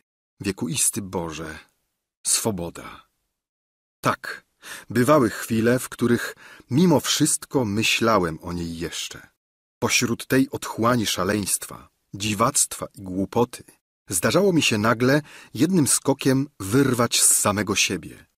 Fala powietrza, która uderzała mnie w twarz, skoro wychodziłem z mego więzienia. Stronica książki, którą czytałem, o ile w ogóle zdarzyło mi się wziąć do rąk inną książkę niż utwory owych nowożytnych sykofantów, których mienią pamflecistami, a którym powinno by się zabronić, po prostu z racji zdrowotności publicznej, ich dłubania i mędrkowania. Skoro mówię o tych dobrych chwilach, były one tak rzadkie, iż chcę przytoczyć jedną. Czytałem jednego wieczora pamiętniki Konstanta. Znalazłem następujący ustęp. Salzdorf, chirurg saski przy osobie księcia Chrystiana, otrzymał w bitwie pod Wagram pocisk granatu, który mu złamał nogę. O piętnaście kroków od niego Amadeusz de Kreborg, adiutant, nie pamiętam czyj, kontuzjowany w piersi, pada i żyga krwią. Salzdorf widzi, że jeśli ktoś nie udzieli młodzieńcowi pomocy, umrze z apopleksji. Zbiera siły, pełza ku niemu na czworakach, puszcza krew i ratuje mu życie. Tuż potem Salzdorf umarł w Wiedniu w cztery dni po amputacji. Przeczytawszy te słowa, zamknąłem książkę i zalałem się łzami. Nie żal mi tych łez. Zawdzięczam im dobry dzień. Mówiłem tylko o Salzdorfie i zapomniałem o wszystkim innym. Nie przyszło mi do głowy, to pewna, podejrzewać kogoś tego dnia. Ja, biedny marzyciel. Trzebaż mi było wówczas przypominać sobie, że kiedyś byłem dobry? Na co mi się to zdało? Aby wyciągnąć ku niebu znękane ramiona, aby się pytać, po co żyję na świecie i rozglądać się dokoła, czy nie spadnie też jakiś granat, który by mnie wyzwolił na wieczność. Niestety, to był tylko błysk, który rozdarł na chwilę noc mojej duszy. Jak owi obłąkani derwisze, którzy w zawrocie głowy osiągają ekstazę, tak myśl nasza, kiedy kręcąc się sama koło siebie znuży się własnym grzebaniem, wyczerpana bezużyteczną pracą, zatrzymuje się przestraszona. Można by rzec, iż człowiek jest pusty wewnątrz i że wstępując coraz głębiej w siebie, dociera aż do ostatniego stopnia krętych schodów. Tam, jak na szczycie gór, jak w głębi kopalni, brak jest powietrza i Bóg zabrania iść dalej. Wówczas, rozżarzone śmiertelnym zimnem serce, jak gdyby żądne zapomnienia, chciałoby wydrzeć się na zewnątrz, aby odżyć. Pije życie ze wszystkiego, co je otacza. Wdycha chciwie powietrze, ale znajduje dokoła siebie jedynie własne chimery, które ożywia uciekającą zeń siłą i które stworzone przez nie oblegają je niby bezlitosne upiory. Niepodobna było, aby rzeczy ciągnęły się długo w ten sposób. Znużony niepewnością, umyśliłem podjąć próbę celem odkrycia prawdy. Poszedłem zamówić konie pocztowe na dziesiątą wieczór. Mieliśmy już najętą kolasę. Kazałem tedy, aby wszystko było gotowe na oznaczoną godzinę, zabraniając równocześnie wspominać cokolwiek pani Pearson. Smith był tego dnia na obiedzie. Siadając do stołu, z rozmysłem starałem się być weselszy niż zwykle, przy czym nie uprzedzając nic o zamiarze, sprowadziłem rozmowę na naszą podróż. Wyrzekłbym się tej podróży, mówiłem, gdybym przypuszczał, że Brygidzie nie tyle na niej zależy. Czuję się tak dobrze w Paryżu, iż najchętniej zostałbym tam, póki się jej spodoba. Zacząłem sławić przyjemności, jakie można znaleźć tylko w tym mieście. Bale, teatry, sposobność do rozrywki na każdym kroku. Krótko mówiąc, skoro czujemy się szczęśliwi, nie widzę, czemu mielibyśmy zmieniać miejsce. Co do mnie, nie myślę wyjeżdżać tak rychło. Spodziewałem się, że Brygida będzie obstawać przy naszym genewskim projekcie i w istocie tak się stało. Nalegała wprawdzie dość słabo, ale na pierwsze słowa udałem, iż poddaje się jej życzeniom. Następnie zmieniając przedmiot rozmowy, zacząłem mówić o rzeczach obojętnych, tak jakby tamto było załatwione. Czemu, dodałem, Smith nie miałby jechać z nami? Prawda, ma tu zajęcia, które go zatrzymują, ale czyż nie może dostać urlopu? Zresztą, czyż talenty, które posiada, a z których nie chce korzystać, nie powinny mu zapewnić wszędzie swobodnej i przyzwoitej egzystencji? Niech jedzie z nami bez ceremonii. Powóz jest duży, ofiarujemy mu miejsce. Trzeba, aby młody człowiek przetarł się w świecie. Nie masz nic tak smutnego w jego wieku, jak zamykać się w ciasnym kole. Nieprawdaż? Zwróciłem się do Brygidy. No, moja droga, może ty uzyskasz swoim wpływem to, czego mnie by odmówił. Nakłoń go, aby nam poświęcił jakie sześć tygodni. Odbędziemy podróż razem, a wspólna przejażdżka po Szwajcarii pozwoli mu z tym większą przyjemnością powitać swój gabinet i swoje prace. Brygida poparła mnie, jakkolwiek wiedziała, iż to zaproszenie było jedynie żartem. Smith nie mógł opuścić Paryża pod grozą utraty miejsca. Nie bez żalu tedy odmówił, przytaczając ten powód. Kazałem tymczasem przynieść butelkę dobrego wina. I tak, wśród moich nalegań, pół żartem, pół serio, rozbawiliśmy się wszyscy troje. Po obiedzie wyszedłem na kwadrans, aby się upewnić, że wykonano moje rozkazy. Wróciłem z wesołą miną i siadając do klawikordu, zaproponowałem nieco muzyki. Zostańmy wieczór w domu, rzekłem. Wierzcie mi, nie chodźmy do teatru. Nie jestem zdolny współdziałać z wami, ale umiem słuchać i rozumieć. Gdyby się Smith nudził, każemy mu grać i spędzimy czas milej niż poza domem. Brygida nie dała się prosić. Chętnie zaczęła śpiewać. Smith towarzyszył jej na wiolonczeli. Podano przybór do ponczu i niebawem płomień palącego się rumu rozweselił nas swoim blaskiem. Przenieśliśmy się od klawikordu do stołu. Znalazły się i karty. Wszystko poszło tak, jak sobie życzyłem. Zapanowała atmosfera szczerego rozbawienia. Miałem oczy wlepione w zegar i czekałem niecierpliwie, aż wskazówka wskaże dziesiątą. Pożerał mnie niepokój, ale miałem tę siłę, aby go nie zdradzać. Wreszcie chwila nadeszła. Usłyszałem bicz pocztyliona i odgłos kopyt końskich w dziedzińcu. Brygida siedziała obok mnie. Wziąłem ją za rękę i spytałem, czy jest gotowa do drogi. Spojrzała ze zdziwieniem, myśląc zapewne, że to żarty. Odparłem, że w czasie obiadu wydała mi się tak zdecydowana, iż nie zwlekając poszedłem zamówić konie i właśnie w tym celu wyszedłem. Równocześnie wszedł służący hotelowy z oznajmieniem, iż rzeczy są już w powozie i że czekają tylko na nas. Czy to serio? spytała Brygida. Chcesz jechać tej nocy? Czemu nie? odparłem, skorośmy się zgodzili oboje, że mamy opuścić Paryż. Jak to? Teraz? W tej chwili? Oczywiście. Czyż nie jest wszystko gotowe od miesiąca? Widzisz przecie, że trzeba było jedynie przytroczyć walizy. Z chwilą, gdy stanęło na tym, że nie zostajemy tutaj, czyż nie lepiej jechać jak najprędzej? Uważam, że trzeba wszystko robić w ten sposób i niczego nie odkładać do nazajutrz. Jesteś dziś wieczór w Wenie do podróży. Chwytam tedy w lot sposobność. Po co czekać i odwlekać bez końca? Nie mógłbym znieść tego życia. Chcesz jechać, nieprawdaż? Jedźmy tedy. Zależy tylko od ciebie. Zapanowała chwila głębokiego milczenia. Brygida podeszła do okna i ujrzała, że w istocie zaprzężono. Zresztą ton, jakim mówiłem, nie mógł zostawić żadnej wątpliwości. Mimo, że postanowienie było nagłe, ostatecznie wyszło ono od niej. Nie mogła się zaprzeć własnych słów, ani wymyślić przyczyn do odwłoki. Jakoż powzięła decyzję.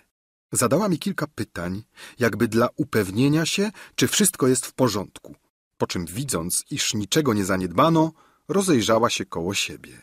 Wzięła szal i kapelusz, odłożyła je, przepatrzyła jeszcze pokoje. Jestem gotowa, rzekła, służę ci. Jedziemy tedy? Mamy jechać.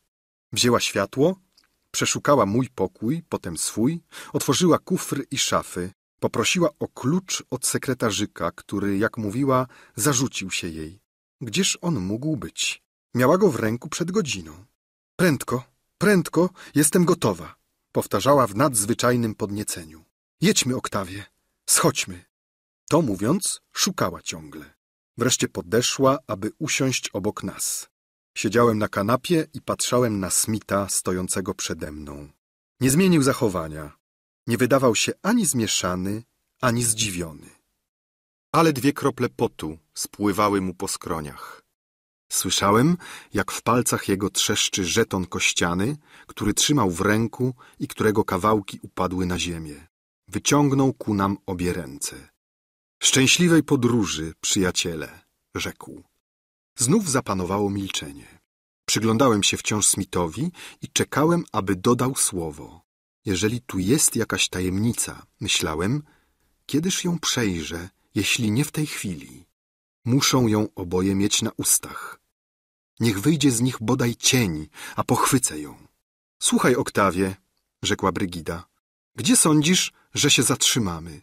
Napisze pan do nas, nieprawdaż, panie Henryku? Nie zapomni pan o mojej rodzinie i zrobi pan w tej sprawie, co pan będzie mógł. Odpowiedział wzruszonym głosem, ale z pozornym spokojem, że zobowiązuje się z całego serca być jej pomocny i że dołoży starań w tej mierze. Nie mogę, rzekł, ręczyć za nic. Wobec listów, jakie pani otrzymała, nadzieja jest niewielka. Ale nie będzie to z pewnością moja wina, jeżeli mimo wszystko nie będę mógł pani niedługo przesłać jakiej pomyślnej wiadomości. Niech pani liczy na mnie, jestem jej szczerze oddany. Dodawszy jeszcze kilka uprzejmych słów dla nas obojga, miał się ku wyjściu. Wstałem i wyprzedziłem go. Chciałem ostatni raz zostawić ich jeszcze na chwilę razem. Zaledwie zamknąłem drzwi za sobą, ogarnięty szałem zawiedzionej zazdrości, przylgnąłem czołem do zamku. Kiedy panią zobaczę? spytał Smith. Nigdy, odparła Brygida. Bądź pan zdrów, Henryku. Podała mu rękę. Skłonił się, podniósł rękę do ust. Zaledwie miałem czas rzucić się w tył w ciemności. Minął mnie, nie widząc, i wyszedł. Zostawszy sam z Brygidą, uczułem w sercu bezgraniczny smutek. Czekała na mnie z płaszczem przewieszonym przez ramię.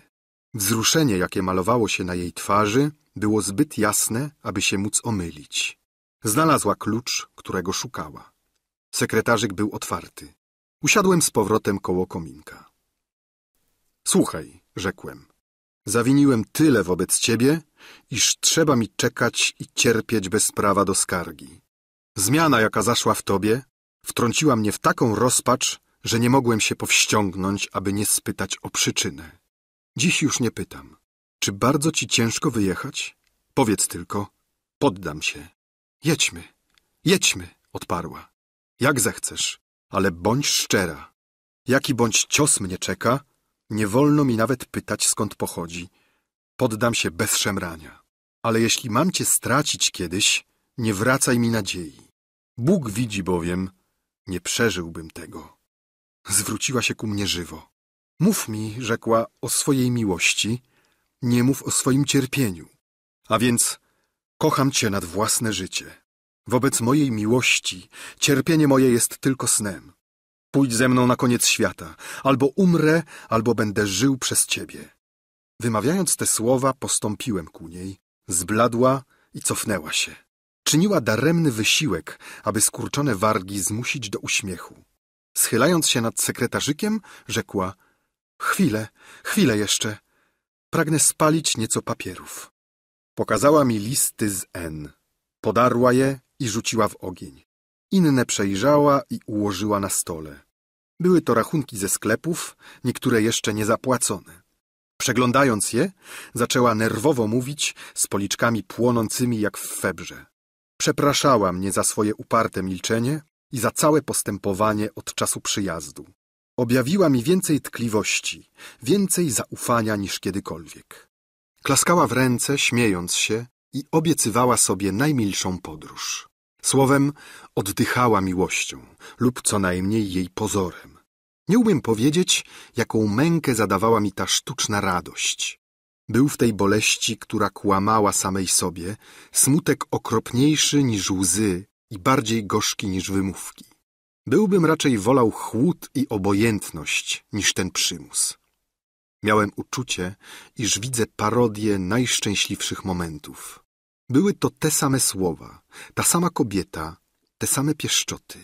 I to, co dwa tygodnie w przód upajało mnie miłością i szczęściem, powtórzone w ten sposób, przejmowało mnie grozą. Brygido, rzekłem nagle, co ty za tajemnicę ukrywasz? Jeśli mnie kochasz, jaką okropną komedię grasz oto przede mną? Ja? rzekła prawie z obrazą. Skąd przypuszczenie, że gram komedię? Skąd? Przyznaj się, moja droga, że masz śmierć w duszy i że cierpisz męki. Oto moje ramiona gotowe cię przyjąć. Wtul w nie głowę i płacz. Wówczas wezmę cię z sobą może, ale zaiste nie tak. Jedźmy, jedźmy, powtórzyła jeszcze. Nie na mą duszę. Nie, nie teraz. Nie, dopóki jest między nami kłamstwo lub maska. Wolę raczej nieszczęście niż tę wesołość. Zmilkła zmieszana tym, iż nie dałem się omamić jej słowom i że ją odgaduję mimo jej wysiłków. Po co się oszukiwać? ciągnąłem. Czy tak nisko spadłem w twoim szacunku, że mogłabyś udawać przede mną? Czy uważasz się za skazaną za tę smutną i nieszczęsną podróż? Czy jestem tyranem, samowładcą, katem, który cię wlecze na stracenie? Czegóż się lękasz z mej strony, aby się chwytać podobnych wykrętów? Jakiż postrach każe ci tak kłamać? Mylisz się, odparła. Proszę cię, ani słowa więcej. Czemuż tedy taki brak szczerości? Jeśli nie jestem twoim powiernikiem, czyż nie możesz mnie bodaj uważać za przyjaciela? Jeśli nie wolno mi znać źródła twoich łez, czyż nie mogę bodaj patrzeć, jak płyną? Czy nie ufasz mi nawet na tyle, aby wierzyć, iż uszanuję twą zgryzotę? Cóż uczyniłem, abyś się kryła przede mną? Czy nie można by znaleźć lekarstwa? Nie, odparła. Idziesz fałszywą drogą. Wpędzisz w nieszczęście nas oboje, jeśli zechcesz nalegać dłużej. Czyż nie dosyć, że jedziemy? Jakże chcesz, abym jechał z tobą, skoro wystarczy na ciebie popatrzeć, aby wiedzieć, że ta podróż cię mierzi, że jedziesz z niechęcią, że już żałujesz tego? Co to jest, wielki Boże? Co ty ukrywasz? Na co spierać się o słowa, kiedy myśl jest tak jasna, jak to lustro? Czy nie byłbym ostatnim z ludzi, gdybym przyjął bez szemrania to, co ty mi dajesz z takim żalem? Jakże mi wszelako odmówić? Cóż mogę zrobić, jeśli ty nie powiesz prawdy? Nie, nie jadę z niechęcią. Mylisz się. Kocham cię, Oktawie, przestań mnie dręczyć. Rzekła to z taką słodyczą, iż rzuciłem się do jej kolan. Kto zdołałby się oprzeć jej spojrzeniu i boskiemu dźwiękowi głosu? Mój Boże, wykrzyknąłem. Kochasz mnie, Brygido? Kochanko moja najmilsza, kochasz mnie? Tak, kocham cię. Tak, jestem twoja. Rób ze mną, co zechcesz. Pójdę za tobą. Jedźmy razem. Chodź, Oktawie, czekają na nas. Tuliła moją rękę w dłoniach i pocałowała mnie w czoło. Tak trzeba, szepnęła. Tak, chcę tego, aż do ostatniego tchnienia. Trzeba? Rzekłem sam do siebie. Wstałem. Została na stole już tylko jedna ćwiartka papieru. Brygida przebiegła ją oczami, wzięła, obróciła, następnie upuściła na ziemię. Czy to wszystko? spytałem. Tak, wszystko. Zamawiając konie, nie czyniłem tego z myślą, abyśmy w istocie mieli jechać. Chciałem jedynie zrobić próbę, ale siłą rzeczy stała się ona rzeczywistością. Otwarłem drzwi. Trzeba, mówiłem sobie. Trzeba, powtórzyłem głośno. Co znaczy to słowo, Brygido? Co się kryje w tym wszystkim? Wytłumacz się, inaczej zostaje. Dlaczego trzeba, abyś mnie kochała? Padła na kanapę, łamiąc ręce z bólu. Ach, nieszczęśliwy, nieszczęśliwy, rzekła. Ty nigdy nie będziesz umiał kochać. Więc tak. Być może tak, masz słuszność, ale na imię Boga umiem cierpieć. Trzeba, abyś mnie kochała, nieprawdaż? A więc trzeba także odpowiedzieć, skoro pytam. Gdybym cię miał stracić na zawsze, gdyby te mury miały mi się zawalić na głowę, nie wyjdę stąd, póki się nie dowiem tajemnicy, która mnie dręczy od miesiąca. Powiesz wszystko, albo odchodzę na zawsze. Być może jestem wariatem, opętańcem. Może psuję sobie z umysłu życie. Może pytam o to, czego powinienem był z umysłu nie widzieć. Może to wyjaśnienie zniszczy na zawsze nasze szczęście i wzniesie odtąd między nami nieprzezwyciężoną zaporę. Może uniemożliwię ten wyjazd, którego tak pragnąłem. Ale co bądź by to mogło kosztować nas oboje. Albo powiesz, albo wyrzekam się wszystkiego. Nie, nie, nie powiem. Powiesz. Czy może przypuszczasz, że ja dałem się omamić twoim kłamstwom? Kiedy z dnia na dzień stajesz się bardziej różną od siebie samej niż dzień od nocy, czy myślisz, że ja nie zdaję sobie z tego sprawy? Kiedy jako powód podajesz mi jakieś listy, od niewarte trudu czytania, czy wyobrażasz sobie, że ja się zadowolę pierwszą z brzegu baśnią, dlatego że nie masz ochoty szukać innej? Czy twoja twarz jest z kamienia, aby tak trudno było wyczytać na niej, co się dzieje w twoim sercu? Jakież ty masz o mnie rozumienie? Nie jestem tak łatwowierny, jak mnie masz. Uważaj tedy, aby w braku słów milczenie twoje nie powiedziało mi tego, co ukrywasz tak uparcie. Co ukrywam? Co? Ty mnie o to pytasz? Czy zadajesz mi to pytanie, aby mi urągać w żywe oczy? Czy aby mnie przywieźć do ostateczności i pozbyć się mnie? Tak, to pewna. Nie wyzywaj mojej obrażonej dumy, aż nazbyt łatwo może wybuchnąć. Gdybym się wytłumaczył jasno, miałabyś na swoje usługi całą kobiecą obłudę. Czekasz mego oskarżenia, aby mi odpowiedzieć, iż kobieta taka jak ty nie zniża się do usprawiedliwień. W jakież spojrzenia wzgardliwej dumy umieją się zawijać nawet najbardziej winne i najbardziej przewrotne. Twoją siłą jest milczenie. Wiem o tym nie od dzisiaj. Chcesz wyciągnąć mnie na zniewagi. Milczysz, aż do tego nie przyjdzie. Nie, nie, walcz z moim sercem. Znajdziesz je tam, gdzie bije twoje. Ale nie próbuj walczyć z moją głową. Twardsza jest niż żelazo i nie gorzej od ciebie zna się na tej szermierce. Biedny chłopiec, szepnęła Brygida. Nie chcesz tedy jechać. Nie, jadę tylko z moją kochanką, a ty nie jesteś nią teraz. Dosyć walczyłem. Dosyć cierpiałem. Dosyć sobie zżarłem serce. Czas, aby zrobił się dzień. Dość długo błądziłem w nocy. Tak albo nie. Chcesz odpowiadać? Nie. Jak ci się podoba? Zaczekam. Usiadłem w drugim kącie pokoju z niezłomnym postanowieniem nie ruszania się z miejsca, póki nie dowiem się tego, co chcę. Brygida zdawała się zastanawiać, chodząc po pokoju wzdłuż i wszerz. Biegłem za nią chciwym okiem, a jej wytrwałe milczenie pomnażało stopniowo mój gniew. Nie chciałem, aby to spostrzegła. Nie wiedziałem, co począć. Otwarłem okno. Niech wyprzęgną, krzyknąłem. I proszę zapłacić pocztyliona. Nie jadę dziś wieczór. Biedny człowiek, rzekła Brygida. Zamknąłem spokojnie okno i usiadłem, udając, że nie słyszę. Ale kipiałem wewnątrz taką wściekłością, że nie mogłem jej opanować. To zimne milczenie, ta bierna siła doprowadzały mnie do szaleństwa. Gdybym w istocie miał niezbite dowody zdrady ukochanej kobiety, nie mógłbym gorzej cierpieć.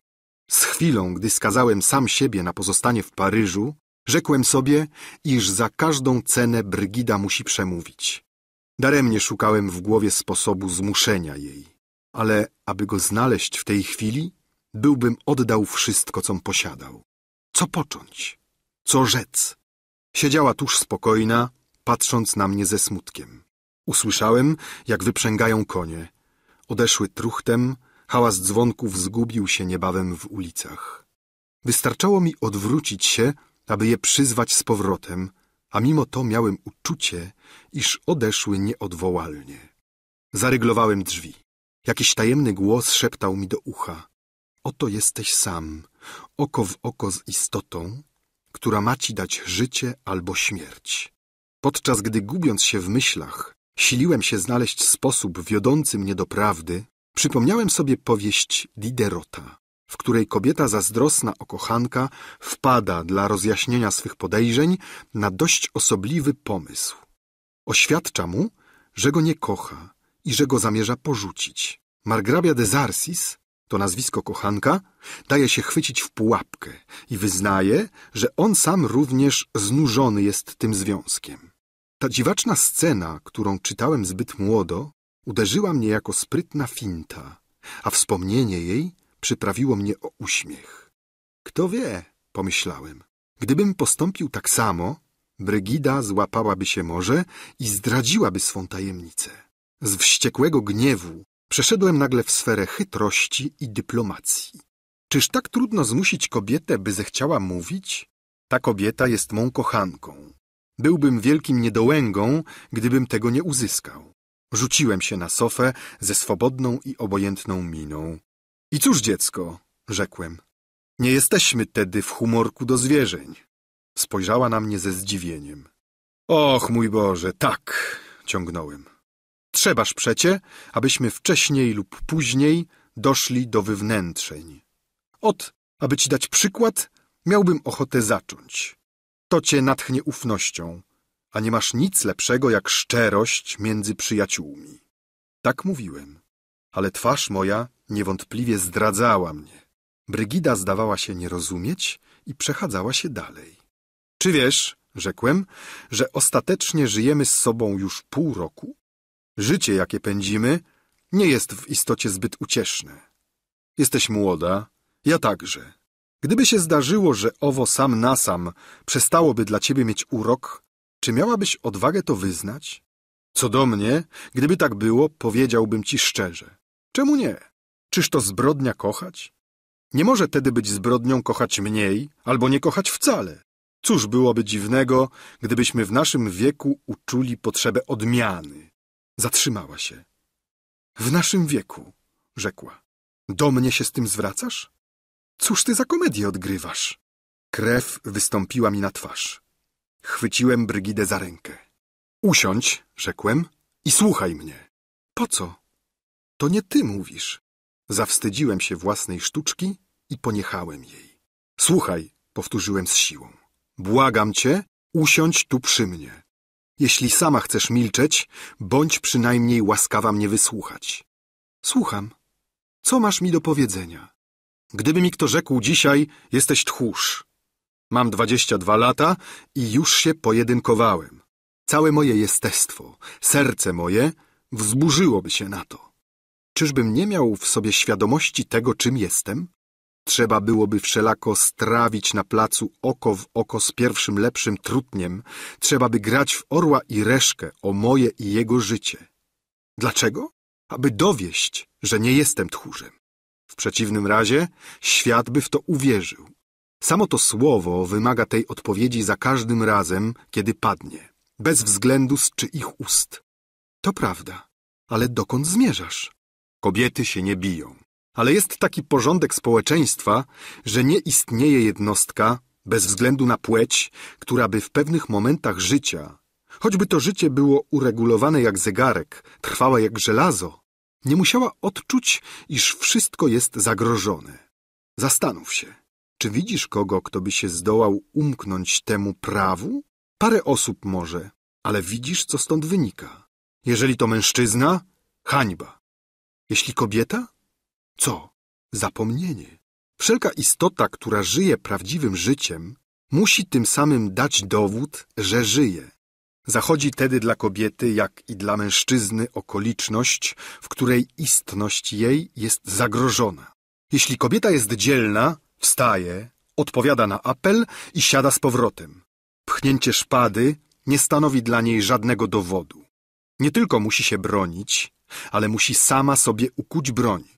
Podejrzewają ją. Kto? Ktoś obojętny? Może i powinna tym wzgardzić. Kochanek i ona kocha tego kochanka? Jeśli go kocha, chodzi tu o jej życie. Nie może tego zlekceważyć. Jej jedyną odpowiedzią jest milczenie. Mylisz się. Kochanek, który ją podejrzewa, obraża tym samym całe jej życie. Co ręczy za nią? Nieprawdaż? Jedynie jej łzy. Jej ubiegłe prowadzenie, jej oddanie i powolność. Co się stanie, jeżeli będzie milczeć? To, iż kochanek straci ją z własnej winy i że czas odda jej sprawiedliwość. Czy nie to myślałaś? Być może milczenie przede wszystkim. Być może mówisz.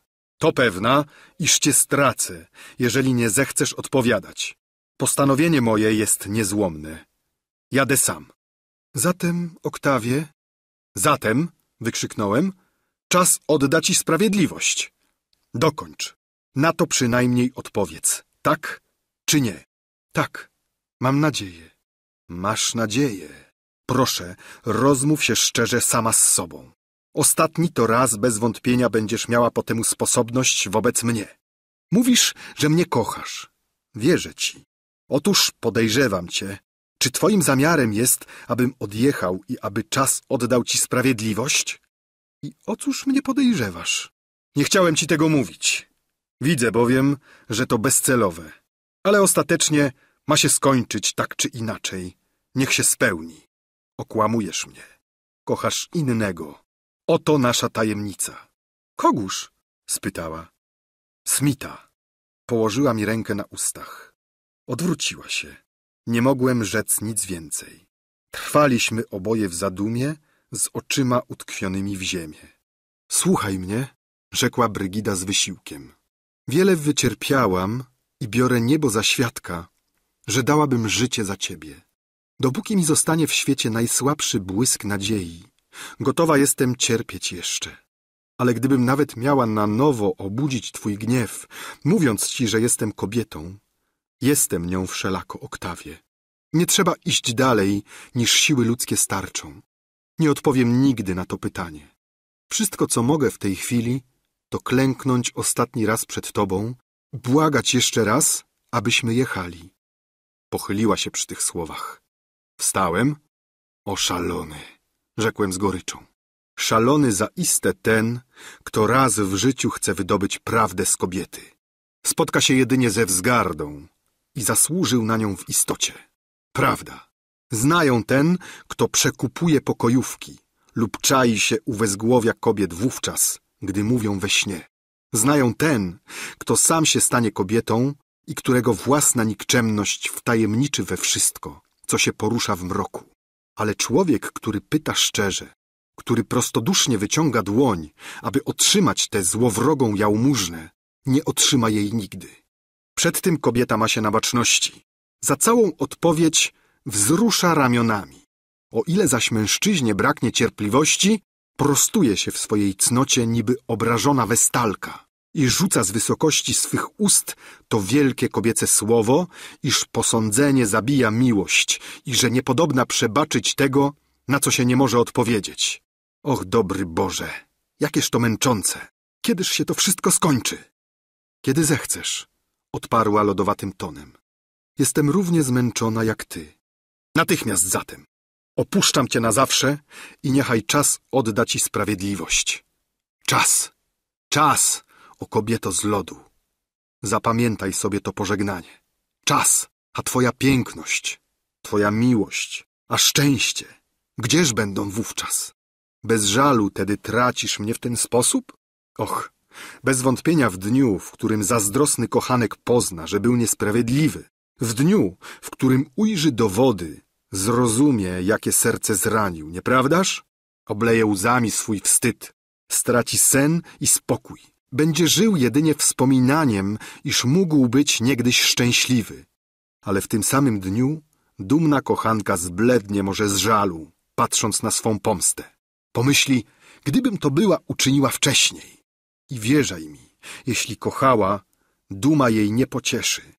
Siliłem się, aby mówić spokojnie, ale nie byłem już panem siebie. Teraz ja biegałem gorączkowo po pokoju. Są spojrzenia, które są niby pchnięcia szpady. Ścierają się jak stal. Takie spojrzenia zamienialiśmy z Brygidą w tej chwili. Patrzałem na nią tak, jak więzień patrzy na bramę więzienia. Aby skruszyć pieczęć na jej ustach i zmusić ją, by przemówiła, byłbym postawił na kartę jej i swoje życie. Dokąd ty zmierzasz? spytała. Co mam ci powiedzieć? To, co masz w sercu. Czy nie jest okrucieństwem kazać mi to powtarzać w ten sposób? A ty, wykrzyknęła, czy nie jesteś stokroć bardziej okrutny? Ha, szalony powiadasz, kto chce dowiedzieć się prawdy. Szalona, mogę ja znów powiedzieć, kobieta, która może przypuszczać, że jej uwierzą. Chcesz wiedzieć moją tajemnicę, a moja tajemnica to to, że cię kocham. Ja szalona, ty szukasz innej prawdy. Tę bladość, która jest twoim dziełem, ty oskarżasz, bierzesz na śledztwo. Szalona, chciałam cierpieć w milczeniu. Chciałam uczynić ci ofiarę z mej rezygnacji. Chciałam ukryć przed tobą moje łzy. Ty je szpiegujesz, niby świadków zbrodni. Szalona, chciałam przebyć morza, wyrwać się wraz z tobą z Francji, zagrzebać się z dala od wszystkich, którzy mnie kochali, na tym sercu, które wątpi o mnie. Szalona, Sądziłam, że prawda ma spojrzenie, akcent, które się poznaje, które się szanuje. Och, kiedy o tym myślę, łzy mnie dławią. Po co, jeśli miało się skończyć na tym, pociągnąć mnie do kroku, który niweczy na zawsze mój spokój? Głowa mi się mąci. Nie wiem, co się ze mną dzieje. Pochyliła się nade mną płacząc. Szalona, szalona, powtarzała rozdzierającym głosem. I co to jest? ciągnęła. Dokąd to będzie trwało? Co mogę powiedzieć na te wciąż odradzające się, coraz to inne podejrzenia? Trzeba mi, powiadasz, usprawiedliwić się. Z czego? Z tego, że jadę, że kocham, że umieram, że jestem w rozpaczy? A jeśli udaję przymuszoną wesołość, ta wesołość nawet jest ci zbrodnią. Poświęcam wszystko, aby jechać z tobą, a ty jeszcze nie zrobisz mili, a już będziesz oglądał się wstecz. Wszędzie, zawsze, co bądź bym uczyniła, obelga, gniew. Ach, dziecko drogie, gdybyś wiedział, co to za śmiertelny chłód, co za cierpienie widzieć, iż najszczerszy głos serca spotyka się z wątpieniem i szyderstwem. Pozbawiasz się jedynego szczęścia, jakie istnieje. Kochać z ufnością. Zabijesz w każdym kochającym sercu wszelkie podniosłe i delikatne uczucie. Dojdziesz do tego, iż będziesz wierzył jedynie w to, co najgrubsze. Zostanie ci z miłości to, co widzialne i dotykalne. Jesteś młody, Oktawie. Czeka cię jeszcze długie życie. Znajdziesz jeszcze inne kochanki. Tak, dobrze mówisz. Duma to bardzo niewiele i nie ona to mnie pocieszy. Ale dałby Bóg, aby twoja łza zapłaciła mi kiedyś łzy, które wyciskasz mi w tej chwili. Wstała. Mamż powiedzieć tedy? Trzebaż, abyś wiedział, iż od pół roku ani razu nie zasnęłam wieczór, bym sobie nie powtarzała, że wszystko jest bezcelowe i że nie wyleczysz się nigdy. Abym wstając rano nie powiedziała sobie, że trzeba próbować, że nie rzekłeś ani jednego słowa, po którym bym nie czuła, żem powinna cię opuścić. Nie dałeś jednej pieszczoty, bym nie czuła, że wolałabym raczej umrzeć. Iż dzień po dniu, minuta po minucie, wciąż między obawą a nadzieją, po tysiąc razy siliłam się pokonać albo moją miłość, albo moją rozpacz, że ilekroć otwarłam ci moje serce, rzucałeś drwiące spojrzenie aż do samych trzewi. Skoro je zaś zamknęłam, zdawało mi się, iż mam w nim skarb, który ty jeden mógłbyś zużyć. Mamż opowiadać wszystkie te słabości i tajemnice tak dziecinne w oczach tych, którzy ich nie szanują? Mamż mówić, że kiedy ty mnie opuszczałeś w gniewie, ja zamykałam się, aby odczytywać twoje pierwsze listy, że jest pewien ukochany walc, którego nigdy nie grałam na próżno, kiedy nazbyt żywo odczuwałam tęsknotę za chwilą twego przybycia? Och, ja nieszczęśliwa! Jakże drogo będą cię kosztowały wszystkie te nieznane łzy, wszystkie te szaleństwa tak drogie słabym istotom. Płacz teraz. Nawet ta męka, nawet ta boleść nie zdała się na nic. Chciałem przerwać. Zostaw, zostaw, rzekła. Trzebaż, abym raz wreszcie powiedziała ci wszystko. Powiedz, dlaczego wątpisz o mnie? Od pół roku myślą, ciałem, duszą należałam tylko do ciebie. O co śmiesz mnie podejrzewać? Chcesz jechać do Szwajcarii? Jestem gotowa, widzisz. Sądzisz, że masz rywala. Napisz do niej list, który ja podpiszę. Sam oddasz go na pocztę. Co robimy? Dokąd jedziemy? Postanówmy coś. Czy nie jesteśmy zawsze razem? Czemu mnie tedy opuszczasz? Nie mogę być równocześnie blisko i daleko ciebie. Trzeba, powiadasz, móc zawierzyć kochance, to prawda. Albo miłość jest dobrem, albo złem. Jeśli dobrem, trzeba w nią wierzyć. Jeśli złem, trzeba się z niej wyleczyć. Wszystko to, widzisz, to niby jakaś gra, ale stawką są w niej nasze serca, nasze życie i to jest straszne. Chcesz umrzeć? Gotowam. Czymże jestem tedy, abyś wątpił o mnie? Zatrzymała się przed lustrem. Czym jestem? powtarzała. Czym jestem tedy? Zastanów się, spójrz na moją twarz. Wątpią o tobie, wykrzyknęła, zwracając się do własnego obrazu. Biedna, blada głowo, podejrzewają ciebie. Biedne, wychudłe policzki, biedne, zmęczone oczy, wątpią o was i o waszych łzach. Więc dobrze, skończcie cierpieć. Niechaj te pocałunki, które was wysuszyły, zamkną wam powieki. Stąp w tę wilgotną ziemię, biedne, wątłe ciało, które zaledwie trzymasz się o własnej sile. Kiedy się tam znajdziesz, uwierzą temu może, o ile zwątpienie wierzy w śmierć.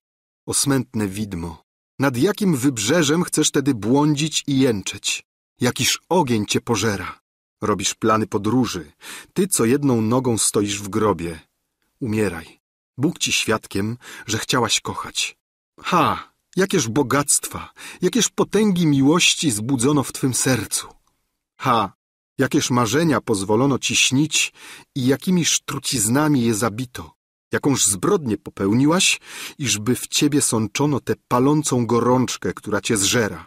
Jaki szał porusza tym szaleńcem, który cię nogą popycha do trumny, podczas gdy usta jego mówią ci o miłości. Co się z tobą stanie, jeśli będziesz żyć jeszcze? Czy nie czas? Czy nie już dosyć tego? Jakiż dasz dowód swej boleści, iżby ci uwierzono, skoro tobie, tobie samej, biedny żywy dowodzie, biedny świadku, nie chcą wierzyć? Jakiejś torturze chcesz się poddać, której byś już nie zużyła? Przez jakie męki, jakie poświęcenia uśmierzysz tę chciwą, nienasyconą miłość? Będziesz jedynie przedmiotem pośmiewiska. Na próżno będziesz szukała pustej ulicy, gdzieby przechodnie nie wytykali cię palcem. Stracisz wszelki wstyd, nawet pozór tej ułomnej cnoty, która ci była tak drogą, a człowiek, dla którego się tak poniżysz, pierwszy cię za to ukaże. Poczyta ci za złe to, że żyjesz dla niego jednego, że rzuciłaś światu rękawice dla niego. Podczas gdy twoi właśnie przyjaciele będą szemrali koło ciebie, on będzie śledził w ich spojrzeniach, czy nie ujrzy za wiele współczucia. Będzie cię oskarżał, że go oszukujesz, skoro jakaś ręka uściśnie twoją i skoro w pustyni swego życia znajdziesz przypadkiem kogoś, kto mimochodem użali się ciebie. O Boże, czy przypominasz sobie ów letni dzień, w którym włożono na twoją głowę wianuszek z białych róż? Czy to, to czoło go nosiło? Ha, ta ręka, która zawiesiła go na murach modlitewni, nie rozsypała się w proch, jak ów wieniec. O moja cicha dolino, o moja stara ciotko, która śpisz teraz w pokoju, o moje lipy, o moja biała kusko, moi zacni wieśniacy, którzyście mnie tak kochali. Czy pamiętacie, żeście mnie widzieli szczęśliwą, dumną, spokojną i otoczoną szacunkiem? Któż tedy pchnął na mą drogę tego obcego człowieka, który chce mnie z niej ściągnąć? Kto mu dał prawo przechodzić ścieżką mojej wioski? Ha, nieszczęśliwa. Dlaczegoż odwróciłaś się pierwszego dnia, kiedy szedł za tobą? Dlaczegoś go przyjęła jak brata? Dlaczego otwarłaś drzwi i podałaś mu rękę? Oktawie, Oktawie, dlaczego mnie pokochałeś, skoro wszystko miało się tak skończyć? Była bliską omdlenia. Doniosłem ją do fotelu, gdzie osunęła się głową na moje ramię. Straszliwy wysiłek, o jaki przyprawił ją ten wybuch goryczy, złamał ją. W miejsce obrażonej kochanki znalazłem nagle jedynie skrzące się i cierpiące dziecko. Przymknęła oczy. Okoliłem ją ramionami i trwała tak bez ruchu. Skoro odzyskała przytomność, żaliła się na wielkie osłabienie i prosiła tkliwym głosem, abym jej pozwolił się położyć. Zaledwie mogła iść. Zaniosłem ją do alkowy i ułożyłem ostrożnie na łóżku. Nie zdradzała żadnych objawów cierpienia. Wypoczywała po swej boleści jak po utrudzeniu i zdawała się nie pamiętać jej. Słaba i delikatna jej natura ustępowała bez walki. Jak sama powiedziała, poszedłem dalej niż jej siły. Trzymała moją rękę w dłoniach.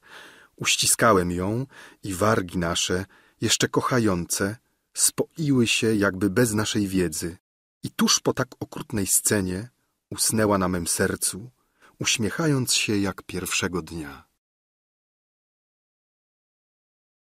Rozdział szósty Brygida spała. Niemy, bez ruchu siedziałem u jej wezgłowia. Jak rolnik po burzy liczy kłosy na spustoszonym polu, tak ja zaczynałem zstępować w samego siebie i badać klęskę, jaką sprawiłem. Zaledwie ogarnąłem ją myślą, zrozumiałem, że jest nie do naprawienia. Pewne cierpienia przez sam swój nadmiar ostrzegają nas o swoim kresie. Im więcej doznawałem wstydu i wyrzutów, tym bardziej czułem, iż po takiej scenie pozostało nam jedynie pożegnać się.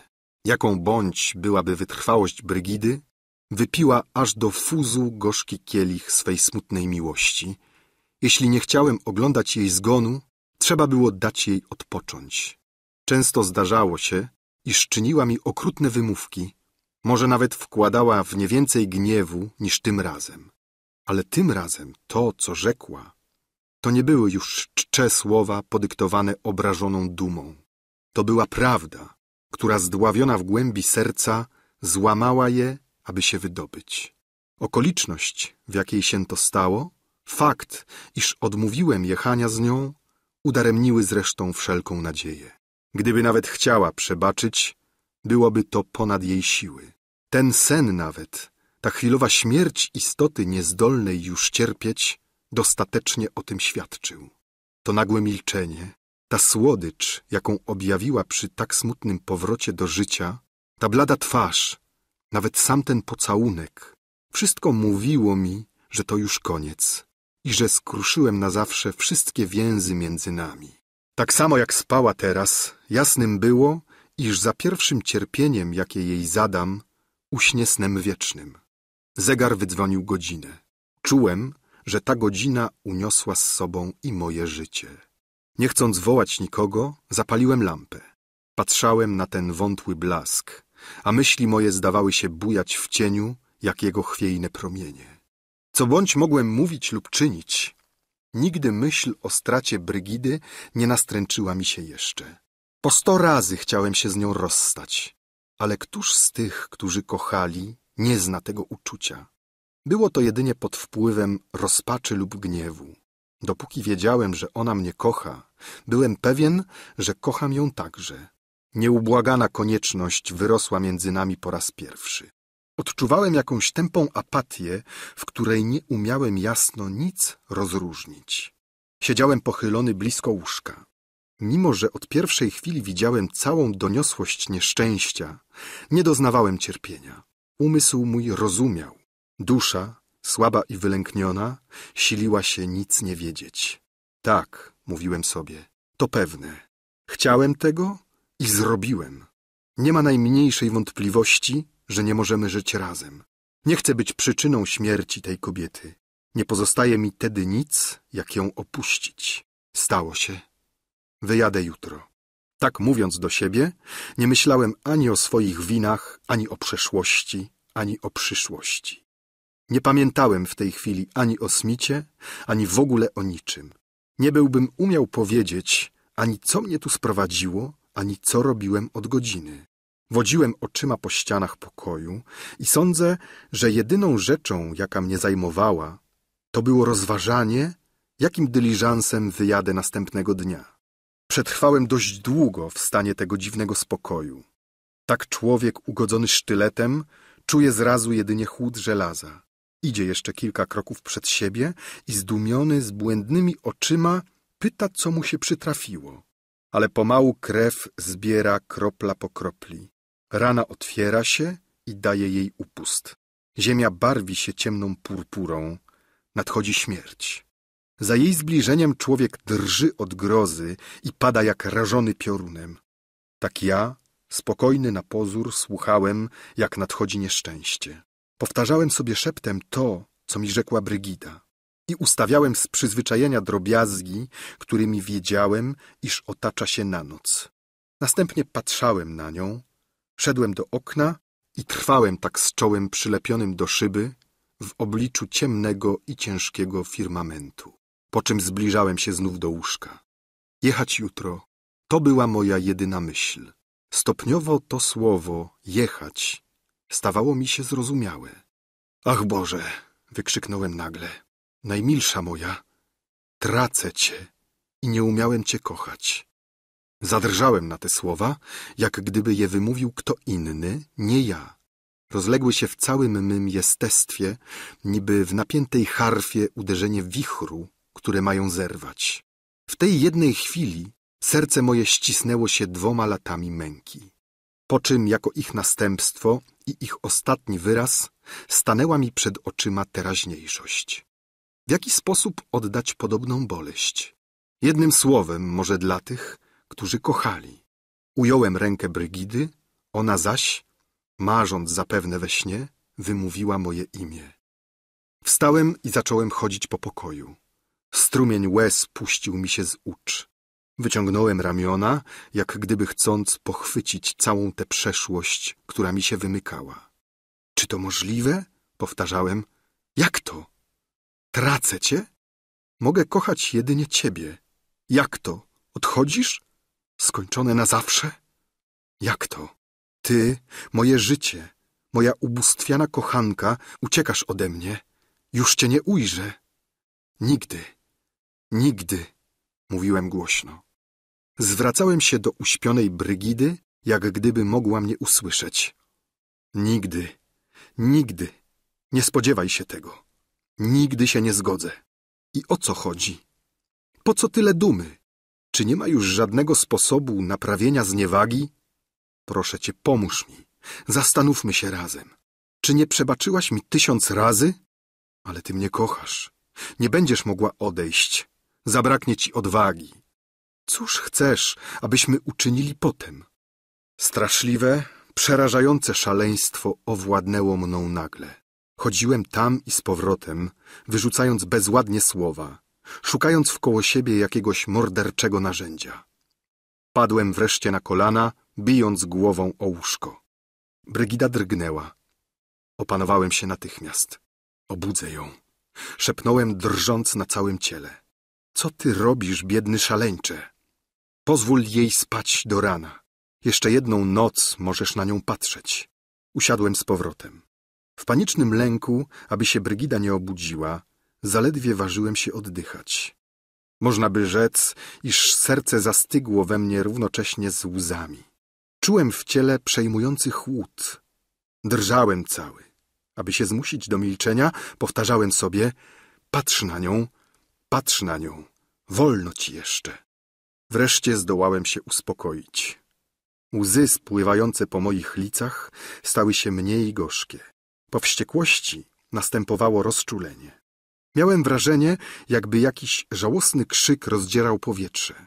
Pochyliłem się nad wezgłowiem i zacząłem się przyglądać Brygidzie, jak gdyby po ostatni raz mój dobry anioł szepnął mi, abym wyrył w mej duszy obraz jej drogich rysów.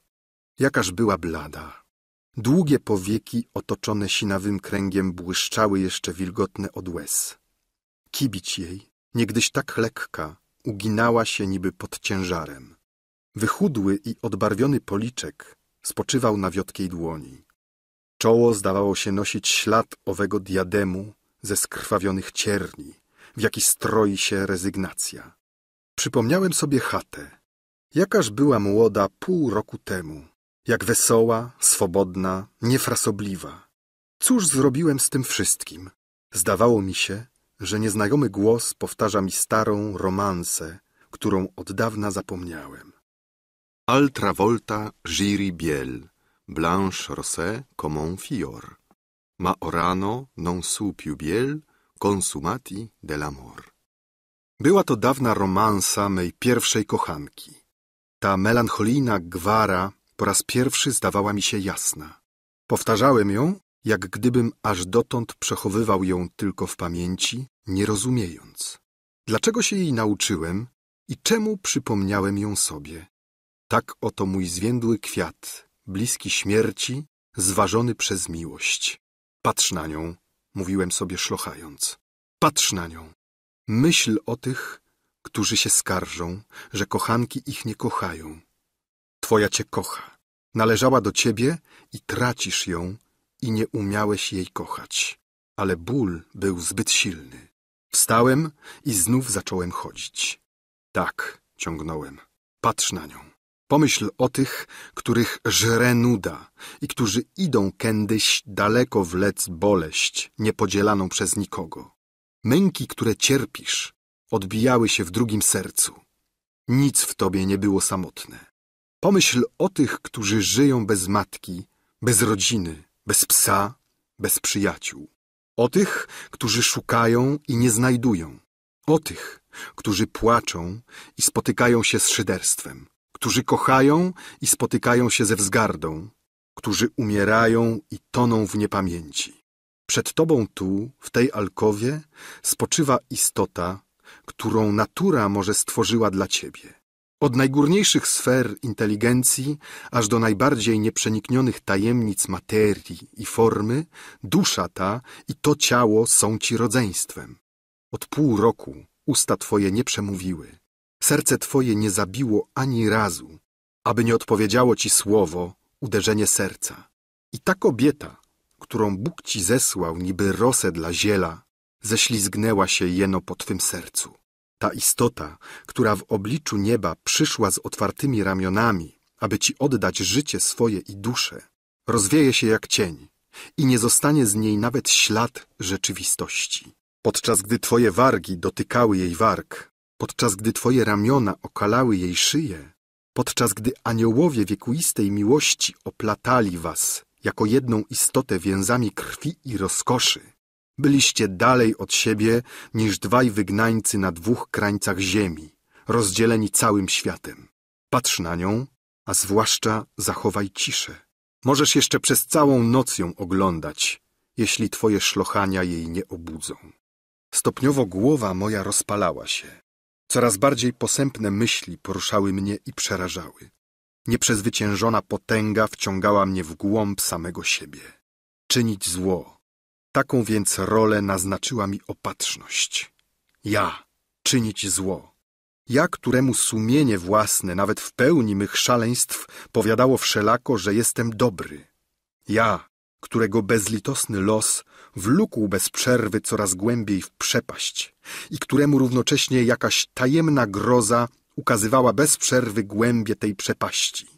Ja, który zawsze, mimo wszystko, choćbym nawet popełnił zbrodnie i przelał krew tymi oto rękoma, powtarzałbym sobie, że serce moje nie jest winne, że się omyliłem, że to nie ja działałem w ten sposób, ale mój los, mój zły duch, jakaś nieznana mi istota, która mieszka we mnie, ale która się tam nie urodziła. Ja czynić zło. Od pół roku pełniłem to zadanie. Ani dzień nie minął, bym nie pracował nad tym bezbożnym dziełem.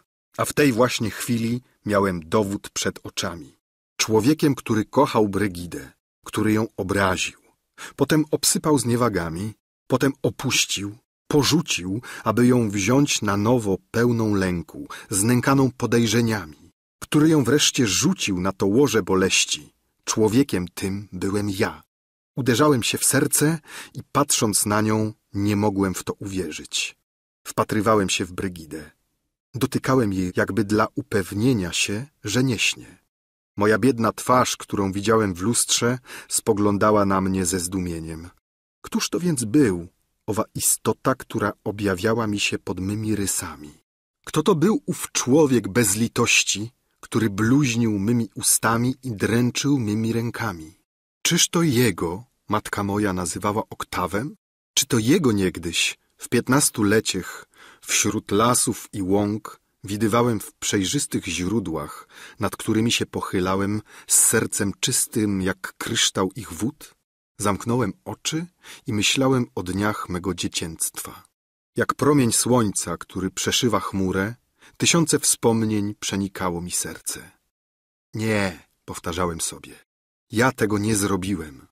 Wszystko, co mnie otacza w tym pokoju, jest tylko niemożliwym snem. Przypomniałem sobie czas nieświadomości, w którym czułem, jak serce moje otwiera się pierwszym wrażeniom życia. Wspomniałem starego żebraka, który siadał na kamiennej ławce przed bramą dworku i któremu posyłano niekiedy przeze mnie resztki naszego śniadania.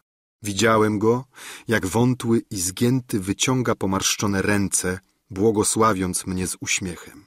Czułem ranny wietrzyk ślizgający się po mych skroniach, jakąś świeżość, niby rosy opadającej z nieba na mą duszę. Potem nagle otwierałem oczy i przy blasku lampy odnajdywałem przed sobą rzeczywistość. I ty się nie czujesz winnym? Pytałem się ze zgrozą. Dlatego, że płaczesz, uważasz, że jesteś oczyszczony? To, co bierzesz za dowód swego sumienia, to może tylko wyrzuty. A któryż morderca ich nie doświadcza? Jeżeli twoja cnota krzyczy i cierpi, skąd wiesz, iż to nie jest oznaką, że umiera? O nędzny, te odległe głosy, które słyszysz jęczące w swoim sercu, ty sądzisz, że to szlochania. To może tylko krzyk mewy. złowrogiego ptaka burz, wabionego bliskim rozbiciem. Kto ci kiedy opowiedział dziecięctwo tych, którzy umierają okryci krwią? Także byli dobrzy swego czasu. Także przykładają sobie rękę do czoła, aby to sobie przypomnieć niekiedy. Robisz źle i kajasz się? Tak samo czynił Neron, zabiwszy matkę. Któż ci powiedział, że łzy zmywają wszystko? A gdyby nawet tak było, gdyby było prawdą, że cząstka twej duszy nie stanie się nigdy pastwą zła, co zrobisz z drugą, która będzie jego własnością? Zmacasz lewą ręką rany, które zada twoja prawa ręka. Uczynisz ze swej cnoty całun, w którym pochowasz swoje zbrodnie. Będziesz kaleczył i jak Brutus wyryjesz na swym mieczu bajania Platona. Istocie, która otworzy ci ramiona, utopisz w sercu tę broń napuszoną i już zdjętą żalem. Zawiedziesz na cmentarz resztki swoich uczuć i będziesz oskubywał na ich grobie jałowy kwiatek litości. Powiesz tym, którzy cię ujrzą, co chcecie. Nauczono mnie zabijać. Otóż zważcie, że ja płaczę i że Bóg uczynił mnie lepszym. Wspomnisz o swej młodości. Wmówisz w samego siebie, że niebo powinno ci przebaczyć, że nieszczęścia twoje są mimowolne. Będziesz zabijał tyradami swoje bezsenne noce, iżby ci zostawiły nieco spokoju. Ale kto wie, jesteś jeszcze młody. Im bardziej zawierzysz się swemu sercu, tym bardziej zbłąka cię twoja duma. Oto dziś stoisz przed pierwszą ruiną, którą zostawisz na swej drodze. Niech Brygida umrze jutro. Zapłaczesz nad jej trumną. Dokąd udasz się, skoro ją opuścisz? Wyjedziesz może na trzy miesiące do Włoch. Zawiniesz się w płaszcz niby Anglik nękany splinem i powiesz sobie pewnego pięknego poranka, podpiwszy sobie w jakiejś oberży, że twoje wyrzuty ukoiły się i że czas zapomnieć, aby zacząć nowe życie. Ty, który zaczynasz płakać zbyt późno, lękaj się, iż kiedyś zgoła nie będziesz potrafił płakać. Kto wie, niech zaczną szydzić z ciebie i z twojej rzekomej boleści. Niech na balu ładna kobieta uśmiechnie się z politowaniem, usłyszawszy, że wspominasz zmarłą kochankę. Czy nie może się zdarzyć, iż kiedyś zaczniesz z tego czerpać chlubę i puszyć się tym, co cię dziś przejmuje rozpaczą? Gdy teraźniejszość, która cię przyprawia o dreszcz i której nie śmiesz spojrzeć w twarz, stanie się przeszłością, starą historią, mętnym wspomnieniem, czyż nie może się stać, iż pewnego dnia rozeprzesz się w krześle podczas biesiady rozpustników i opowiesz z uśmiechem na ustach to, na co patrzałeś ze łzami w oczach? Tak oto dochodzi się do bezwstydu. Tak kręci się ten światek. Zacząłeś od tego, iż byłeś dobrym, Stajesz się słabym, będziesz złym. Mój biedny przyjacielu, rzekłem sobie w głębi serca, muszę ci udzielić jednej rady. Sądzę, iż trzeba ci umrzeć. Skoro jesteś w tej chwili dobry, skorzystaj z tego, aby nie być złym. Podczas gdy kobieta, którą kochasz, leży tu umierająca, podczas gdy czujesz wstręt do samego siebie, połóż rękę na jej piersi. Żyje jeszcze. To dosyć. Zamknij oczy i nie otwieraj ich już. Nie bądź świadkiem jej pogrzebu. Lękam się bowiem, byś nie pocieszył się jutro. Wbij sobie sztylet w łono, dopóki serce, które w nim nosisz, kocha jeszcze Boga, który je uczynił. Czy młodość twoja cię wstrzymuje? Żal ci, że nie doczekasz siwizny? Niechaj twe włosy nie zbieleją nigdy, jeśli nie pobielały tej nocy. A wreszcie, co ty chcesz robić na świecie? Jeśli opuścisz ten pokój, dokąd się udasz? Czego się spodziewasz, jeśli zostaniesz? Ha, nieprawdaż, iż patrząc na tę kobietę zdaje ci się, że czujesz w sercu cały skarb jeszcze nietknięty? To, co tracisz, nieprawdaż, to nie tyle to, co było, ile to, co mogło być. Najgorszym pożegnaniem jest czuć, że nie wypowiedziało się wszystkiego? Czemuś nie znalazł słów przed godziną, kiedy wskazówka była na tej cyfrze, mogłeś być jeszcze szczęśliwy. Jeśliś cierpiał, czemuś nie otworzył swej duszy. Jeśliś kochał, czemuś nie mówił. Oto jesteś jak sknera umierający na swoim skarbie. Zatrzasnąłeś drzwi skąpcze. Szamoczesz się za ryglami. Możesz je szarpać. Mocne są. Twoja to ręka je ukuła. O szaleńcze, któryś pragnął i któryś posiadł swe pragnienie, nie myślałeś o Bogu i grałeś ze szczęściem, jak dziecko z zabawką.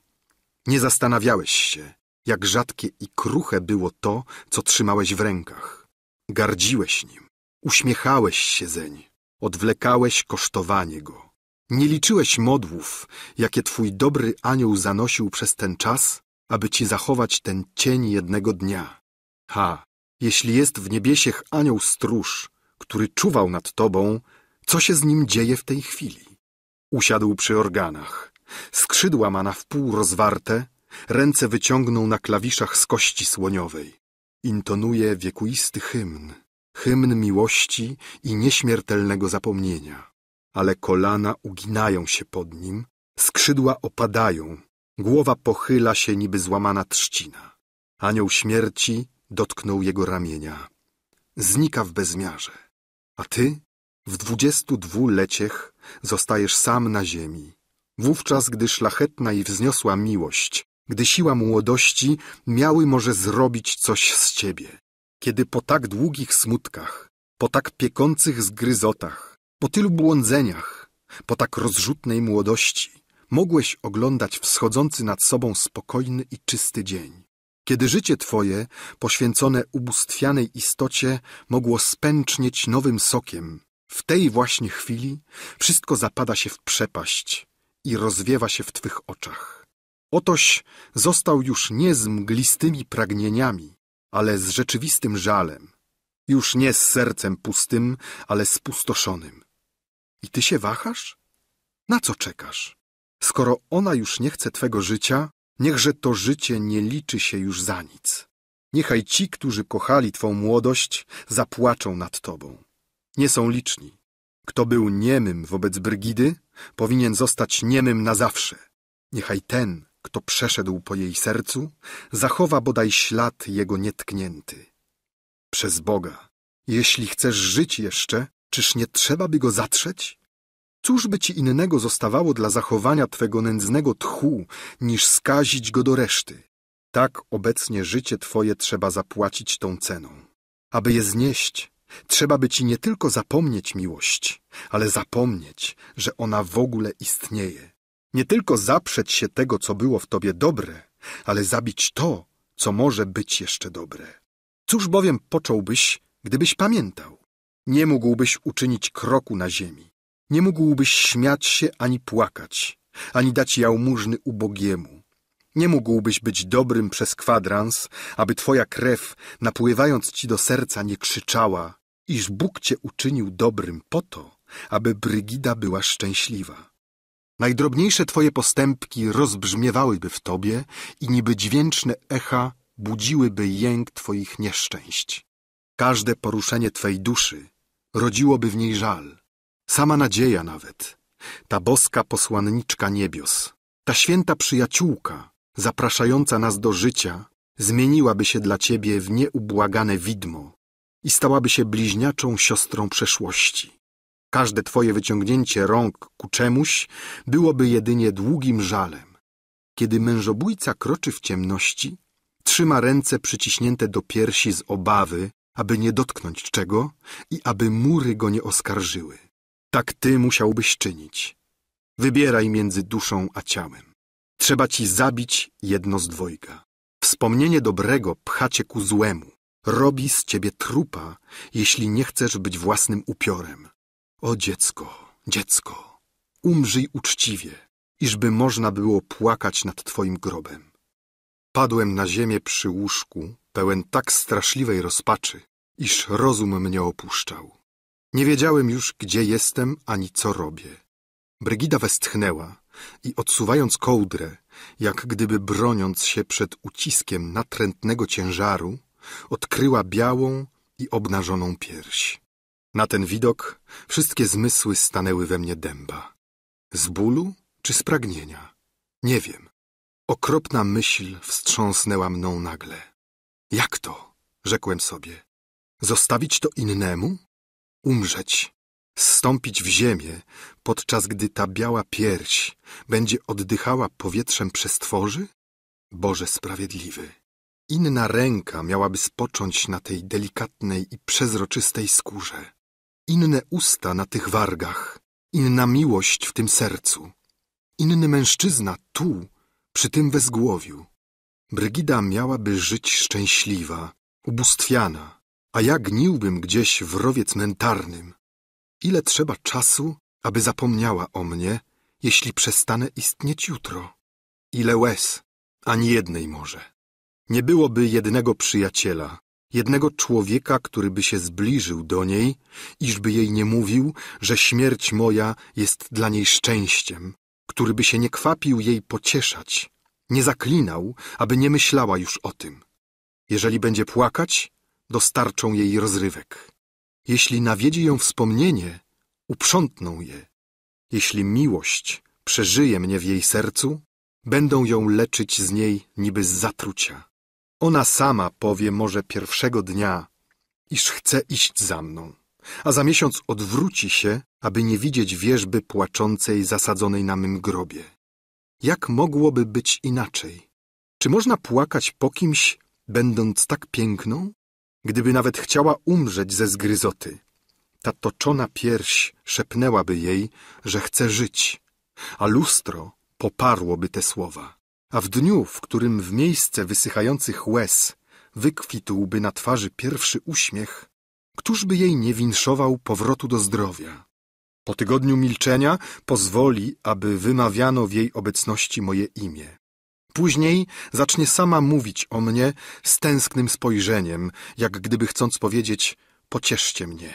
A kiedy stopniowo dojdzie do tego, iż zacznie nie unikać mego wspomnienia, ale nie mówiąc już o nim, kiedy w piękny wiosenny poranek otworzy na oścież okno śpiewowi ptasząt, kiedy zapadnie w marzącą zadumę i powie kochałam, któż będzie wówczas przy niej? Kto ośmieli się odpowiedzieć, iż trzeba kochać jeszcze? Ach, mnie nie będzie już wówczas. Będziesz słuchała, niewierna. Pochylisz głowę, rumieniąc się jak róża, która ma rozkwitnąć. Piękność twoja i młodość uderzą ci do lic. Powtarzając, iż serce twoje umarło, będziesz wydzielać z siebie tę rozkoszną aureolę, której każdy promyk wzywa pocałunku. Jak one pragną, aby je kochano, te nieszczęśliwe, które mówią, że już nie kochają. I co w tym dziwnego? Jesteś kobietą. Wiesz, co warte jest to ciało, ta alabastrowa pierś. Mówiono ci to. Kiedy je kryjesz pod suknią, znasz cenę swego wstydu. W jaki sposób kobieta, która skosztowała dymu pochlebstw, mogłaby się bez nich obejść? Czyż ona żyje, jeśli pozostaje w cieniu i jeśli zapadnie cisza dokoła jej piękności? Jej piękność to zachwycone spojrzenie kochanka. Nie, nie, niepodobna wątpić. Kto raz kochał, nie zdoła żyć bez miłości. Kto otarł się o śmierć, czepia się życia. Brygida kocha mnie. Umarłaby może dla mnie, ale niech ja się zabiję. Będzie miał ją inny. Inny, inny. Powtarzałem, schylając się nad łóżkiem, tak iż czoło moje dotykało jej ramienia. Czyż nie jest wdową? Myślałem. Czyż nie widziała już śmierci? Czyż te drobne, delikatne ręce nie pielęgnowały już i nie grzebały? Łzy jej wiedzą, ile im trwania. Drugie zaś trwają krócej. Ha, niech mnie Bóg chroni. Cóż mnie wstrzymuje, abym jej nie zabił, oto, podczas gdy śpi? Gdybym ją zbudził teraz i rzekł, że godzina jej wybiła i że umrzemy w ostatnim pocałunku, zgodziłaby się. Cóż mi o to? Czy pewnym jest, że wszystko się nie kończy na tym? Znalazłem na stole nóż i trzymałem go w ręce. Strach, tchórzostwo, zabobon. Cóż wreszcie wiedzą ci, co bają o tym? Jeśli rozprawiamy o drugim życiu, to dla ludu i dla prostaczków, ale w duszy na dnie, kto w niej wierzy? Któryż dozorca cmentarza widział, aby umarły wstawał z grobu i pukał do drzwi plebanii? Niegdyś widywało się upiory. Policja zabroniła im pobytu w naszych cywilizowanych miastach. Jeśli dobywają się krzyki z łona ziemi, to chyba krzyki żyjących, pochowanych w pośpiechu. Któż zdołałby oniemić śmierć, gdyby kiedykolwiek mówiła? Czy dlatego, że procesjom nie wolno jest tłoczyć się po ulicach, duch niebios pozwala zapomnieć o sobie? Umrzeć, oto kres, oto cel. Bóg go naznaczył, ludzie podają go w wątpliwość, ale każdy nosi napisane na czole rób co chcesz, umrzesz. Co by powiedziano, gdybym zabił Brygidę? Ani ona, ani ja nie dowiedzielibyśmy się o tym. Dzienniki wspomniałyby jutro, że Oktaw de T zabił swą kochankę, a pojutrze nie byłoby już o tym mowy. Kto by poszedł za naszą trumną? Wróciwszy do domu, każdy zjadłby spokojnie śniadanie. Co do nas zaś, skoro by nas ułożono obok siebie we wnętrzu tej jednodniowej kubki błota, świat mógłby stąpać po nas bez obaw zbudzenia nas odgłosem kroków. Nieprawdaż, ukochana? Nieprawdaż? Byłoby nam dobrze? Ziemia to wygodne łóżko. Żadne cierpienie by nas tam nie dosięgło. Nie paplano by w sąsiednich grobach o naszym związku w obliczu Boga. Kości nasze uścisnęłyby się w pokoju i bez dumy. Śmierć to wielka pocieszycielka. Co ona zwiąże, tego nie rozwiązać nikomu. Dlaczego nicość miałaby cię przerażać? Ty, biedne ciało, któreś jest jej zaswatane. Każda godzina, która bije, ciągnie cię ku niej. Każdy krok, który stawiasz, kruszy szczebel, na którym się opierasz. Karmisz się jeno umarłymi. Powietrze niebios uciska cię i miażdży. Ziemia, którą depcesz, ciągnie cię w siebie za stopy. Stąp w nią, stąp. Po co tyle strachu? Czy samo słowo przejmuje cię lękiem? Powiedz tylko, nie będziemy żyli. Czyż to nie jest wielki trud, po którym słodko jest odpocząć? Czym dzieje się, iż się wahamy, skoro chodzi jedynie o trochę wcześniej lub trochę później? Materia jest niezniszczalna. Fizycy, jak powiadają, niezdolni są unicestwić najmniejszego pyłku, choćby go obrabiali w nieskończoność. Jeśli materia jest własnością przypadku, cóż złego czyni zmieniając torturę, jeśli nie może zmienić Pana? Cóż znaczy Bogu kształt, jaki otrzymałem i to, jaką liberię nosi moja boleść? Cierpienie żyje w mojej czaszce. Należy do mnie. Zabijam je. Ale szkielet nie należy do mnie. Oddaję go temu, kto mi go użyczył. Niechaj poeta uczyni zeń puchar, w którym będzie pił swój moszcz. Na jakiż zarzut się narażam i kto by mi go mógł uczynić? Jaki nieubłagany sędzia powie mi, żem źle postąpił? Skąd wie? Czy był we mnie? Jeśli każda istota ma swoje zadanie do spełnienia i jeśli zbrodnią jest zrzucać je z ramion, jakimiż zbrodniarzami są dzieci, które umierają na łonie karmicielki? Dlaczego im się przebacza? Komuż zdałaby się nauka z tych rachunków składanych po śmierci? Musiałoby chyba niebo być puste, iżby człowiek poniósł karę za to, że żył. Dosyć to bowiem, że ma żyć i nie wiem, czy kto prosił o to. Chyba jeden Wolter na łożu śmierci, godny ostatni krzyk niemocy starego niedowiarka w rozpaczy. Na co? Po co tyle walk? Któż tam jest w górze, kto się lubuje w tych agoniach, kto bawi się i czyni sobie rozrywkę z widoku stworzenia wciąż rodzącego się i wciąż bliskiego śmierci? Kto patrzy na nas, jak budujemy i trawa zarasta budowlę? Sadzimy i spada piorun. Idziemy naprzód, a śmierć woła stój. Płaczemy, a łzy osychają. Kochamy i twarz usycha w zmarszczki. Modlimy się, padamy na twarz, błagamy i wyciągamy ramiona, a pola nie dają ani źdźbła zboża więcej. Któż to uczynił tyle dla przyjemności widzenia samemu, że to, co uczynił, jest niczym? Ziemia obumiera. Herschel powiada, że to z zimna. Któż więc trzyma w dłoni te krople zagęszczonych oparów i patrzy na nią, jak wysycha niby rybak na odrobinę wody morskiej, z której chce wydobyć grudkę soli. To potężne prawo przyciągania, które utrzymuje świat na swoim miejscu, zużywa go i zżera w pragnieniu bez końca. Każda planeta toczy z sobą własne nędze, jęcząc na swojej osi. wołają się z jednego końca niebios na drugi. Niespokojne spokojem śledzą, która zatrzyma się pierwsza. Bóg wstrzymuje je. Spełniają wytrwale i wiernie swą daremną i bezużyteczną pracę.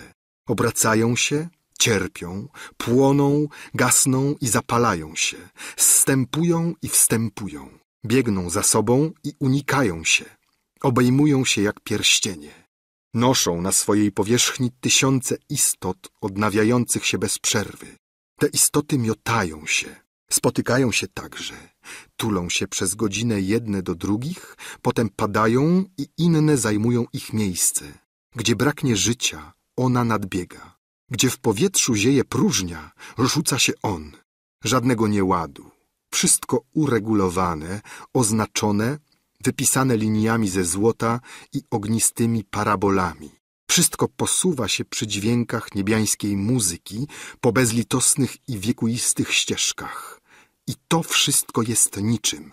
A my, biedne majaki bez nazwy, blade i bolesne widma, niedostrzegalne efemerydy, my, których ożywiono na sekundę tchem, iżby śmierć mogła istnieć, my zadajemy sobie nieskończony trud, aby sobie dowieść, że gramy jakąś rolę i że ktośkolwiek zwraca na nas uwagę. Nie mamy odwagi, aby wymierzyć sobie w pierś metalowy instrumencik lub roztrzaskać sobie głowę z obojętnym wzruszeniem ramion. Roi się nam, że jeśli my się zabijemy, chaos zapanuje na ziemi. Spisaliśmy i ogłosiliśmy prawa boskie i ludzkie i lękamy się własnych naszych katechizmów. Cierpimy trzydzieści lat bez szemrania i zdaje nam się, że walczymy. Wreszcie cierpienie bierze górę. Walimy sobie garść prochu w świątynię inteligencji i kwiat wyrasta na naszym grobie. Domawiając tych słów, zbliżyłem nóż, który trzymałem w ręku, do piersi Brygidy. Nie byłem już panem siebie. Nie wiem, na czym skończyłoby się to szaleństwo. Odrzuciłem kołdrę, aby obnażyć serce i między dwojgiem białych piersi spostrzegłem hebanowy krzyżyk. Cofnąłem się, tknięty lękiem. Ręka moja otworzyła się, broń wypadła. To ciotka Brygidy dała jej na łożu śmierci ten krzyżyk. Nie przypomniałem sobie wszelako, abym go widział kiedy. Bez wątpienia w chwili wyjazdu zawiesiła go sobie na szyi, niby relikwię chroniącą od niebezpieczeństw podróży. Naraz złożyłem ręce i uczułem, że coś mnie zgina ku ziemi. Boże Wszechmogący, rzekłem ze drżeniem. Boże Wszechmogący, byłeś tutaj. Niechaj ci, którzy nie wierzą w Chrystusa, przeczytają tę stronicę. Ja nie wierzyłem weń również, ani dzieckiem, ani w szkołach. Ani jako mężczyzna nie uczęszczałem zbytnio do kościoła. Religia moja, jeśli miałem jaką, obywała się bez ceremonii i symbolu. Wierzyłem jedynie w Boga bez kształtu, bez obrządku i bez objawienia. Zatruty od młodu pismami ubiegłego wieku, wcześniej z nich wyssałem mleko niedowiarstwa.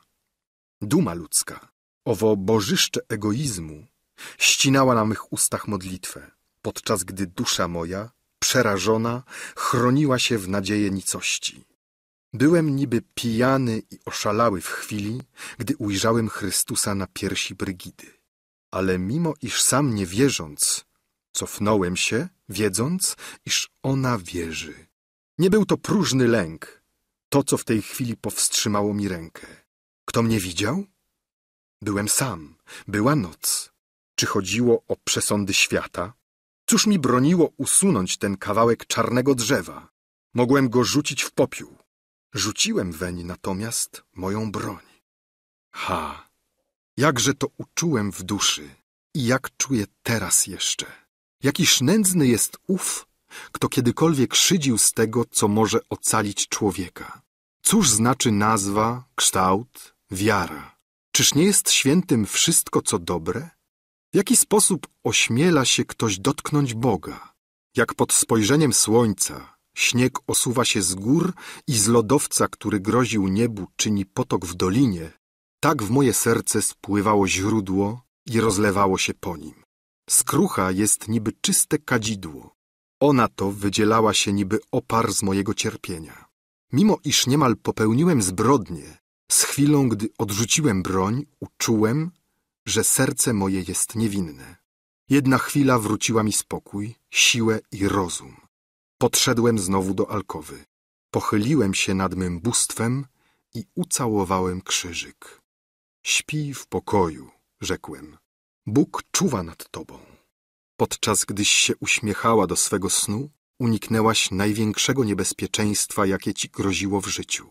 Ale ręka, która podniosła się na ciebie, nie uczyni krzywdy nikomu. Przysięgam na Twego Chrystusa, nie zabiję ani Ciebie, ani siebie. Jestem szaleńcem bez rozumu, dzieckiem, które sądziło, że jest mężczyzną. Bogu niech będzie chwała. Jesteś młoda i żywa, jesteś piękna, zapomnisz o mnie.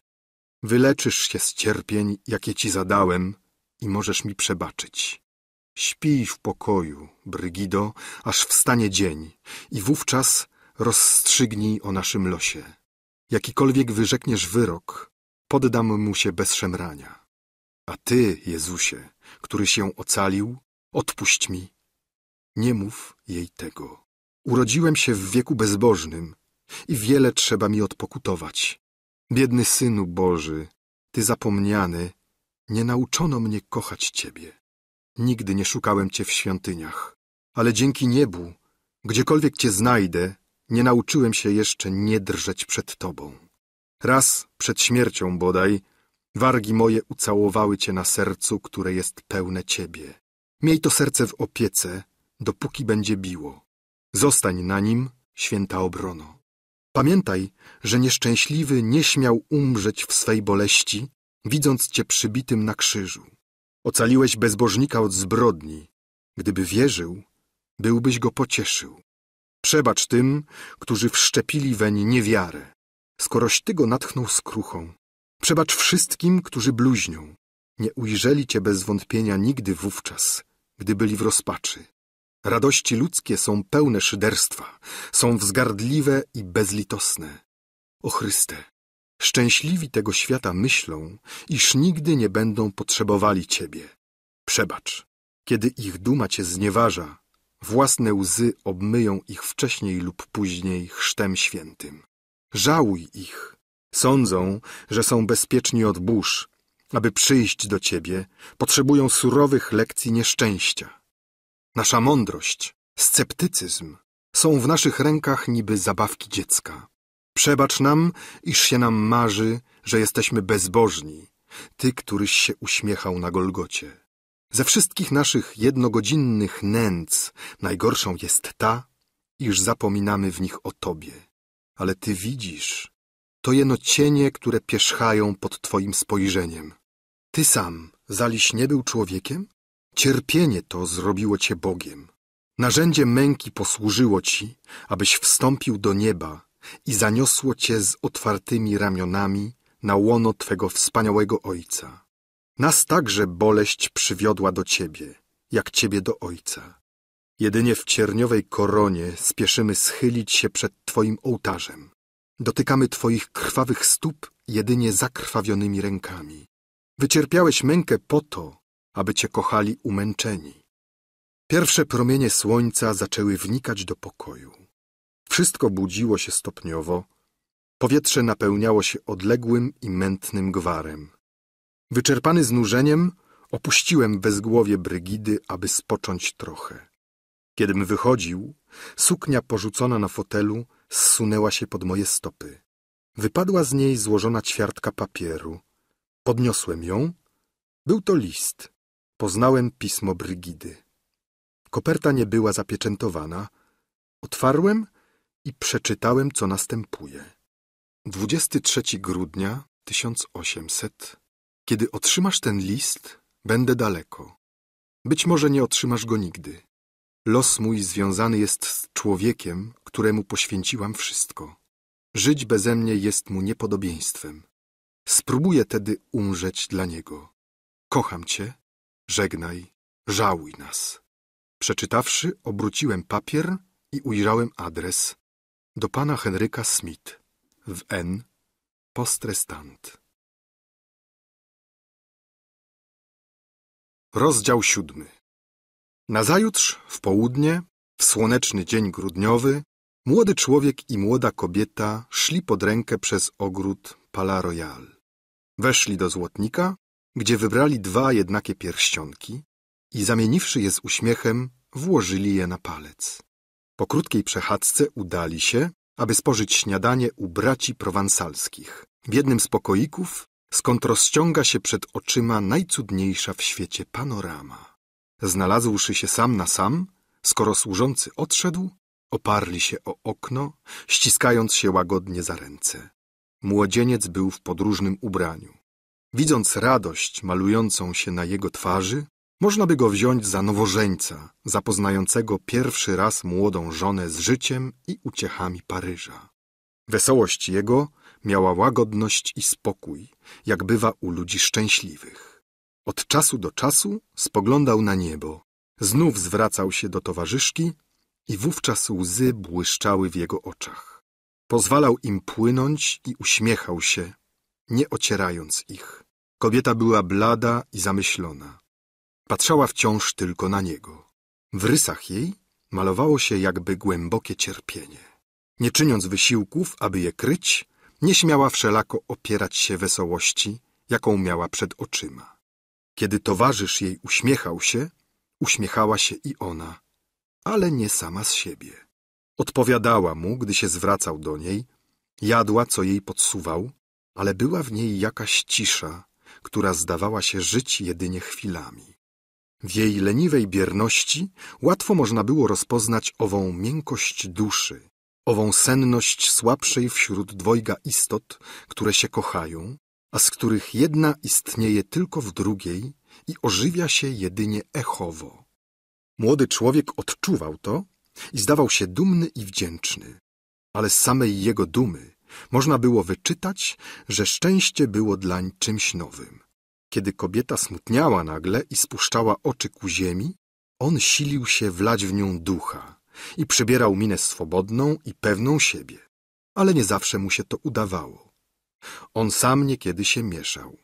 To skojarzenie siły i słabości, wesela i zgryzoty, niepokoju i pogody byłoby niezrozumiałym dla obojętnego widza. Można by na przemian mniemać, to, że ma się przed sobą dwoje najszczęśliwszych, to znów najnieszczęśliwszych istot na ziemi. Ale nawet nie znając ich sekretu, wyczułoby się, że oni cierpią wspólnie. I jaką bądź była ich tajemna udręka, widać było, iż położyli na swoich zgryzotach pieczęć potężniejszą od samej miłości. Przyjaźń. Gdy się ściskali za ręce, spojrzenia ich pozostawały czyste, mimo iż byli sami, mówili z sobą półgłosem, jak gdyby przygnieceni myślami, oparli wzajem czoła o siebie, ale ich wargi nie stykały się. Patrzyli na siebie z tkliwym i uroczystym wyrazem, jak ludzie słabi, którzy chcą być dobrzy. Skoro zegar wydzwonił pierwszą, kobieta wydała głębokie westchnienie i na wpół odwracając się rzekła. Oktawie, a gdybyś się mylił? Nie, droga, odparł młody człowiek. Bądź pewna, nie mylę się. Będzie ci trzeba cierpieć wiele, długo może, a mnie zawsze, ale wyleczymy się oboje. Ty z pomocą czasu, ja Boga. Oktawie, Oktawie, powtórzyła. Czy jesteś pewien, że się nie mylisz? Nie sądzę, droga Brygido, abyśmy mogli zapomnieć o sobie wzajem. Ale sądzę, iż w tej chwili nie możemy sobie jeszcze przebaczyć. A trzeba wszelako przebaczyć sobie koniecznie, nawet gdybyśmy nigdy nie mieli się spotkać. Dlaczego mielibyśmy się nigdy nie spotkać? Dlaczego kiedyś? Jesteś tak młody, dodała z uśmiechem. Za najbliższą twoją miłością spotkamy się bez niebezpieczeństwa. Nie, moja droga. Wiedz bowiem, że nigdy nie potrafię cię ujrzeć obojętnie. Oby ten, któremu cię zostawiam, któremu cię oddaję, okazał się godny ciebie. Smith jest dzielny, dobry i uczciwy, ale mimo całego twego uczucia dla niego widzisz sama, że jeszcze mnie kochasz. Gdybym bowiem chciał zostać albo cię zabrać z sobą, zgodziłabyś się. To prawda, odparła kobieta. Prawda? Prawda, powtórzył młody człowiek, spoglądając na nią z nieopisanym wyrazem. Naprawdę, gdybym zechciał, poszłabyś ze mną? Po czym mówił łagodnie dalej. Dlatego właśnie nie trzeba, abyśmy się kiedy spotkali. Bywają w życiu rodzaje miłości, które mącą głowę, zmysły, umysł, serce. Ale jest wśród nich wszystkich jedna, która nie mąci, która przenika na wskroś i ta umiera jedynie z istotą, w którą zapuściła korzenie. Ale będziesz pisał do mnie? Tak, z początku, przez jakiś czas. To bowiem, co trzeba mi przecierpieć, jest tak okrutne, iż zupełne przecięcie naszego bliskiego i drogiego współżycia zabiłoby mnie. Wszak to pomału, ostrożnie, nieznany ci zrazu zbliżyłem się, nie bez lęku. Spoufaliłem się z tobą, aż wreszcie nie mówmy o przeszłości. Stopniowo listy moje staną się rzadsze, aż wreszcie ustaną. W ten sposób zejdę z pagórka, na który wstępowałem od roku. Będzie w tym wielki smutek i może też pewien urok. Kiedy się zatrzymujemy na cmentarzu, przed świeżym i zieleniącym się grobem, na którym wyryte są dwa drogie imiona, doświadczamy uczucia bólu zabarwionego tajemnicą, która sprawia, iż łzy nasze płyną bez goryczy. W ten to sposób pragnę niekiedy przypomnieć sobie, że byłem niegdyś żywym. Na te słowa młoda kobieta rzuciła się na fotel i zaszlochała. On zalał się łzami, ale stał nieruchomy, jakby sam nie chcąc spostrzec własnej boleści. Skoro łzy przestały mu płynąć, zbliżył się do przyjaciółki, ujął ją za rękę i ucałował.